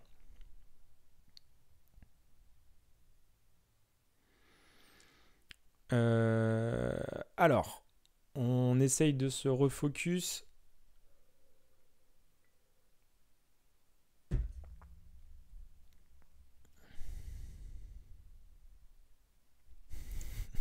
c'est pas grave, c'est pas grave. Au pire, euh, c'est pas grave. je sais pas où t'as lâché tu étais en train de faire la partie back-end. Ouais, bah en fait, euh, je suis toujours sur la partie back-end. Et euh, toute la partie front est faite. Et maintenant, on, va intégrer la partie euh, server-side. Donc, j'ai fait des choix de strat. De, je sais pas si, pour le coup, si ça parle ou pas. Mais toute la partie, en fait, ça là. Oui, euh, exactement. Bah, en fait, c'est ce que je disais tout à l'heure, c'est que je m'inspire euh, de Supabase parce qu'ils ont les mêmes euh, problématiques de côté front, côté back. Donc ça, c'est super intéressant pour voir comment ils ont fait. Parce que ce que je te disais aussi, c'est que moi, je touche ma limite en termes de, de, de niveau de compétence. Je suis vraiment border, borderline. Euh, enfin ouais, clairement, je touche ma limite quoi. Donc euh, aussi bien euh, en, en Nuxt, sur Nox 3 avec le nouveau serveur Nitro, tout ça, ils ont changé beaucoup de choses. Donc c'est super intéressant, je trouve ça trop cool. Mais en termes de, de, niveau, moi je suis, je suis au rupteur. Et euh, en plus, je fais ça en live, tu vois, le truc euh, qui aide encore euh, taquer, tu vois, qui vient rajouter un peu un truc. Mais c'est pas grave, je, me dis que c'est c'est assez, quand même assez intéressant. Donc je, vais, je vais pouvoir faire ça, je vais pouvoir avancer. Et j'ai fait des choix de, sur la configuration, en fait, de mettre des read API key, des write API key, des server-side usage ce qui donne en fait de la modularité. Euh, euh, ce qui donne de la modularité en, à l'utilisateur, en clair, euh, parce qu'il y a des utilisateurs qui vont utiliser Nuxt pour faire que du moteur de recherche, mais ils vont installer le moteur de recherche dans le côté front, mais il n'y aura pas besoin d'utiliser le back. Donc, je veux laisser la modularité en fait euh, à l'utilisateur de dire ok, euh, en clair, moi je n'utilise pas la partie back, bah, je fais false, euh, je fais false et comme ça, ça vient pas installer tout un bundle de code pour rien quoi. Donc, on est en train de jouer avec ça et c'est là que ça se passe. C'est ok, quand tu as décidé de mettre le server-side usage, euh, et bah il faut que tu viennes euh, charger euh, le plugin qui va nous permettre en fait de donc le plugin server side sur lequel en fait on va on va injecter le, le, le client. Dans l'idée euh, dans l'idée, c'est ça. Euh, par contre, est-ce qu'on vient le binder sur euh, tous les API En fait, sur l'API, ça, je ne sais pas encore. mais dans ce qu'on a fait, d'ailleurs, d'ailleurs, il faut qu'on change tout de suite, parce que je, l'ai dit tout à l'heure, mais j'ai oublié. il faut qu'on change le fichier.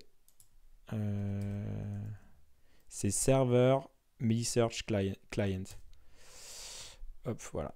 Comme ça, on est sûr euh, d'être dans, le juste. Euh, il y a une homogénéité. Donc en fait, l'idée, c'est de binder euh, sur n'importe quelle entrée backend, de binder l'instance de, de MeliSearch. En soi, comme MeliSearch est une dépendance de Instant, tu l'aurais déjà dans ton bundle. Ah ok. Avec les mêmes versions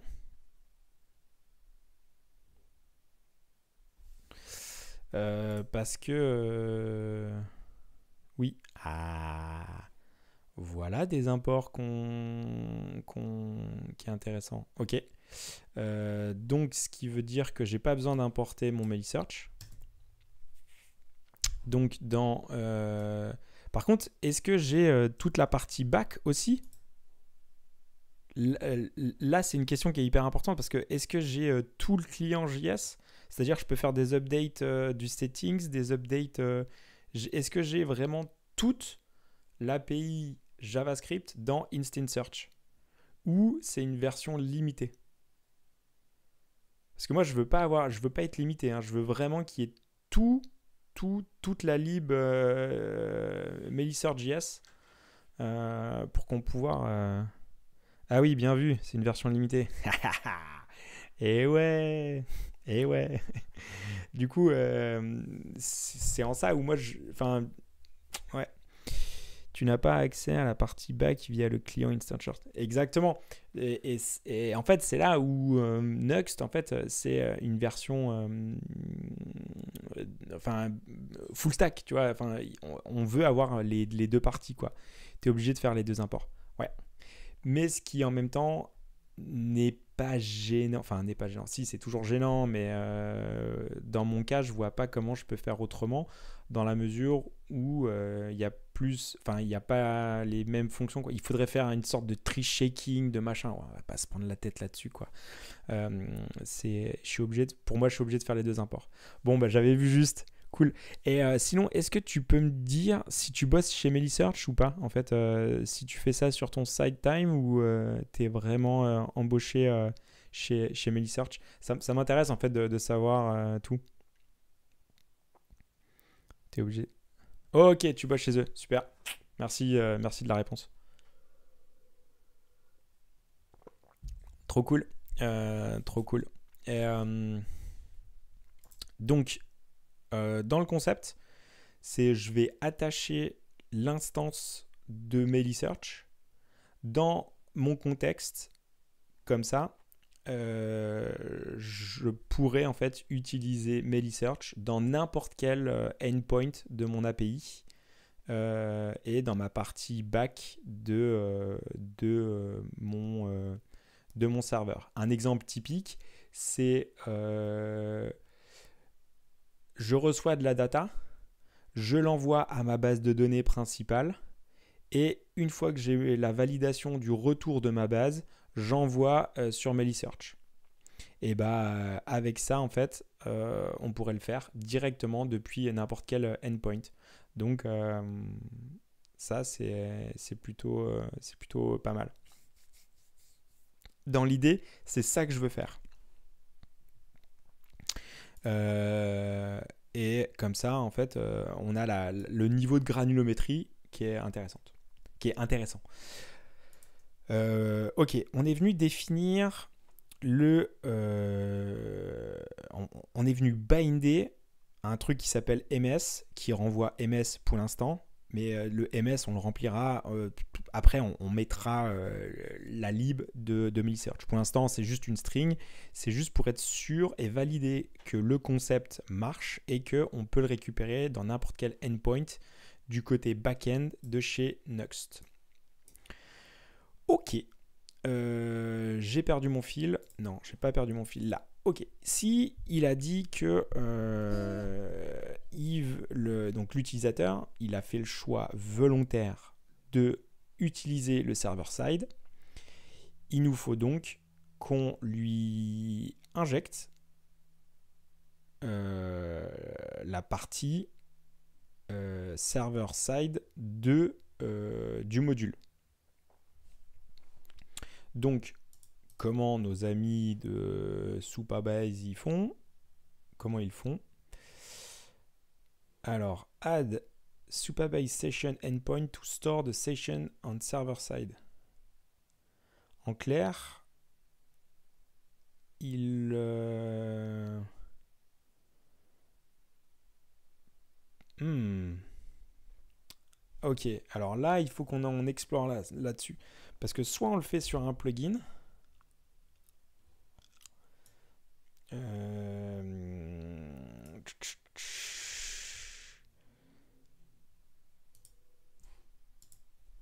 c'est un plugin. Client Auth API. Donc ça, c'est euh, le, truc de Supabase. Il le met sur un plugin et il vient l'attacher au contexte. Euh, token user value Supabase. Ah, ça, je sais pas. Là, il va falloir qu'on joue euh, et qu'on explore le truc vraiment. Ok. Et le server side. Dans ton API, ta session. Ok. Mais ouais. Si l'event. non, non ça qu'on veut. Hein. Non, non, pour le coup, euh, c'est vraiment le type de service où on vient binder. C'est ça qu'on veut.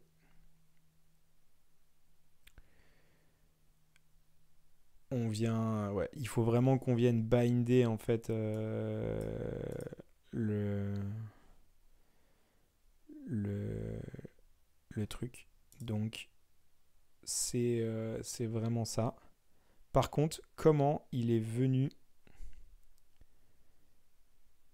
Wow, j'aime coder, qui vient rider, qui, vient raider, qui nous fait, qui nous fait, euh, qui push son raid.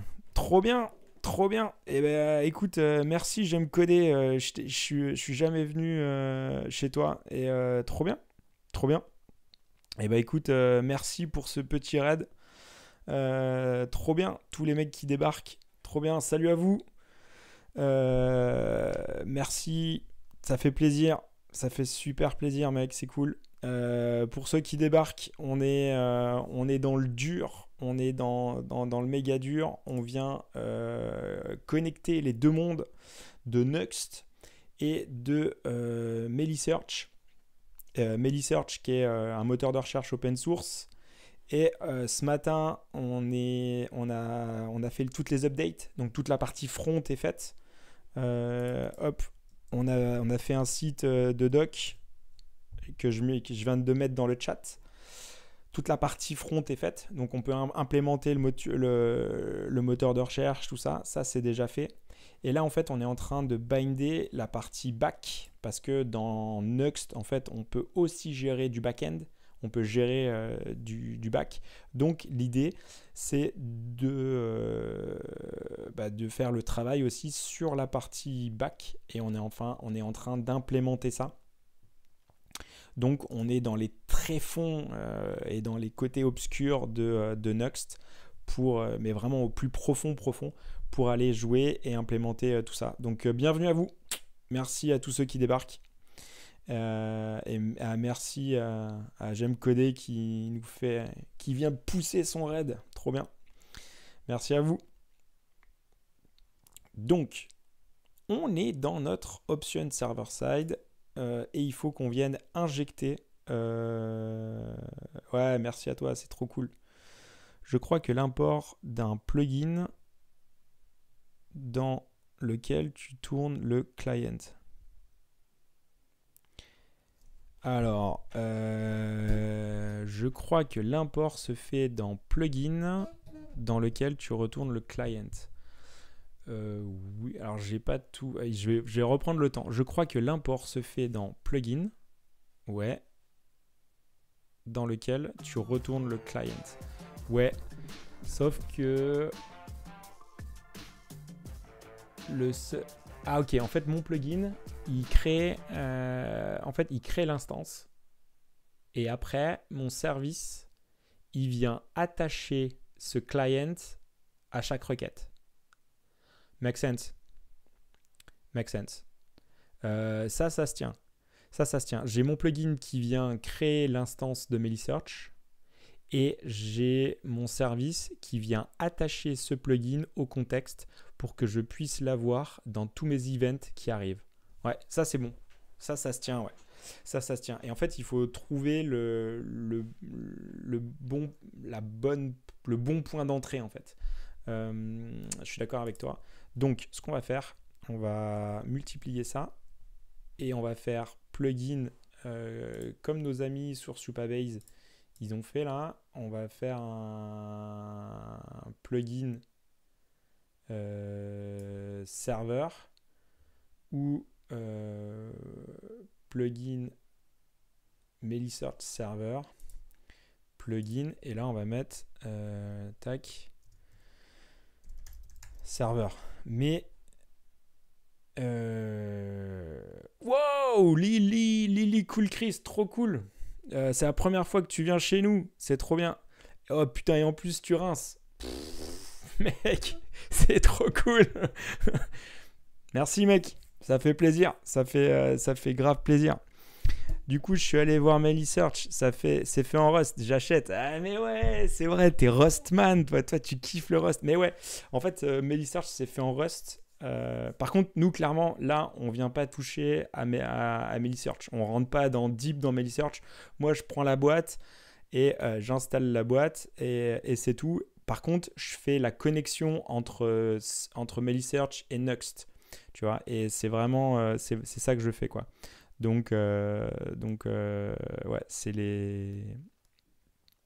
Euh, je fais les deux, quoi. Trop cool. Ça fait plaisir de te voir ici, en tout cas. C'est super cool. Un grand merci à toi. C'est cool. Ça fait plaisir. Euh, j'ai perdu le fil du coup. Euh, j'ai l'air d'importer. Alors, il a l'air d'importer et de retourner ce qui est nécessaire. Ouais, exactement. En fait, euh, c'est ça qui va être intéressant. C'est qu'on va importer le plugin. Donc, dans plugin. Ah, mais il va falloir que.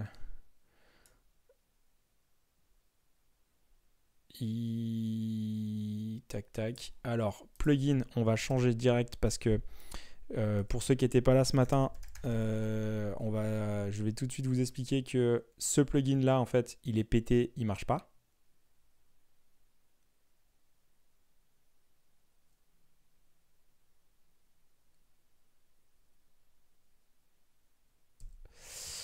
Euh, Euh, tac, tac. Ouais, celui, en fait, ce, ce truc-là, il marche pas. Euh, parce que, en fait, euh, ça nous intéresse pas. Donc, celui-là, il est pété, on va pas l'utiliser, donc on va le déclarer automatiquement. Ouais, vas-y, va bosser, j'aime coder carrément. Et bah, bon taf à toi.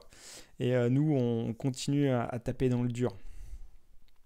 Euh, hop. Donc, ce plugin-là, il passe en serveur. Euh, il passe en serveur. Donc,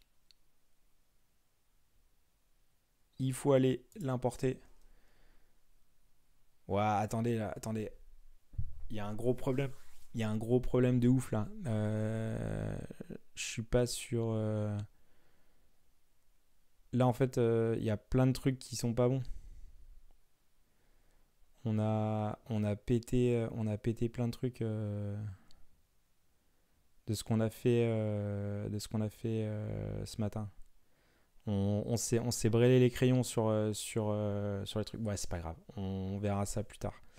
Euh, mais je pense que là, on a un problème sur. Ouais, voilà, je suis en 0,08. Ah putain, j'ai fait de la merde. J'ai fait de la merde.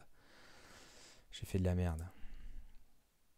Euh, j'ai fait de la merde parce que euh, je, je, suis reparti sur une mauvaise branche ou je sais pas quoi, tout. On va il faut, il faut à tout prix qu'on règle ça avant euh, de. Parce que sinon, là, ça va nous péter à la gueule plus tard. Donc, euh, j'ai fait de la merde. Putain, je suis deg. Euh, en fait, il faut que je récupère. Il faut que je récupère Master. Qui, lui, est à jour. Ouais. Ben ouais, putain. En, fait, c'est trop cool, mais construire en public, putain, c'est chaud en fait. Hein. C'est chaud. Euh, moi, je suis un petit rookie, tu vois. Je suis un petit, je suis un petit new dans le game de, de, de, de, de faire du live et tout ça. Et au final, euh, putain, parfois, tu oublies des trucs, tu vois. T'es pas, pas un monstre focus et, et, rigoureux, quoi. Donc là, ce que je dois faire, je dois récupérer Master. Parce que Master, elle est euh, complètement à jour.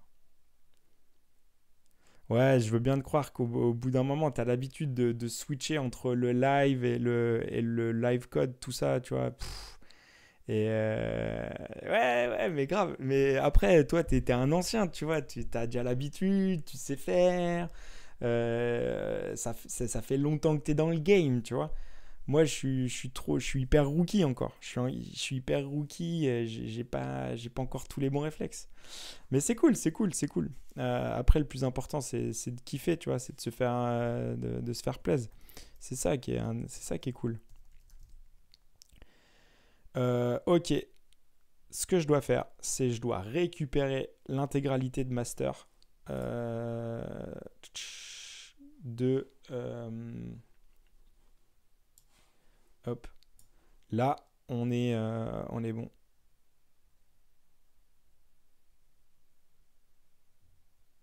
Cache tes devs si tu as, des, si as des clés API. Euh, non, en fait, euh, t'inquiète, j'ai sur mes. c'est vrai que ça, c'est le, truc classique, tu sais. Les clés d'environnement, ouais, vas-y, c'est la fête. Mais en fait, j'en ai, j'en ai, j'en ai pas. Euh, tac tac.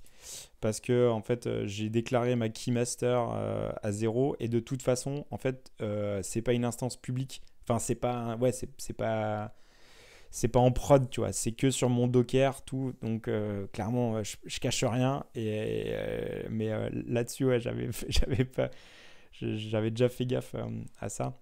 Après, tu sais, j'utilise une petite, une petite fonction là qui permet euh, d'organiser mon VS Code euh, un petit peu, euh, un peu quand, où ça vient fold, tu vois, les, les trucs. Et en fait, ça, déjà, ça. Ouais, je dois vraiment faire l'effort d'y aller, tu vois. Enfin, je trouve ça un peu mieux. Mais ça n'empêche pas que si tu fais de la merde, tu fais de la merde, quoi. donc, faut, faut, vraiment faire gaffe. Euh, mais en tout cas, ça prend moins de place sur mon, sur mon doc. Après, euh, tu vois, je suis pas passé à Neovim. Tu vois, je sais que voilà, toi, tu es, es, Neovim, tout. Tu sais, moi, j'ai mon petit clavier à l'ancienne, tu vois. mais euh, ça marche bien et, et, c'est le plus important. Donc, donc ouais. Ok, on a fixé tous les issues. Euh, on va, on va, on fermera les, je fermerai les, les issues en off, tu vois. on va pas prendre du temps euh, là-dessus. Euh, ce qui est sûr, c'est qu'il y a la nouvelle version, la release qui est sortie là, de, de ce, de, bah, qu'on a fait ensemble tout à l'heure. Là, il y a la 0.13, sauf que là, moi, je suis en version toute pétée de 0.8. En clair, je suis très très très très loin. 31 mai. Donc, on va git pool euh, origin master. On va récupérer. Please commit your change. Euh, évidemment, j'ai Bon, j'ai fait de la merde, euh, c'est pas grave. On fera attention. Ah oui, mais en fait, ça va, ça va, ça va nous péter à la tête. Euh, ouais, il y a eu trop de monde qui est arrivé là. Je me suis fait, embrouiller la tête. C'est pas grave. On va y aller step by step. Plugin. Euh, plugin as server plugin.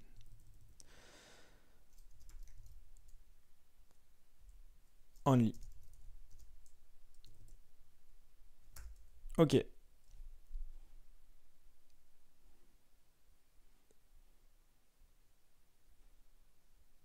Vas-y, on, continue, euh, on charge tout. Qu'est-ce qu'on a fait?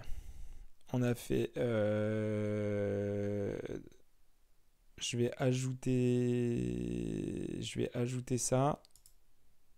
Mais en fait je vais pas non je vais pas tout ajouter. Le plugin as a server plugin only. Ok. Ça je commit. Après là dans mon module qu'est-ce que j'ai fait? Je suis venu rajouter le euh, le server side usage. Hop. Add server side usage with euh, Right. Right. Read key. Là, on est venu séparer les deux. Et euh, add um, event, uh, event binding. Mail search. Event Binding. Je vais y arriver. Ok, vas-y. Je j'ai commité et là je vais pouvoir euh, là je vais pouvoir faire mon, mon pool qui va me péter euh, dans tous les sens. Et voilà. Allez, c'est parti. Git merge, euh, c'est pas grave. Normalement, on devrait pas trop avoir de trucs tout pété. On devrait avoir une bonne fusion, une bonne fusion normalement. On devrait pas trop avoir de, conflits. Euh, d'ailleurs. Non, ça va. Franchement, ça va. Euh, je m'attendais à bien pire que ça. Euh, je m'attendais à bien pire que ça. non, c'est bien. En fait, en fait, ça va. En fait, ça va. Qu'est-ce qu'on se prend la tête? T'es là, tu pleures, t'as pleure, tu pleures, t'as mal. Tu pleures avant d'avoir mal. Détends-toi, détends-toi. ok, et eh bah, allez, bim. Alors, was deleted. Ah, ok. J'ai plugin server.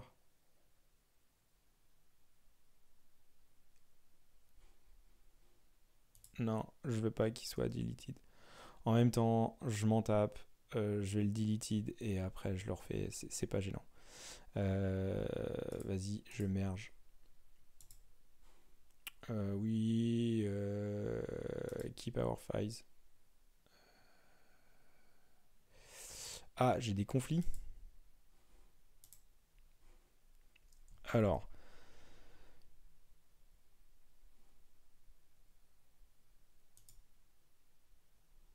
Ok. Euh, accept incoming. C'est tout? Complete merge. Bah, qu'est-ce que c'est? Bidon. Euh, bidon. Ok. Euh, pourquoi il veut pas que je merge? Euh, Hop. Déjà, tu me donnes de les merge.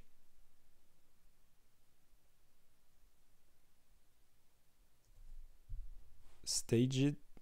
Ouais.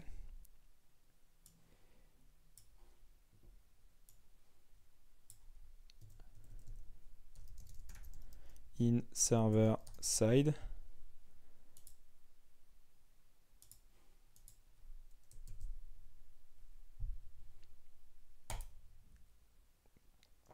Ok, allez. On repart sur des bonnes bases. On fait un petit... allez, on est bien. Allez, cette fois-ci, on est reparti. On est bon. Euh, désolé euh, pour ce gros aparté où je disais rien, mais... Euh, euh, allez, on est reparti. Là maintenant, on va pouvoir injecter notre euh, notre euh, serveur. hop, dans notre runtime, on a un plugin serveur machin, parfait. Celui-là, on le garde. Par contre, Maintenant, il a changé de nom. Donc, on va lui dire que c'est pas un plugin classique parce que c'est MailySearch. MailySearch. Euh, hop. Et donc, là, dans le répertoire plugin,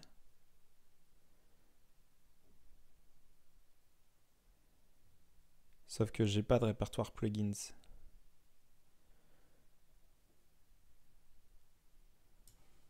Hop, donc ça, ça dégage. Dans le répertoire plugins. Oh les gars, je suis, en PLS là, je suis en PLS. Runtime, hop, hop, plugins, tac. Ça, on le met dans plugins. Voilà, dans plugins. Et là, tu viens me charger Maily Search, Maily Search serveur.ts. Euh, Qu'est-ce qu'ils disent nos amis? Ils disent, ils disent, ils disent euh, plugin euh, serveur. Ok, donc on fait pas ça. Hop, on fait serveur. Ok, cool. Donc maintenant, on vient charger euh, là-dedans et on va Constance machin, server side.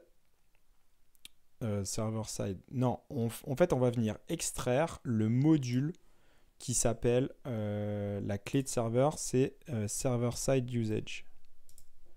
Donc on vient Et ici, on va lui faire un petit console log des familles. Même si ça m'insupporte de faire des console logs juste pour débugger, ça me rend ouf, mais bon, c'est pas grave. On va lui dire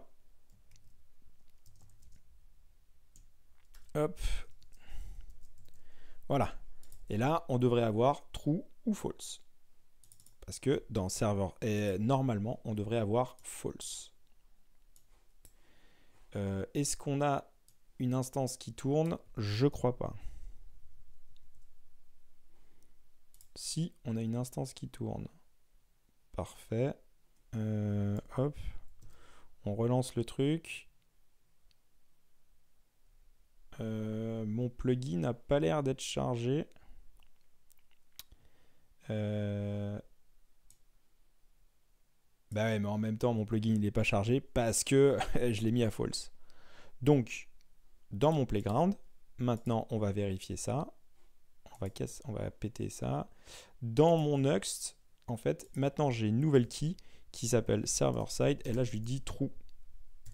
C'est-à-dire, mec, tu viens me charger euh, server side usage.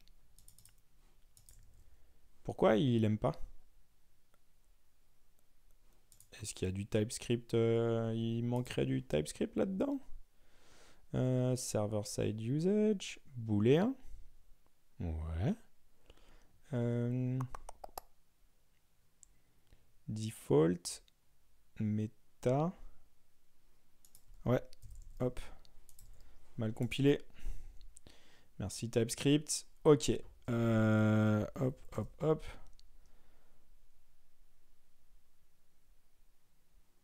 Ok, là le module il est load. Par contre, est-ce qu'on est venu charger euh, le truc? Normalement, dans mon output, on devrait avoir... On devrait avoir... Euh,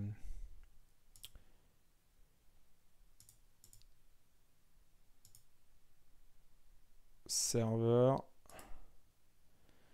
euh, tac tac end intéressant.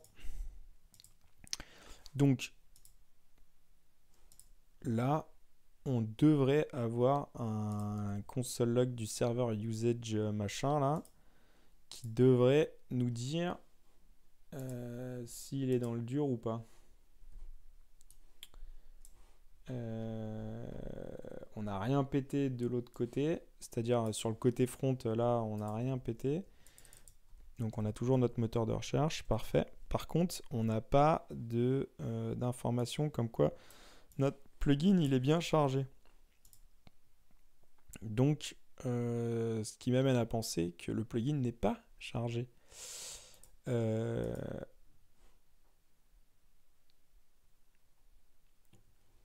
si ça, alors tu résolves ça. Est-ce qu'il n'y a pas une typo quelque part? Non l'idée en tout cas, c'est de charger euh, le plugin. Et euh, hop. Là, on est sur le serveur. Non, on n'est pas. Là, on est là-dessus. Euh, define plugin. Est-ce qu'on est bien sur un define plugin? Ouais, define plugin. On vient extraire. Euh, ouais. Mais en même temps, euh, que ça soit front ou back, on devrait l'avoir. Là, il devrait être à, false, quoi. Donc, on devrait l'avoir. Si on l'a pas, c'est qu'on a un problème. on a un problème. Ça, pour l'instant, on n'en fait rien du tout. Et en fait, on n'a pas besoin de... Limite, ça, c'est pas grave. Ok.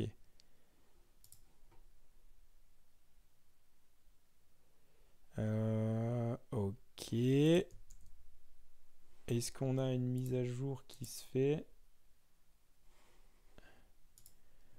mhm.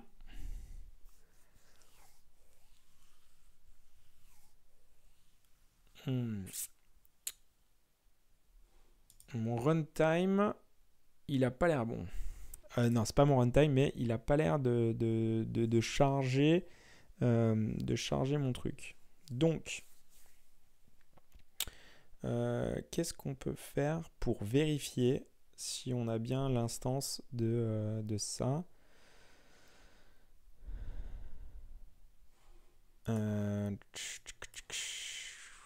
Donc, on a les infos, on a les en fait tout est là, tout est à côté de nous. Mais vraiment, tout est à côté de nous.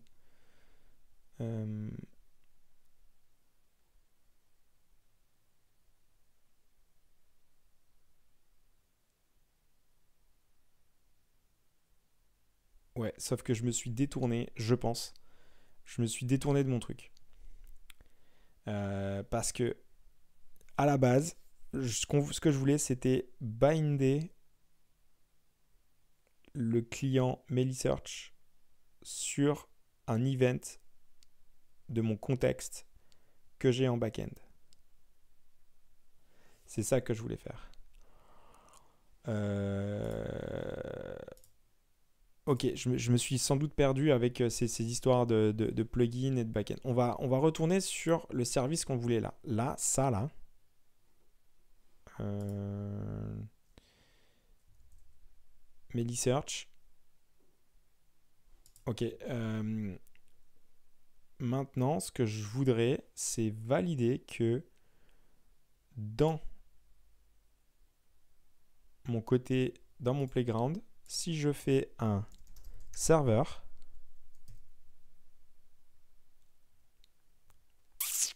dans mon serveur, j'ai un event. Euh, donc là, je fais un truc euh, API euh, classique, tu vois. API, ok, super. Un truc qui s'appelle. je vais faire un new files qui s'appelle test ou ms, ms, ms, ms.ts. Ok.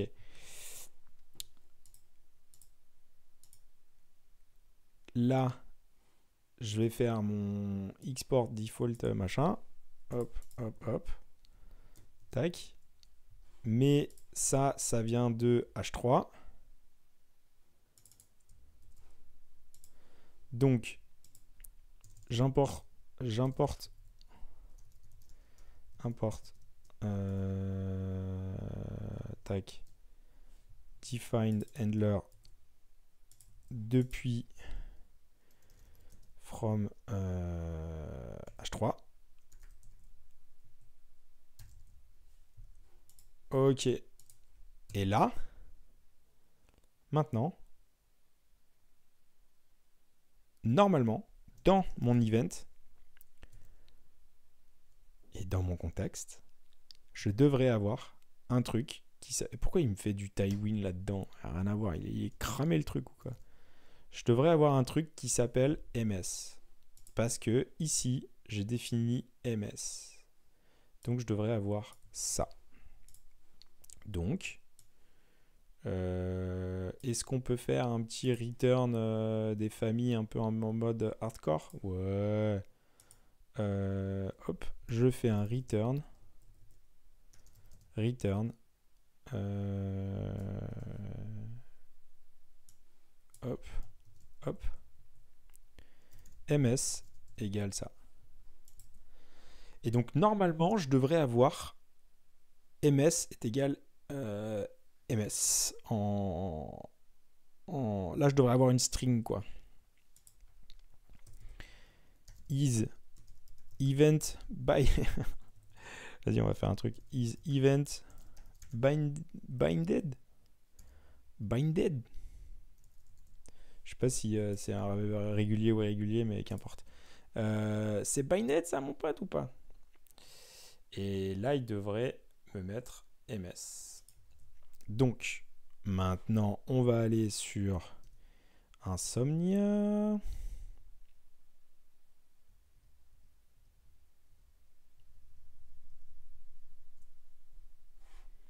Ok, il est où mon Insomnia? Ok, il est là. Donc là, on était dans, euh, le Search un peu barbare. On va aller dans notre Explore.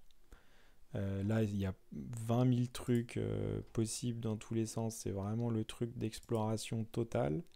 HTTP request. on est sur du localhost. On est sur du localhost on est sur du API et on est sur du quoi? Euh, Du API MS. Qu'est-ce que ça dit? Ça, il, dit, 500. Euh, euh, non, t'as pas le droit. Invalid handler result. Ok.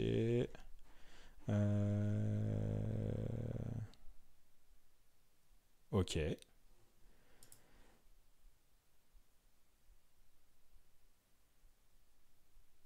Euh, à la limite, en fait, on va y aller euh, étape par étape parce que, hop, vas-y, tu me return, euh, tu me return un truc, tu vois, un truc tout pété là, return true, juste pour valider le fait que j'ai bien mon, j'ai bien mon truc qui tourne.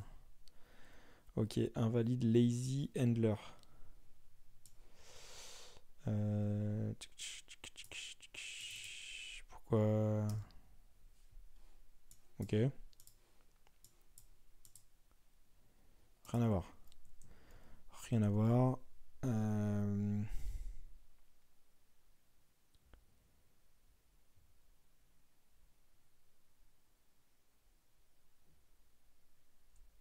oh, mais en fait, je fais nimp.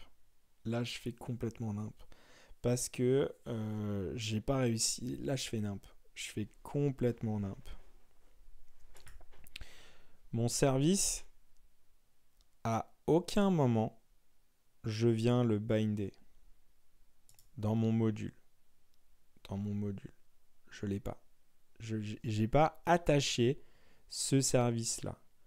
Donc ça ne peut pas marcher. Donc ce que je fais, en fait, euh, ça, pas, ça peut pas marcher. Néanmoins, euh, là, le côté back-end devrait marcher. C'est-à-dire, je devrais euh, expected, ok, j'ai sans doute, euh, tac, j'ai une parenthèse qui manque. Voilà. Là-dessus, on est bon. Enfin, on est bon on devrait plus avoir d'erreur. Voilà, il me retourne trou. Parfait. Là, il devrait me dire. Il me dit bah, qu'il me renvoie rien parce que euh, is binded. Sinon, euh, tu me donnes false. Euh, false. Et donc là, on devrait avoir false. Voilà. Parfait. Donc notre, euh, système, pour l'instant, il n'est pas injecté. Donc on va y aller étape par étape. On s'est perdu, aller euh, tête baissée dans le truc là. On se détend. On reprend, on reprend les bases et euh, maintenant il faut qu'on vienne injecter notre service. Donc comment ils font pour injecter notre le service?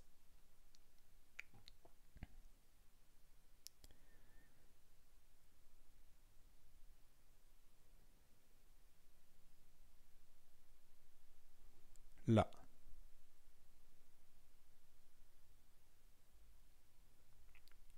On vient injecter ce service-là. Ce qui veut dire que euh,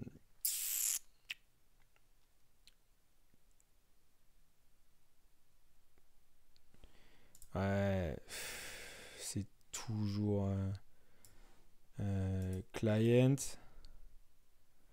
Ok, il euh, ok. Le service. Composable, composable, composable. Donc. Non. C'est vraiment comment il vient injecter euh, ce service-là.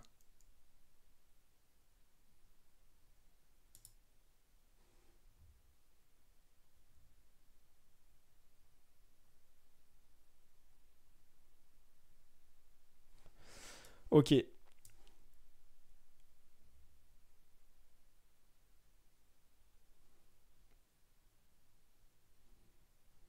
On est là. Alias Reason Runtime Module. Euh, alias tac Supabase Server. Reason Runtime Server Style Service. On est là. Donc, il va falloir qu'on injecte ça. On a un hook parce que on est dans Nitro. Donc, ça, on va le mettre là. Mais euh, on, met, on, mettra ça en condition euh, plus tard. Là, on a un next on a un next.hook, ok, qui lui dit, ok, tu vas écouter euh, l'event qui est nitro, nitro peu, nitro pas assez, euh, nitro config, euh, nitro config, qui dit que tac nitro qui vient prendre en paramètre nitro config. Ok. Et qui va résolve. Et euh, qui va bim. Et là, qu'est-ce qu'on va lui dire? Nitro alias. Ok. Euh, donc nitro nitro config alias égale nitroconfig euh, nitroconfig.alias et s'il n'y a pas s'il n'y a pas tu le tu enfin tu crées un truc vide. Ok.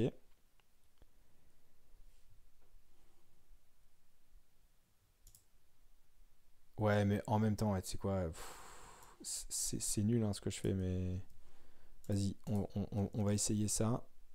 Euh, par contre, on vient le nous, c'est pas Supabase, c'est mais search, maily search, maily search server, et tu vas chercher donc le resolve runtime module, tu dois l'importer depuis, à mon avis, Nuxkit. Non.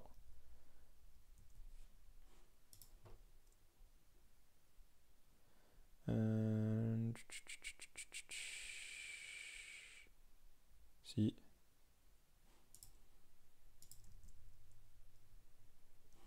Uh Ton resolve... Ah, mais attends. Il l'a pas fait euh, de la même manière. Le euh,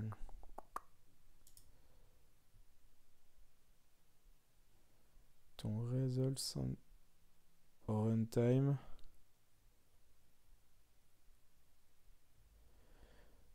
Mort de rire, il y a la moitié de mes search dans le chat. Ah ouais et eh bah, les gars, les gars, euh, trop cool, euh, parfait, c'est trop bien. Mais euh, je veux pas être un frein. je veux pas être un frein en fait à votre productivité. Il y a le PM qui va arriver, qui va mettre des tacles à tout le monde. donc donc c'est moyen ça. C'est moyen. Je voudrais pas être blâmé pour le, lack of productivity de, la journée, quoi. Mais euh, trop fort. Bienvenue à vous, les gars. C'est cool. Ah, ok. ok, le PM, il y a, y a, même le PM qui est là. Trop cool. Euh, donc, Ah, mais trop cool. Bah, en fait, je sais, je sais pas si c'est toi le, le, le, PM, mais euh, trop, trop cool pour ce genre de stream. Bah, ouais, ouais. Après, je, clairement, tu vois, t'étais peut-être pas là tout à l'heure, mais ce que je me disais, là, je suis, je suis fire, quoi. Je suis fire, je, suis, je touche ma limite. Euh, mais euh, tu vois, l'exercice de style est cool. Et tu vois, on discute, il y a plein de mecs qui passent, euh, qui disent ouais, on pipe rien, tout. Et, et, puis, et puis voilà. Et bien sûr, Lily Cool, mec, évidemment que Chris, évidemment que c'est français. Et que Melly Search, c'est français. C'est ça qui est trop bien. Et en plus, c'est en Rust. Bah ouais, mec, carrément. Carrément. Euh, donc, ça, c'est encore mieux. C'est encore mieux que ça soit, que soit Frenchy. Ça soit Frenchy. Euh, et comme ça, en fait, tu vois, là, sur Nuxt et Melisearch, je suis full French euh, stack. Full French. Tout, tout français, tout français. Et ça, c'est cool, tu vois. Ça, c'est vachement cool. Euh, néanmoins, je suis dans le dur. Parce que je dois dire à mon serveur Nitro, tu dois aller récupérer, en fait, euh, Resolve Runtime, je l'ai pas. Il l'a pas. Parce que euh, moi, mon runtime, il est. Il est Resolve où? Il est euh, Resolve Runtime Server. Non, il est dans Runtime Dir. Runtime Dir. Et il est déjà. Euh,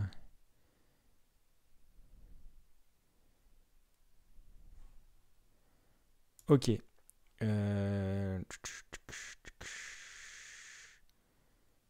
Ça va être chaud, ça va être chaud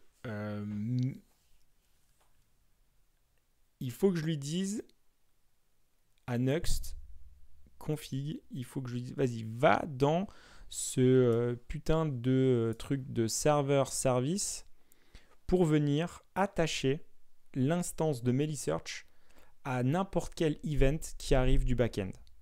C'est ça qu'on veut faire. Et là, on est bon. Pour l'instant, on met ms en string.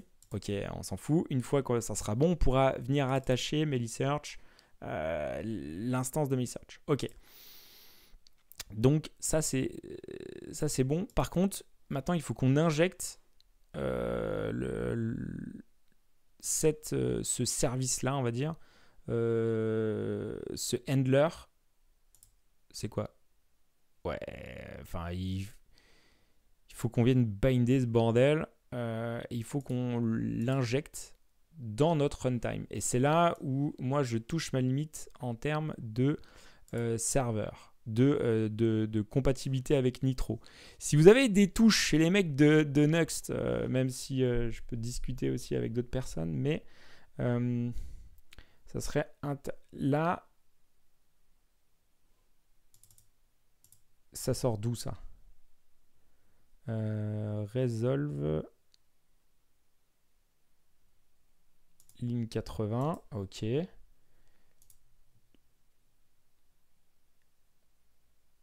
Ah, ok. En fait, il fait pas la même approche. Ok. Et ouais, c'est ça quand on fait du copier, euh, copier-coller bête. Non, en fait, j'ai mon runtime. Euh, tac. Lui, il fait resolve module, machin, de runtime. Et euh, moi, je fais mon tac. Donc, je fais ça. Et on devrait... Euh, hop. Et là, en fait, non, non. Là, je dois pousser. En fait, vas-y, Alex, euh, calme. Là, je dois injecter ce, ce, ce truc-là dans... Euh, je dois le push. Donc je dois le pousser dans le runtime. Et c'est ce que j'ai déjà fait dans euh, un poil plus haut ou euh, build transpile, non.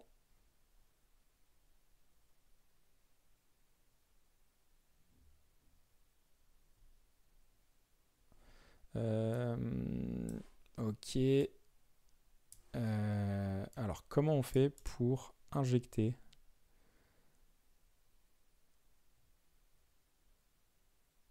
Resolve Runtime Module? Moi, j'ai pas. J'ai mon runtime. Euh, hop. Là, on vient de checker les erreurs. Ok. Là, c'est le runtime, c'est les options. S'en fout. Ok. Euh, maintenant, euh, ça, tu transpiles si pour l'instant on s'en fout. Ça, on va pas l'utiliser. Pour l'instant, on l'utilise pas. On l'utilisera tout à l'heure parce que ça sera conditionné. Ok, nous ce qu'on veut, c'est dans le hook euh, de Nitro, Nix Nitro.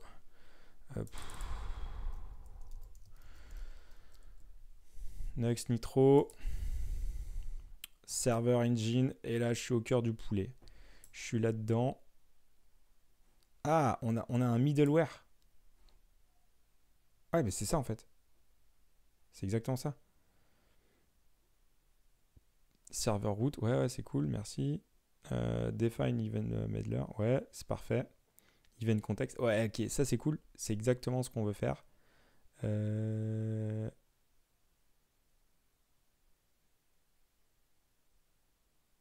Et bah, en fait, pourquoi il met un service machin là? C'est quoi? On va mettre middleware? Pourquoi il. Euh, rename Bam Middleware Bah ouais, c'est un middleware. C'est un middleware qu'on veut faire. Et comme ça, tu viens attacher, tu viens binder le truc. Ok. Euh, par contre, euh, ouais. Est-ce que ça pourrait suffire? Ah, ça serait trop magique.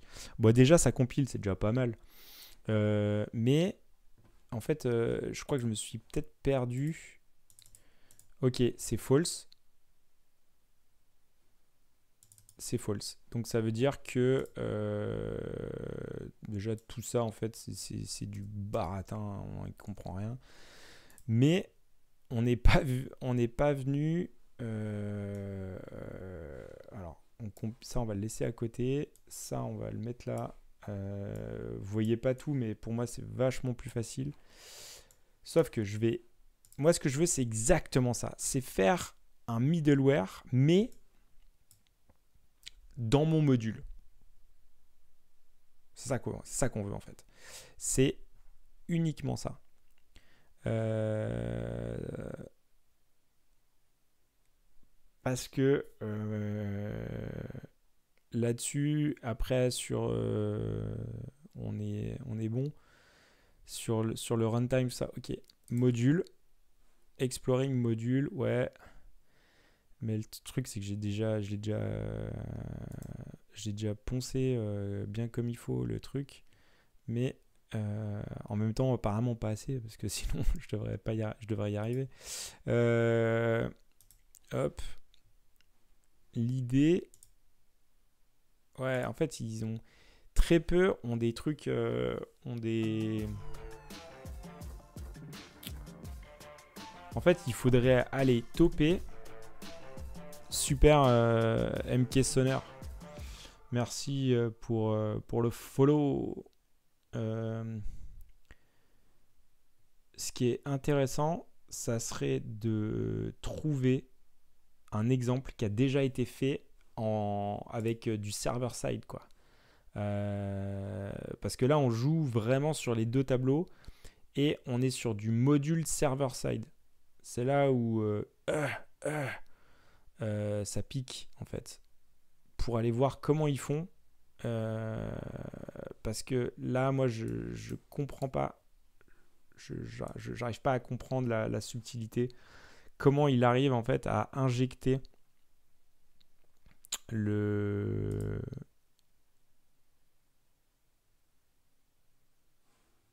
truc, ça je ça je sais pas. Euh, runtime, c'est dans le runtime. Ok, c'est euh, runtime machin. Ok, on a compris. Tu compiles tout ce qu'il y a dans runtime. Euh, est-ce que dans le runtime, j'ai ma partie serveur middleware et dans mon rendu,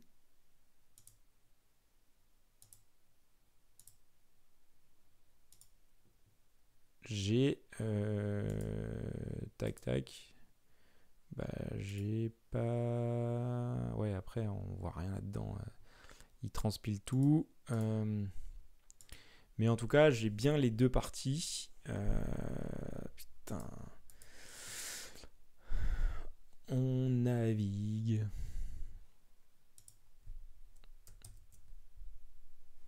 mail search server plugin Maily Search Server.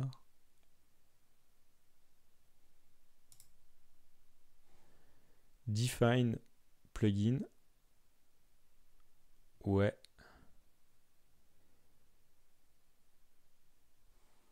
Ok. Euh, why not? Euh,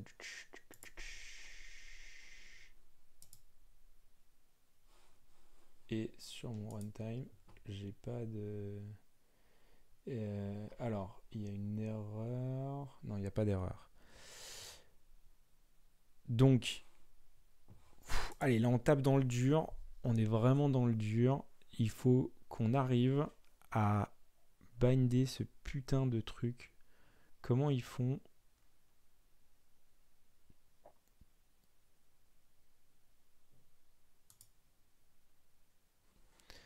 Parce que ça se trouve, ça se fait tout seul en fait.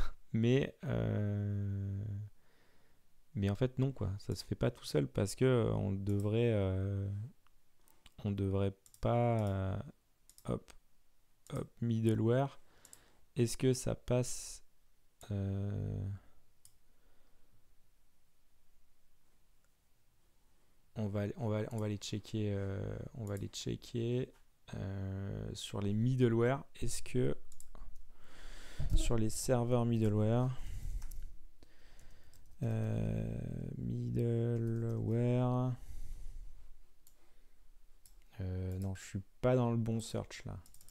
Euh, next 3.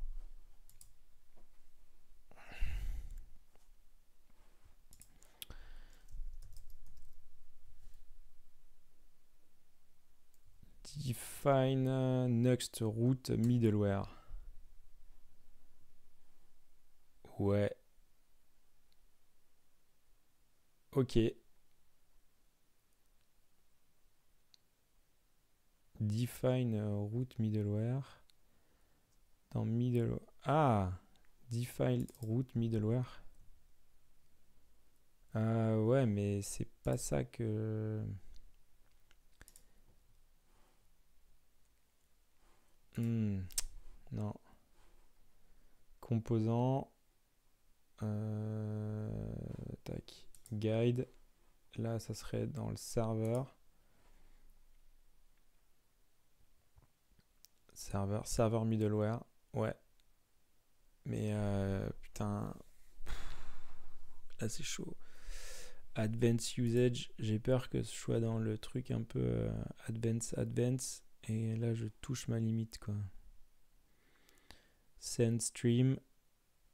Retour legacy. Server legacy storage. Euh,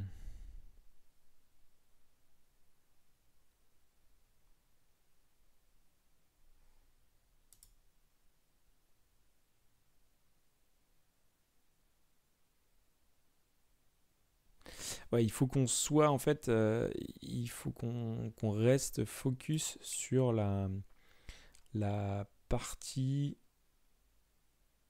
euh, nitro. This is advanced option. Custom option can affect production deployment as the config interface might change overtime with Nitro and upgrade Formula for next. Ok. Euh, ok. Legacy. Putain. Ah, c'est relou. Hein. Serveur plugin.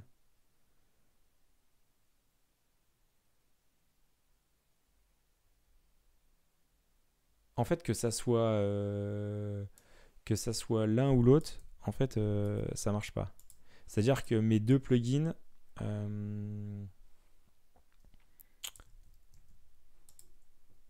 mes deux tac tac, Nitro Nitro App, donc Nitro App, ça serait serveur plugin next app. Ah mais il serait dans serveur, serveur plugin, Nitro plugin. Ok, ça c'est des plugins back-end. Il faut qu'il soit dans serveur euh, plugin. Ok, donc là-dedans, on va tester. Euh, et c'est pas Next App, c'est euh, Nitro. Vu qu'on là on est dans backend backend. On a un, middleware et un. Ok. Déjà, est-ce que on a un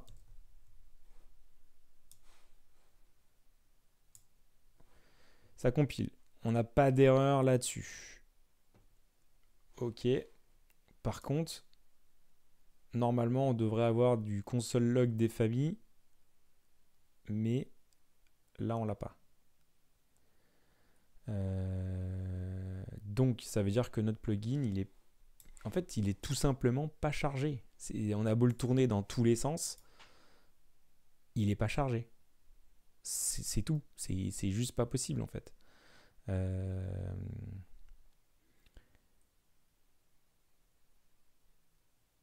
on a beau le tourner dans tous les sens, c'est juste pas possible. Euh, il nous manque le, chargement. On a beau le dire ce qu'on veut, euh, ça l'ode pas quoi. À un moment donné, c'est sûr et certain quoi. Donc notre manière qu'on a d'appeler le, plugin, Nitro plugin, plugin test. Alors dans Nitro, define Nitro plugin. Euh, tac tac, define, euh, non. Dans serveur, on a un plugin, define Nitro plugin.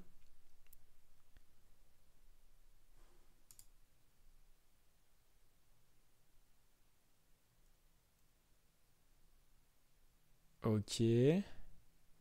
To extend Nitro runtime behavior, you can register plugin. Ouais. Ça marche. C'est notre cas. C'est ce qu'on veut faire. Euh,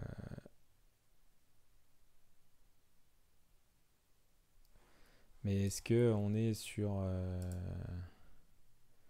tu vois serveur plugin nitro plugin donc Nitro machin, Nitro plugin, mail search, on est d'accord. Et euh, là, on a juste à faire define Nitro plugin. Define Nitro plugin. Hmm, Nitro app.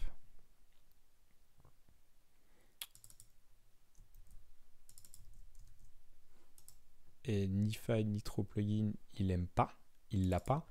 Donc ça doit être un truc de chez qui ça Ça peut être Nitro ou de chez H3.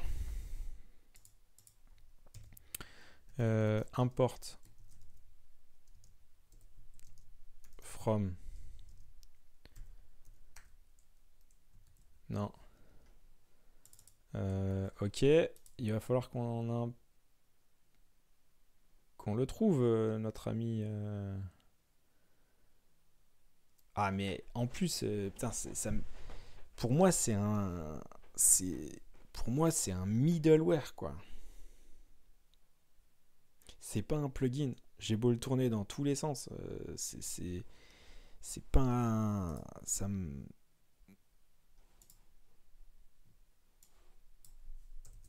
c'est pas bon quoi. C'est un middleware. C'est un middleware. Dans notre middleware, on vient mettre euh, notre instance. Et c'est euh, tellement plus simple. Sauf que comment, euh, comment on peut register un, un middleware dans un module? Bah vas-y, hein. Google. Google. How to register middleware in next module.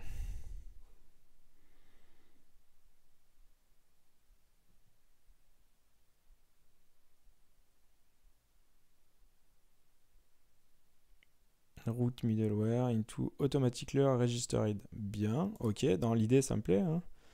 Euh, Next 3. Define plugin. Inject.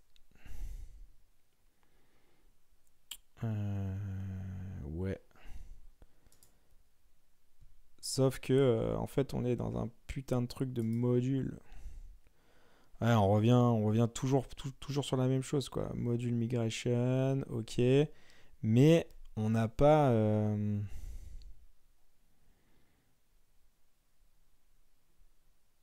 on n'a pas cette, euh, cette vue où on peut euh, ajouter un middleware, quoi. Define. ouais.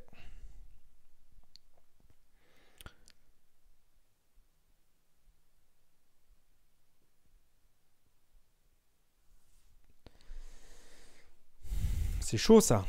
C'est chaud. Parce que, euh, en fait, il faut qu'on l'injecte. Et on ne sait pas l'injecter. Plugin, runtime, dans notre module. Ça, ça marche pas. Et comment on fait pour injecter un middleware dans Nitro? Putain mais dans Nitro à travers un, module. Ma question est simple. en fait, ma question est formulée, mais euh, elle n'est pas. Euh, j'arrive pas à, répondre. Ah, ça fait chier, quoi. Ça fait chier. Parce qu'une fois qu'on a ça, putain, je vais pas dire que ça déroule, mais euh, ça serait déjà vachement, vachement plus facile, quoi. Euh, alors, le module de Strapi doit bien avoir euh, des, du, du, composables, non. Des scripts, euh, non. le module, comment il est fait? On va l'explorer, on va trouver, c'est sûr, c'est sûr. Define next module, bam blam blim, runtime, public, runtime. Composable, composable version, extend vite config. Ouais, putain, il n'y a rien qui joue avec, euh, avec le, le back-end. Le back-end. Le, le, qui vient créer un GraphQL. Ouais, c'est client. Et l'autre.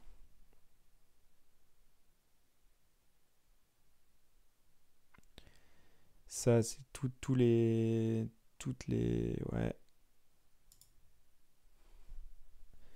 Euh, fetch user, ok. Euh, user strapi v4. Non, il n'y a rien qui, qui génère du, du... On, va, on va trouver, on va trouver. On va trouver. Euh, hop. Après, qu'est-ce qu'on a euh, Icon Sanity. Sanity, Harlem, State Management. Euh, non. Euh, Apollo, Prismic. Algolia, Algolia. Non. Sur la partie. Hmm, donc déjà Nux 3. Ça c'est que du front, du front, du front. Euh, plausible, form kit. Bug snap, non. Lodash. Party Ah, peut-être que Party Town, ils peuvent peut-être avoir un truc. Euh... Type route, on peut aller voir. Euh, privacy. X state. Euh, alors, Party Town. Ouais, encore, euh, encore vachement plus simple. Il injecte Party Town.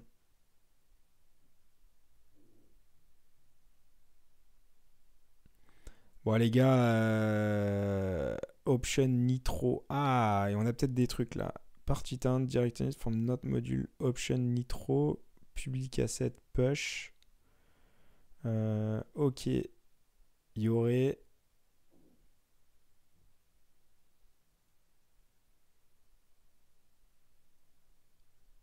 Ah. Ça. Ça pourrait peut-être nous aider. En clair, l'idée, ça serait de dire, euh, tu pousses, tu pousses dans, euh, dans Next, dans Nitro, tu pousses euh, le répertoire que je te donne. Mais en fait, je pense, enfin moi, je pensais que c'était automatique, tu vois. J'aime bien, tu le mec qui dit ouais, c'est automatique. Euh, quoi, ça fait pas tout tout seul? Déconne, c'est nul ton truc. Chaud, chaud, chaud. Mais on n'a pas dit notre dernier mot. Bon, s'il y a des mecs de Nux dans la place, là, il faudrait. Parce que là, pour le coup, c'est du pur Nuxt, quoi. c'est du pur Nuxt.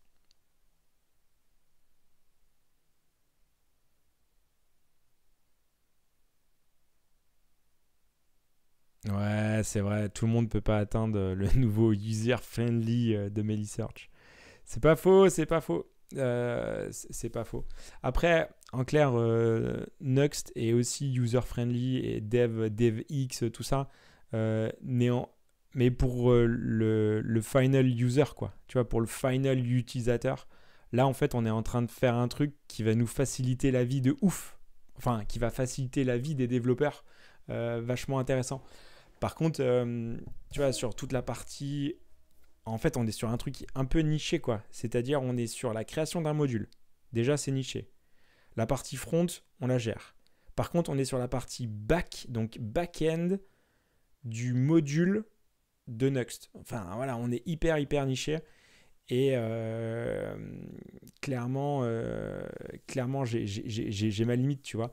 Mais une fois que ça, ça sera en place, la, la développeur expérience, elle va être ouf. Parce que, euh, en fait, euh, dans tu as une requête qui arrive sur, ton API, bam, tu auras, à côté ton, instance de, de, de qui tourne et euh, tu pourras accéder à toute l'API de, de MeliSearch directement.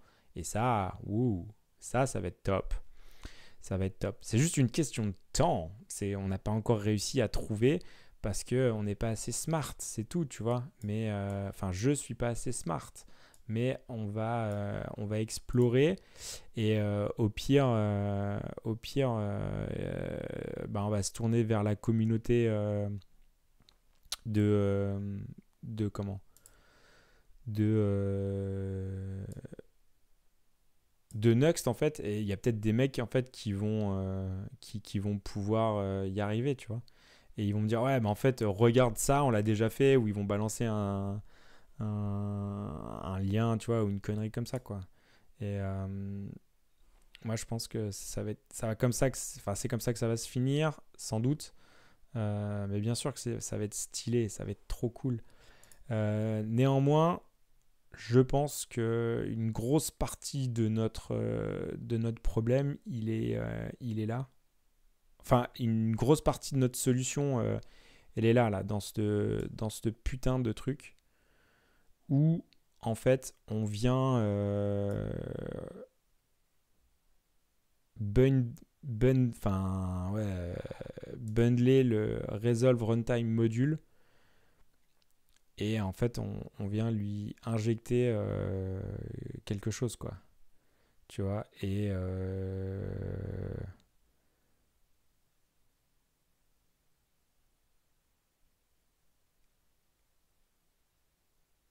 il faut lui donner un nitro alias là en fait qu'est-ce que ça fait? Ça fait un nitro config euh, allez je vais aller basser ouais Merci à toi, mec. Merci à toi. Va, va bosser tranquillement, tout. Mais euh, merci à toi. C'est cool. T'as rincé. T'es venu. Ça fait plaisir. Trop bien. Un grand merci à toi, en tout cas. Et tu nous laisses dans le dur. Là, on est, méga dans le dur. Mais euh, on va try hard. On va try hard. Euh, il resolve le runtime.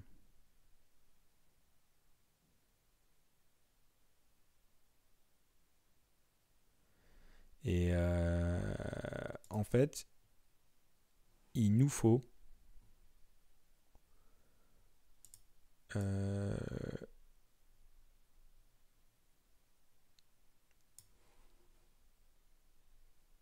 push runtime. Ça,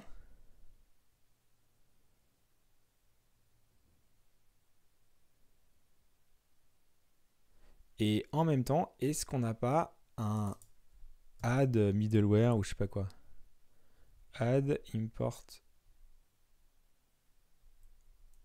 add server handler. Intéressant.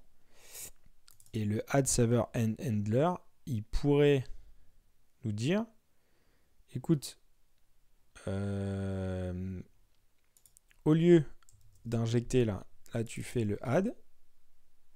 Tu vas chercher le, le truc qui est dans serveur, middleware,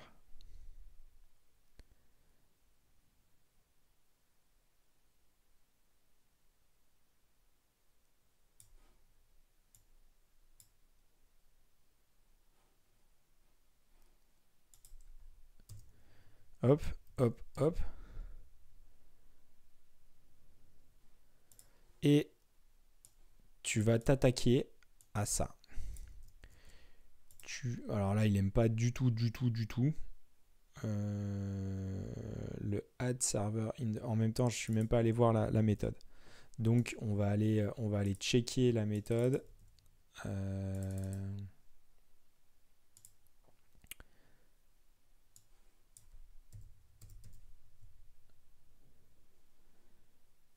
Euh, ok.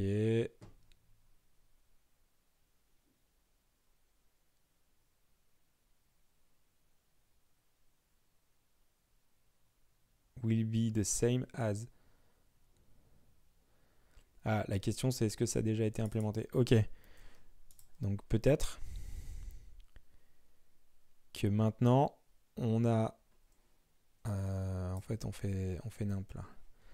Ok, c'est une méthode qui dit que tu vas ajouter une route. Ah, mais en fait, non, c'est pas ça. Je veux pas ajouter une route, moi. Je veux pas ajouter une route. Je veux euh, rajouter un middleware. Hmm.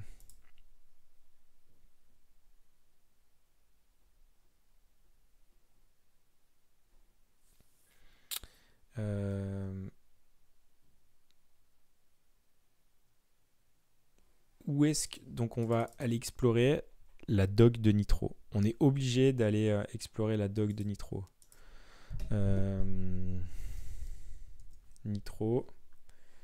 Euh, déploiement. Ouais, on s'en fout un peu. Guide. Plugin. define Nitro plugin.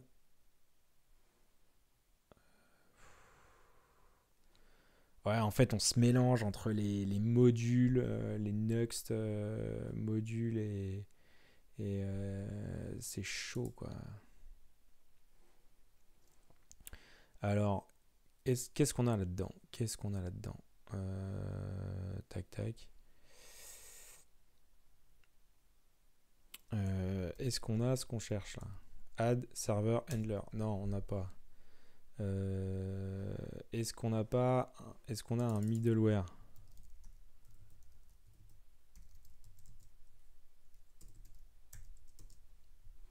Ok. non, on n'a pas.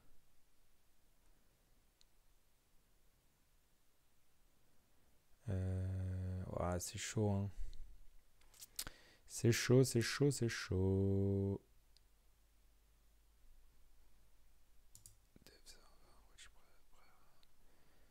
On n'arrive pas. Comment installer, comment euh, pusher ce put de... Je pense qu'il faut ajouter euh, donc dans les next hook, qu'est-ce qu'on a Ou comme nitro hook.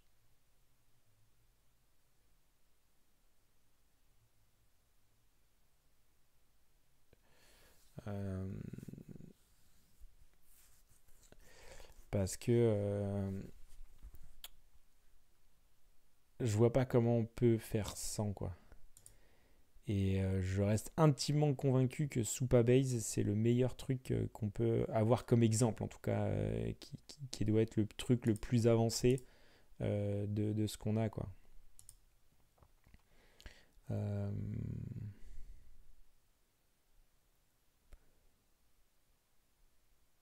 Ouais, ouais. Ça, non, mais je reste intimement convaincu. Mais j'arrive pas.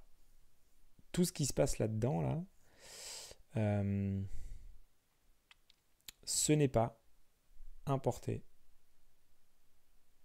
dans le runtime.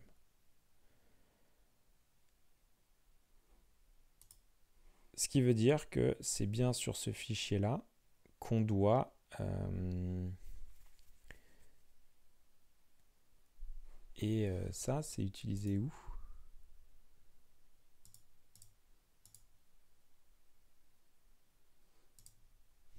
Mhm.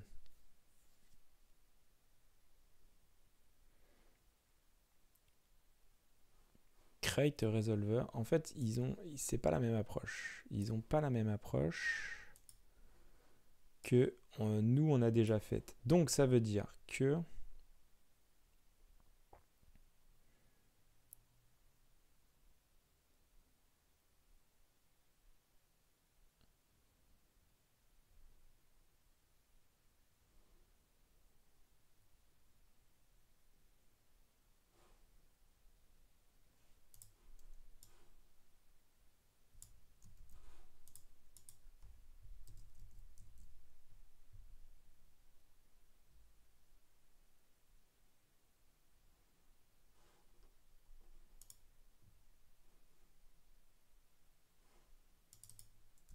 Ok.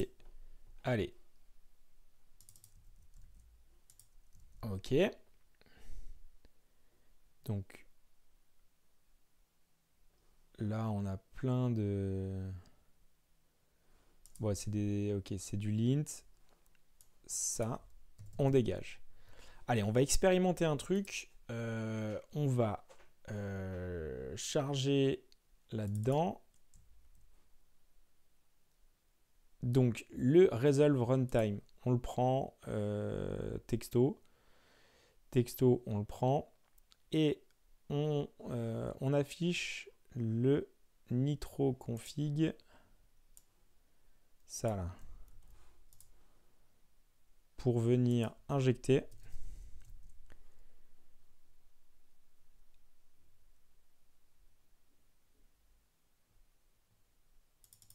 Et c'est Melisearch. Melisearch server et donc c'est pas service.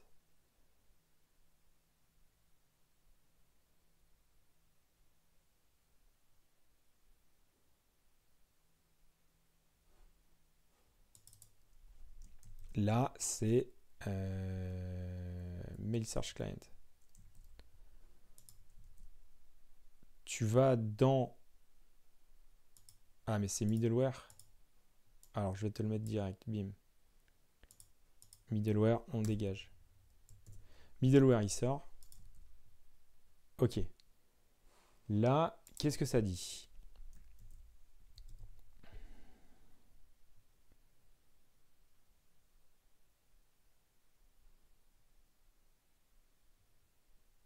N'y a rien d'extraordinaire. Euh, déjà, ça cut pas. Par contre, est-ce qu'il est venu injecter? Euh, Non. Est-ce qu'il est venu injecter? Euh, Hop. Nous, ce qu'on veut savoir, c'est ce qu'il est venu injecter là-dessus?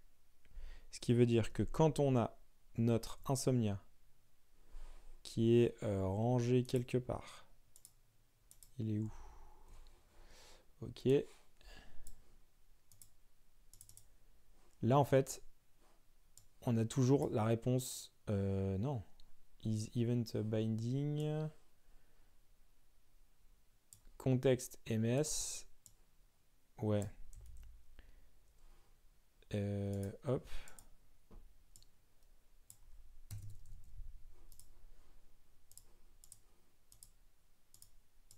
Là, on n'a rien. Euh, tu me retournes ça. Et là, on n'a rien. Ok. Et tu me retournes le contexte. Là, on devrait avoir une... une ah putain. Ce n'est pas... Ok. Params. Ok il a pas il a il a pas ça. Normalement, on devrait avoir quelque chose. Mais euh, il trouve pas il trouve pas MS parce qu'il l'a pas et dans le contexte il l'a pas parce que si on lui a pas chargé il peut pas l'avoir euh,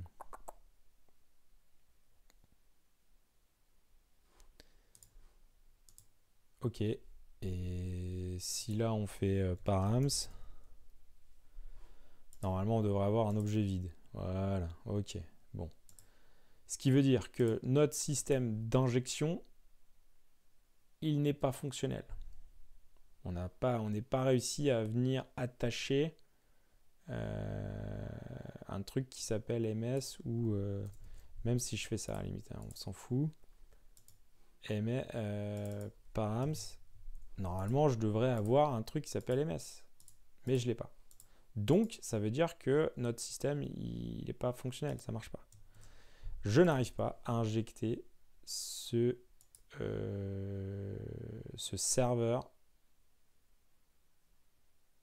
ce middleware serveur euh, dans mon module.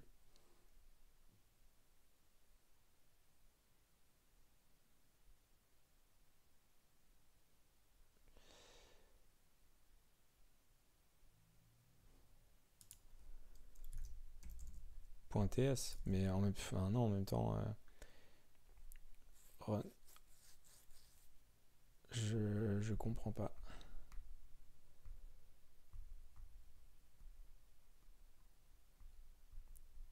Ok. Euh, c'est chaud. je suis tellement prêt. Je, je suis intimement convaincu que je suis tellement prêt. Et c'est là où c'est super frustrant, quoi. Euh,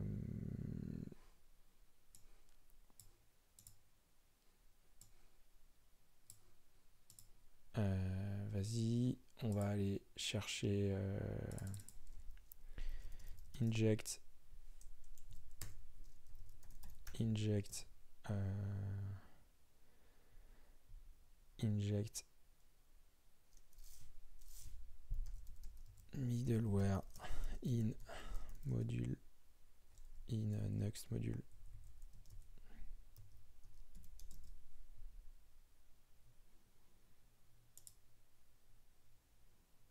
Add to get started, non. Middleware, server, middleware property. Ouais, c'est ça. Ouais, et en fait, il faudrait un truc euh, admin. Euh, mais ça, c'est parfait, les gars. Mais euh,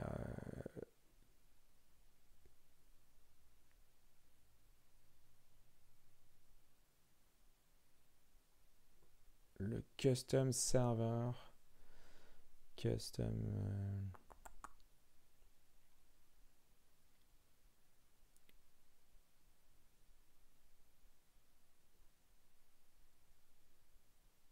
En fait, il faudrait qu'on puisse... Non, mais en fait, la définition du problème, on, l'a, hein, mais on ne sait pas faire. c'est ça le problème.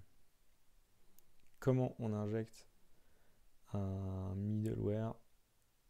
Parce que si on fait ça, en fait là, on va tester le truc en mode... Euh, en mode... Euh, on le fait nous-mêmes sur, euh, sur le, client euh, sur le client final quoi. Tu vois? Sur le sur le client final. C'est-à-dire euh, dans mon playground dans mon playground j'ai un serveur. Là je lui dis hop tu vas rajouter un folder qui s'appelle middleware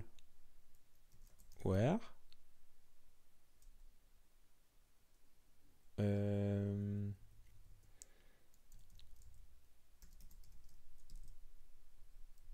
Non. Je... Hop, files. Et là, on va dire ms.ts. Hop, hop, hop. Là, on a fait ça.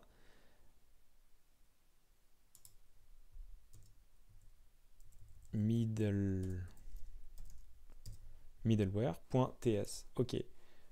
On va regarder comment plugin et middleware. Ok. Là, dans Nux 3, on a un define euh, machin. Non. On a un root middleware. Dans 3. Euh, alors, c'est pas ça qu'on cherchait tout à l'heure. C'est dans le serveur. On revient sur les guides. Sur le serveur. Serveur. Ok, define event C'est exactement ça. Log.ts. Ok. Donc, normalement, serveur middleware log, on, maintenant, on devrait, parce que là, on l'a fait en dur et en direct sur l'instance, sur le final client. Donc, normalement, on devrait middleware, hop.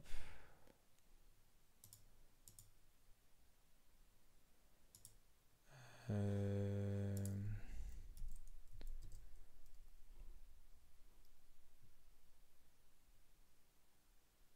alors là, j'ai plein de euh, import machin, il aime pas du tout. Ok. Il n'y a pas de cookies.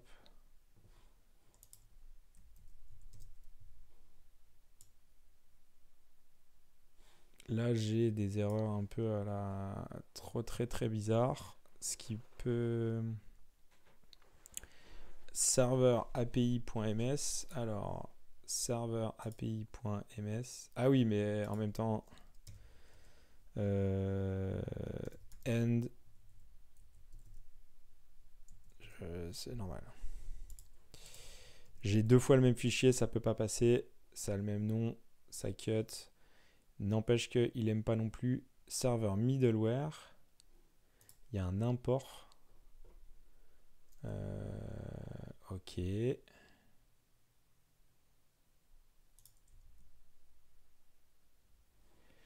Allez, on va copier la doc. Serveur middleware.log.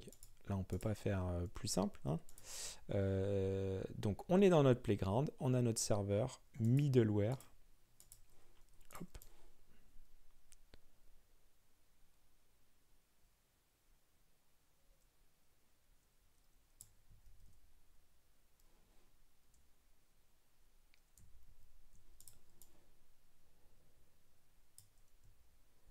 Ok, là on a notre define, euh, define event. Hop.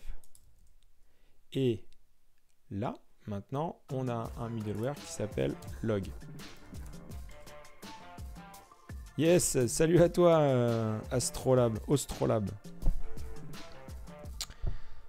Ah non, Asta Fab. Tout ça quoi. Enfin, toi quoi. Osta, euh, bienvenue à toi. On est dans le dur, mec, là. Là, on est méga dans le dur. On est méga, méga, méga dans le dur. Toi aussi, tu bosses chez Melisearch question, euh, question, parce qu'apparemment, il y, a beaucoup de monde de chez Melisearch aujourd'hui qui sont sur Twitch euh, et qui me regardent pas bien, bien galérer, bien comme il faut.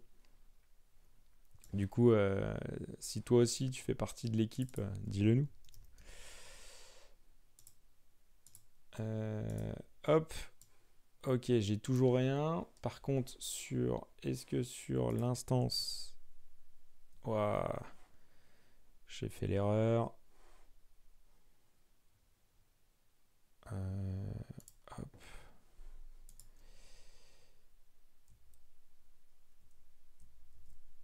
Tac. Alors, juste avant, j'ai coupé euh, mon VS Code et pnpm dev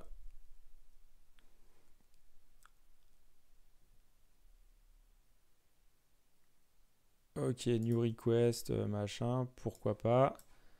Euh, new request API end. Ok. Par contre, euh, ça passe pas par mon middleware. Donc, ce qui veut dire que même dans mon instance normale, ça marche pas. Donc ça peut pas marcher sur, euh, sur mon sur mon euh, sur mon comment? Dans mon module. Next will automatically read any files in server middleware. Ah bah c'est bien ça. Euh, mais apparemment tu le fais pas. Euh, euh, ouais. C'est c'est haute, mais mais si. En même temps, qu'est-ce que je dis? Qu'est-ce que je dis? New request. Donc il est bien passé là-dedans. Évidemment que évidemment que ça marche en fait. Pardon, j'ai été médisant parce que, euh, parce que ça marche. Là, je viens bien, euh, je viens bien euh, loguer en fait la, la requête. Donc, ça, ça veut dire que ça marche.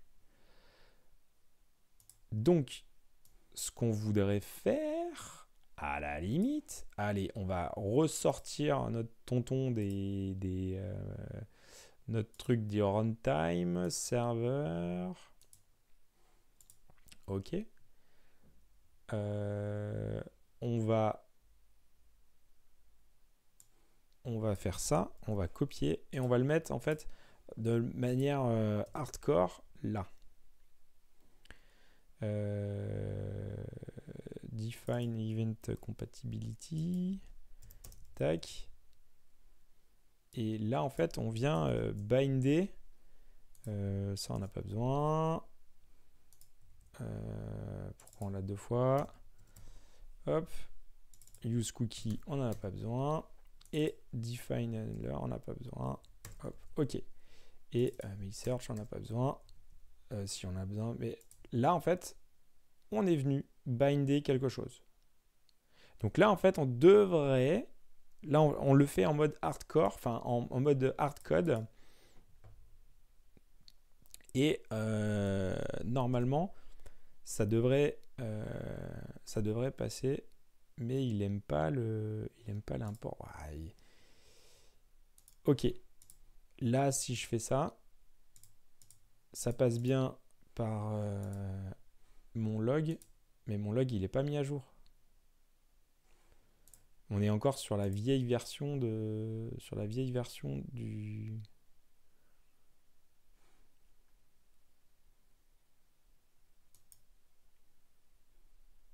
on est encore sur la vieille version de, du log. Donc, on n'est pas bon. Euh, c'est mon serveur qui tient pas, il tient pas la marée ou quoi?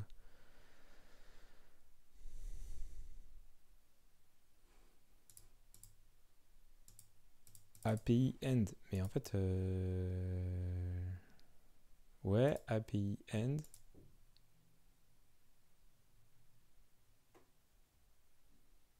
Il me retourne rien. Mais normalement, là, il devrait, euh, il devrait euh, define event, define event, event request. Euh, ouais. Sauf que euh, normalement ça, ça, ça dégage. Import.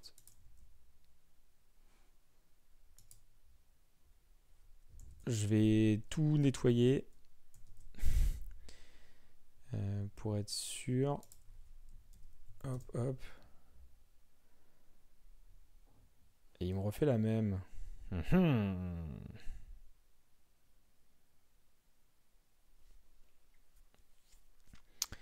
Il me refait la même.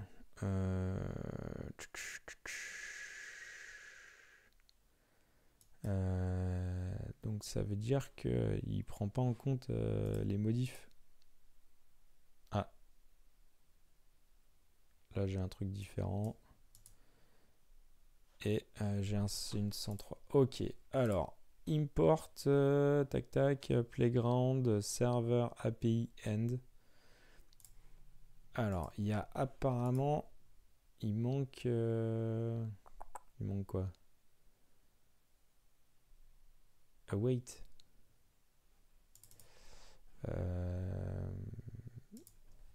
je vois pas pourquoi il, il est pas content. Ok.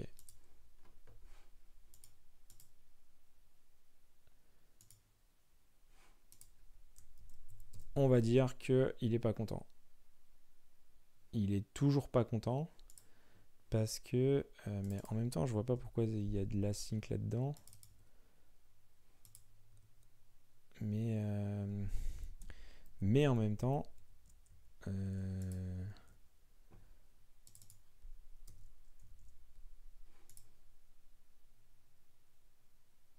event promise arrow function has no await. Euh, await. Donc euh, ouais, on va lui mettre une, await euh, machin et voilà. C'est pas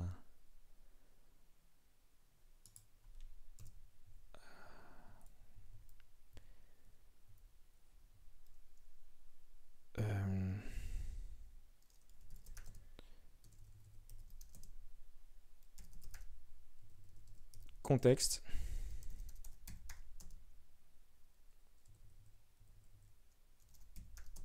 Égal, tac, return, contexte.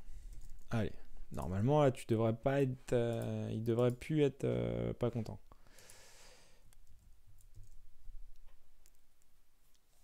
Alors, non, il aime toujours pas. Il me dit que mon middleware. Donc là, pour info, je suis en direct. Euh, je suis en direct avec euh,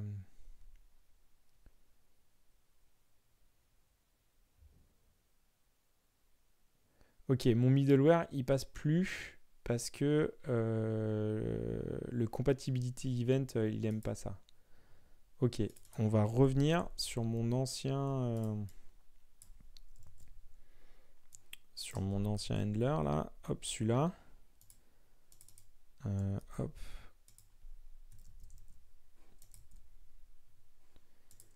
Et là, on est, là, ça compile. Donc, déjà, on est déjà vachement mieux. On a un bon retour. Euh, ça marche. Bon. Sauf que, euh, est-ce qu'on pourrait pas faire tout simplement ça? Hop.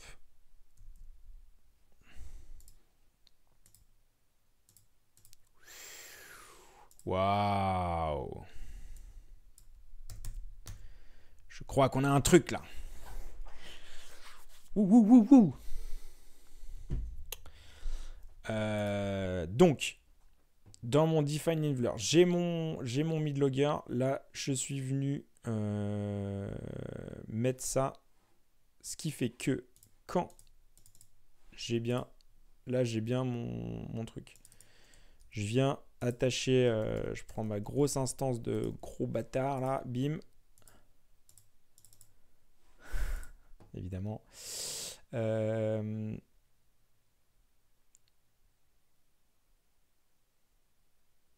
event context et euh,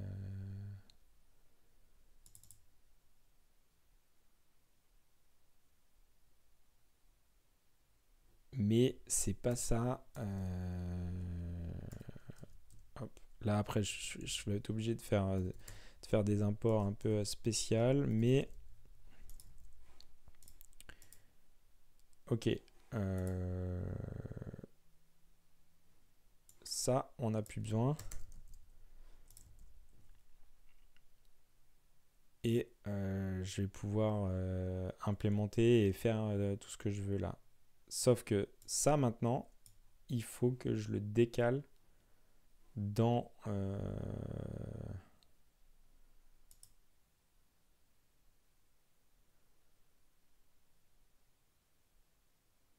Event Compatibility. middleware, je le mets dans mon serveur.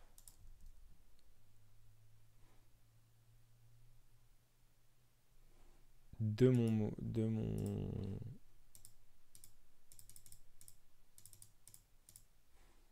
j'ai peur que il n'ait il pas mis à jour euh, le truc.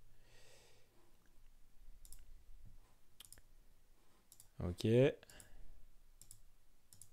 ouais, voilà. Dès qu'on fait ça, en fait, on perd. Euh, il n'est pas chargé automatiquement. Il n'est pas chargé automatiquement. Donc, euh, ce n'est pas bon. Euh, on revient sur le même problème qu'on avait tout à l'heure avec Nuxt, où en fait dans le module de Nuxt, on n'arrive pas à, charger, le, truc. Euh, on arrive à le faire en direct, mais on n'arrive pas à le faire euh, via un plugin parce que euh, il, faut, il faut injecter dans notre runtime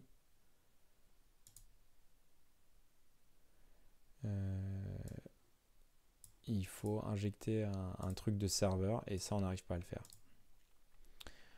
on n'arrive pas à le faire. Et euh, clairement, c'est quand même euh, ballot.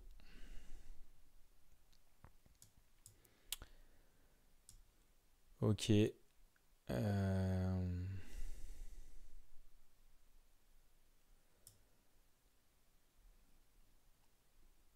Bon, là je commence à prendre un coup sur la tête sur euh, vraiment où je me dis qu'on va pas de, on va pas y arriver, on va pas y arriver quoi.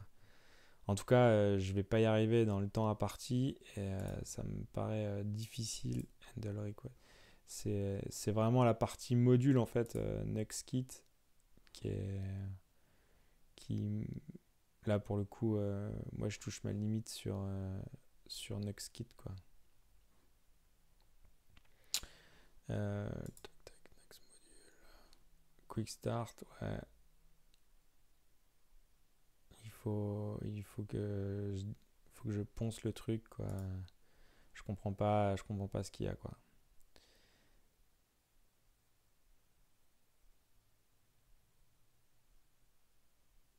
Route dire. Ouais.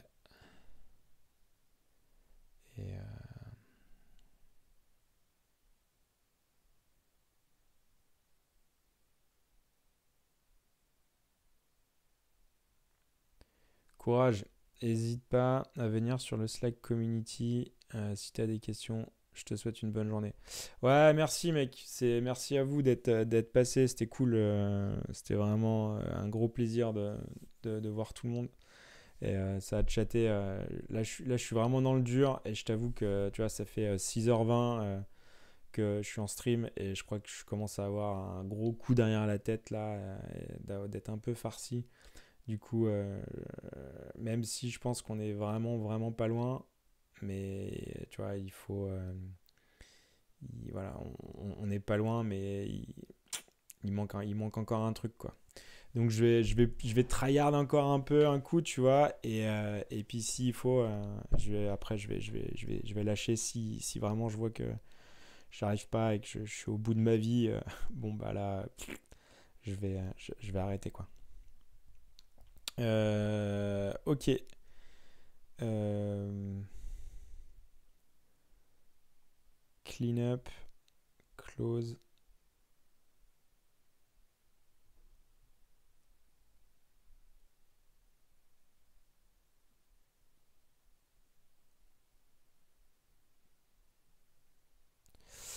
Ok, je vais essayer, euh, je vais essayer ça là ça, me paraît euh, tellement, euh, tellement enfantin, mais en fait, non, quoi. C'est pas, c'est pas enfantin. Create Resolver. Euh, c'est un bordel, mon truc. je commence vraiment à être dans le dur.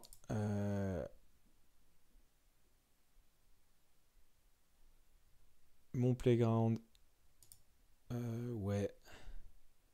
Parfait. Je renvoie mon contexte. C'est ça. Ça, je vais pas toucher à ça. Et euh, dans mon runtime, dans mon plugin, dans mon serveur. Et en même temps, en même temps, ça c'est normal. Donc je vais cut. Euh, Ok. Ça, j'en ai pas besoin.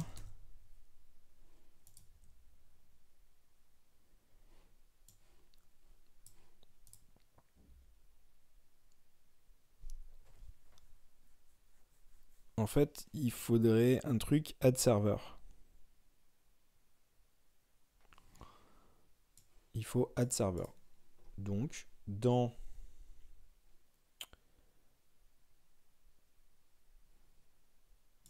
Ça, je les utilise pas. On va aller enlever. Donc dans NuxKit, est-ce qu'on a un truc qui s'appelle Add Server?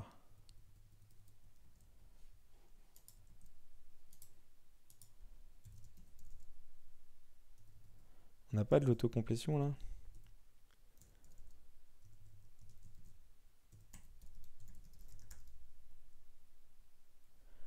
Add server handler.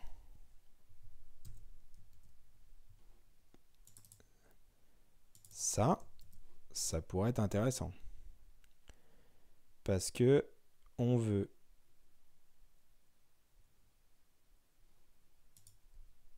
Hop, tu viens add server handler.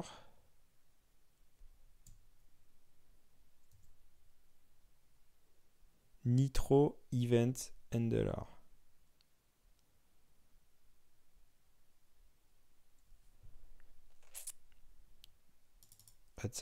On va aller checker sur la, sur la doc. Chaud, chaud, chaud, chaud. On est dans le dur, on est dans le dur, on est dans le dur là. On lâche rien, on lâche rien.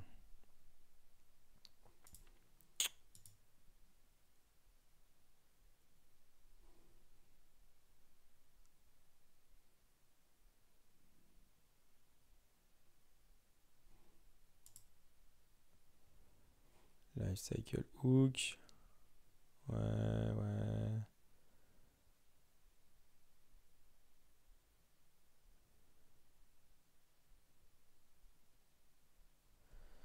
Ouais, je sais pas si c'est un plugin. En fait, si c'est un plugin, si c'est un middleware ou un truc, putain, j'en sais rien, quoi. Euh...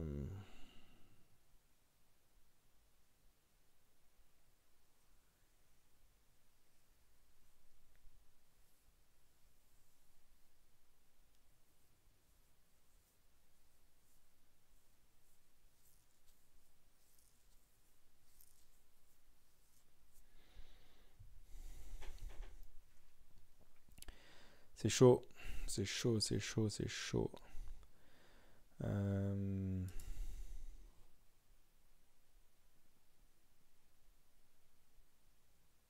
Define event handler.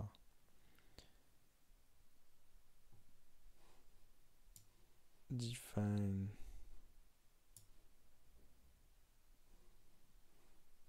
Et donc là, Nitro Event Handler.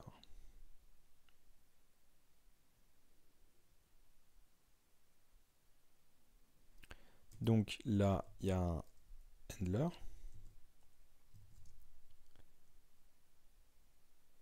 Et le handler, alors ça, on avait vu ça sur euh, les loulous de chez euh, Spabase. Hop. On avait vu ça où ils avaient add server handler.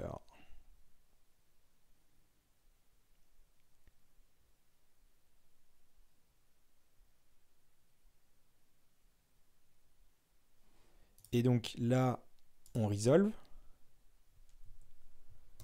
Là, on resolve. Qu'est-ce qu'on resolve? Bah, Le runtime dir. Runtime dir, ouais. Qui dit qui dit euh, middleware. Qui dit euh, bah, serveur serveur middleware. Serveur middleware, middleware et euh, serveur euh, n'a pas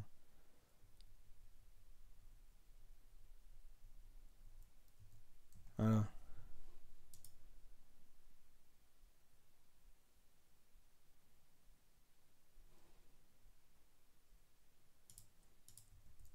Ah, runtime dire, il connaît pas. Euh,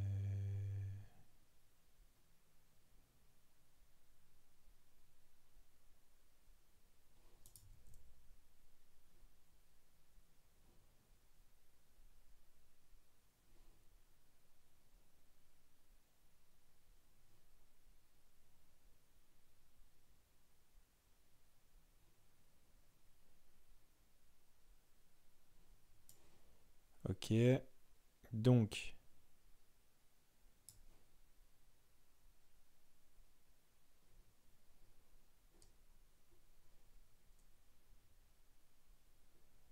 Hmm.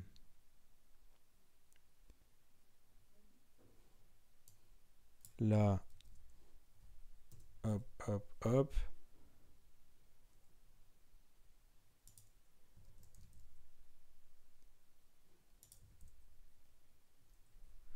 Là, ça serait déjà mieux.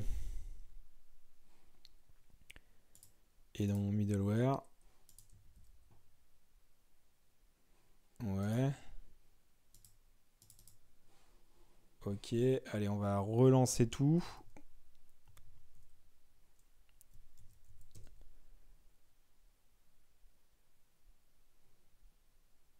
Ça compile, il n'y a pas d'erreur. Bon, déjà.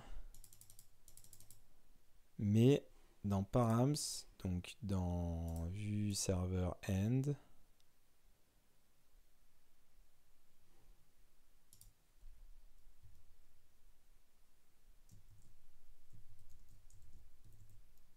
.ms, il trouve pas. Euh, il trouve pas. Et pourquoi il trouve pas? Euh, Ok.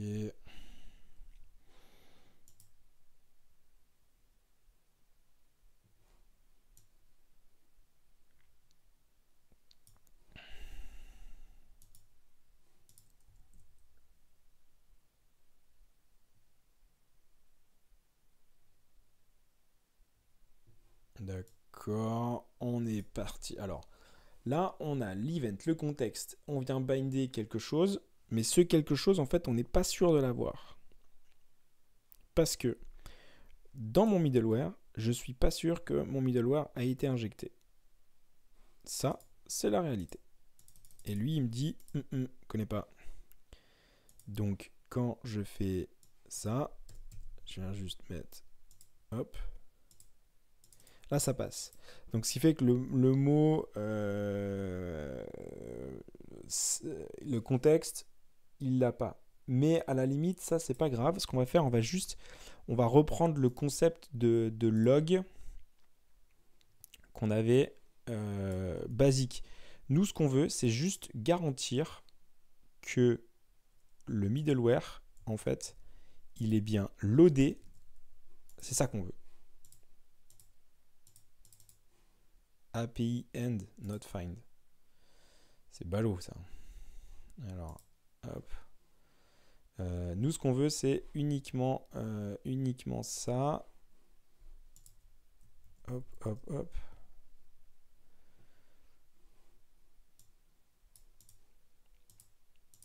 Lui, il me dit not find.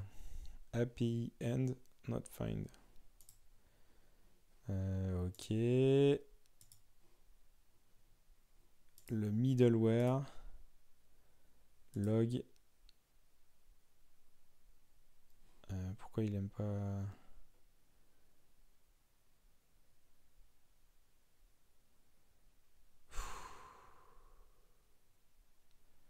Ouais. Euh, tac, tac, tac.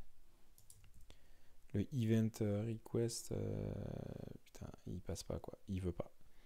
Il veut pas me l'injecter. Donc ce qui veut dire que ça là, ça ne marche pas. Ça, ça ne marche pas. On a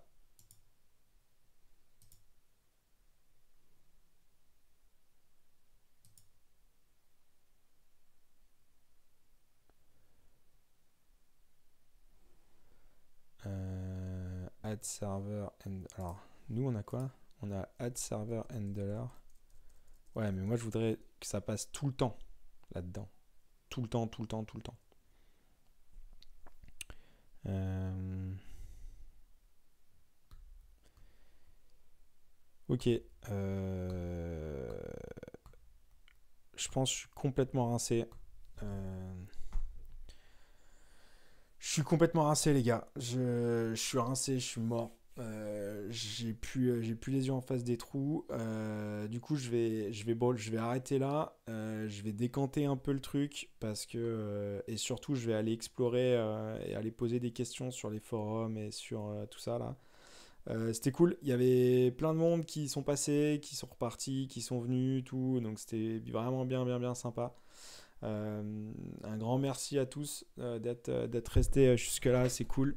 Et puis à tous ceux qui sont passés, vraiment, c'était cool. Ça veut dire que je vais devoir retourner travailler. Bah ouais, t'as plus le choix.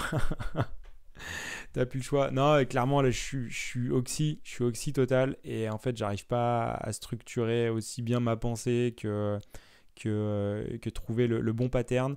Je pense qu'il me manque un, vraiment le truc, c'est il me manque le côté, ok, comment je fais pour injecter un, middleware depuis mon module euh, Parce qu'une fois que je le fais depuis, euh, depuis l'instance, bah, ça va. Mais euh, en fait, ce qu'il faut comprendre, c'est que là, on, est, on crée un outil pour les développeurs. Donc, c'est un, un, outil au-dessus. quoi. Et donc, ça, ça, je touche ma limite. Donc, c'est pas grave. Je vais, je, vais, je vais structurer mon problème, poser des bonnes questions et euh, envoyer 3-4 DM euh, à des personnes et puis euh, ou aller explorer sur les Slack ou les Discord. mais normalement, je devrais, voilà, on devrait pouvoir avancer là-dessus. Je prendrai peut-être pas le retour, je ferai peut-être pas le retour, le retour en live.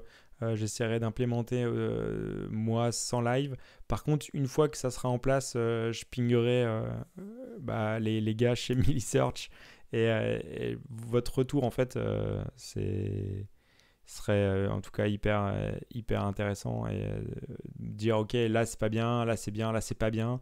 voilà, enfin, je, serais vachement curieux de tous vos retours, des trucs un peu en mode hardcore. Et en mode ok là mec tu t'es gouré, t'as fait de la merde, tout. Moi je suis super chaud, je prends toutes les critiques quoi, donc j'en ai, j'en ai vraiment besoin. En tout cas, un grand merci à vous, ça m'a fait grave plaisir, c'était cool. À bientôt et codez, codez bien. Ciao ciao, c'est cool, merci.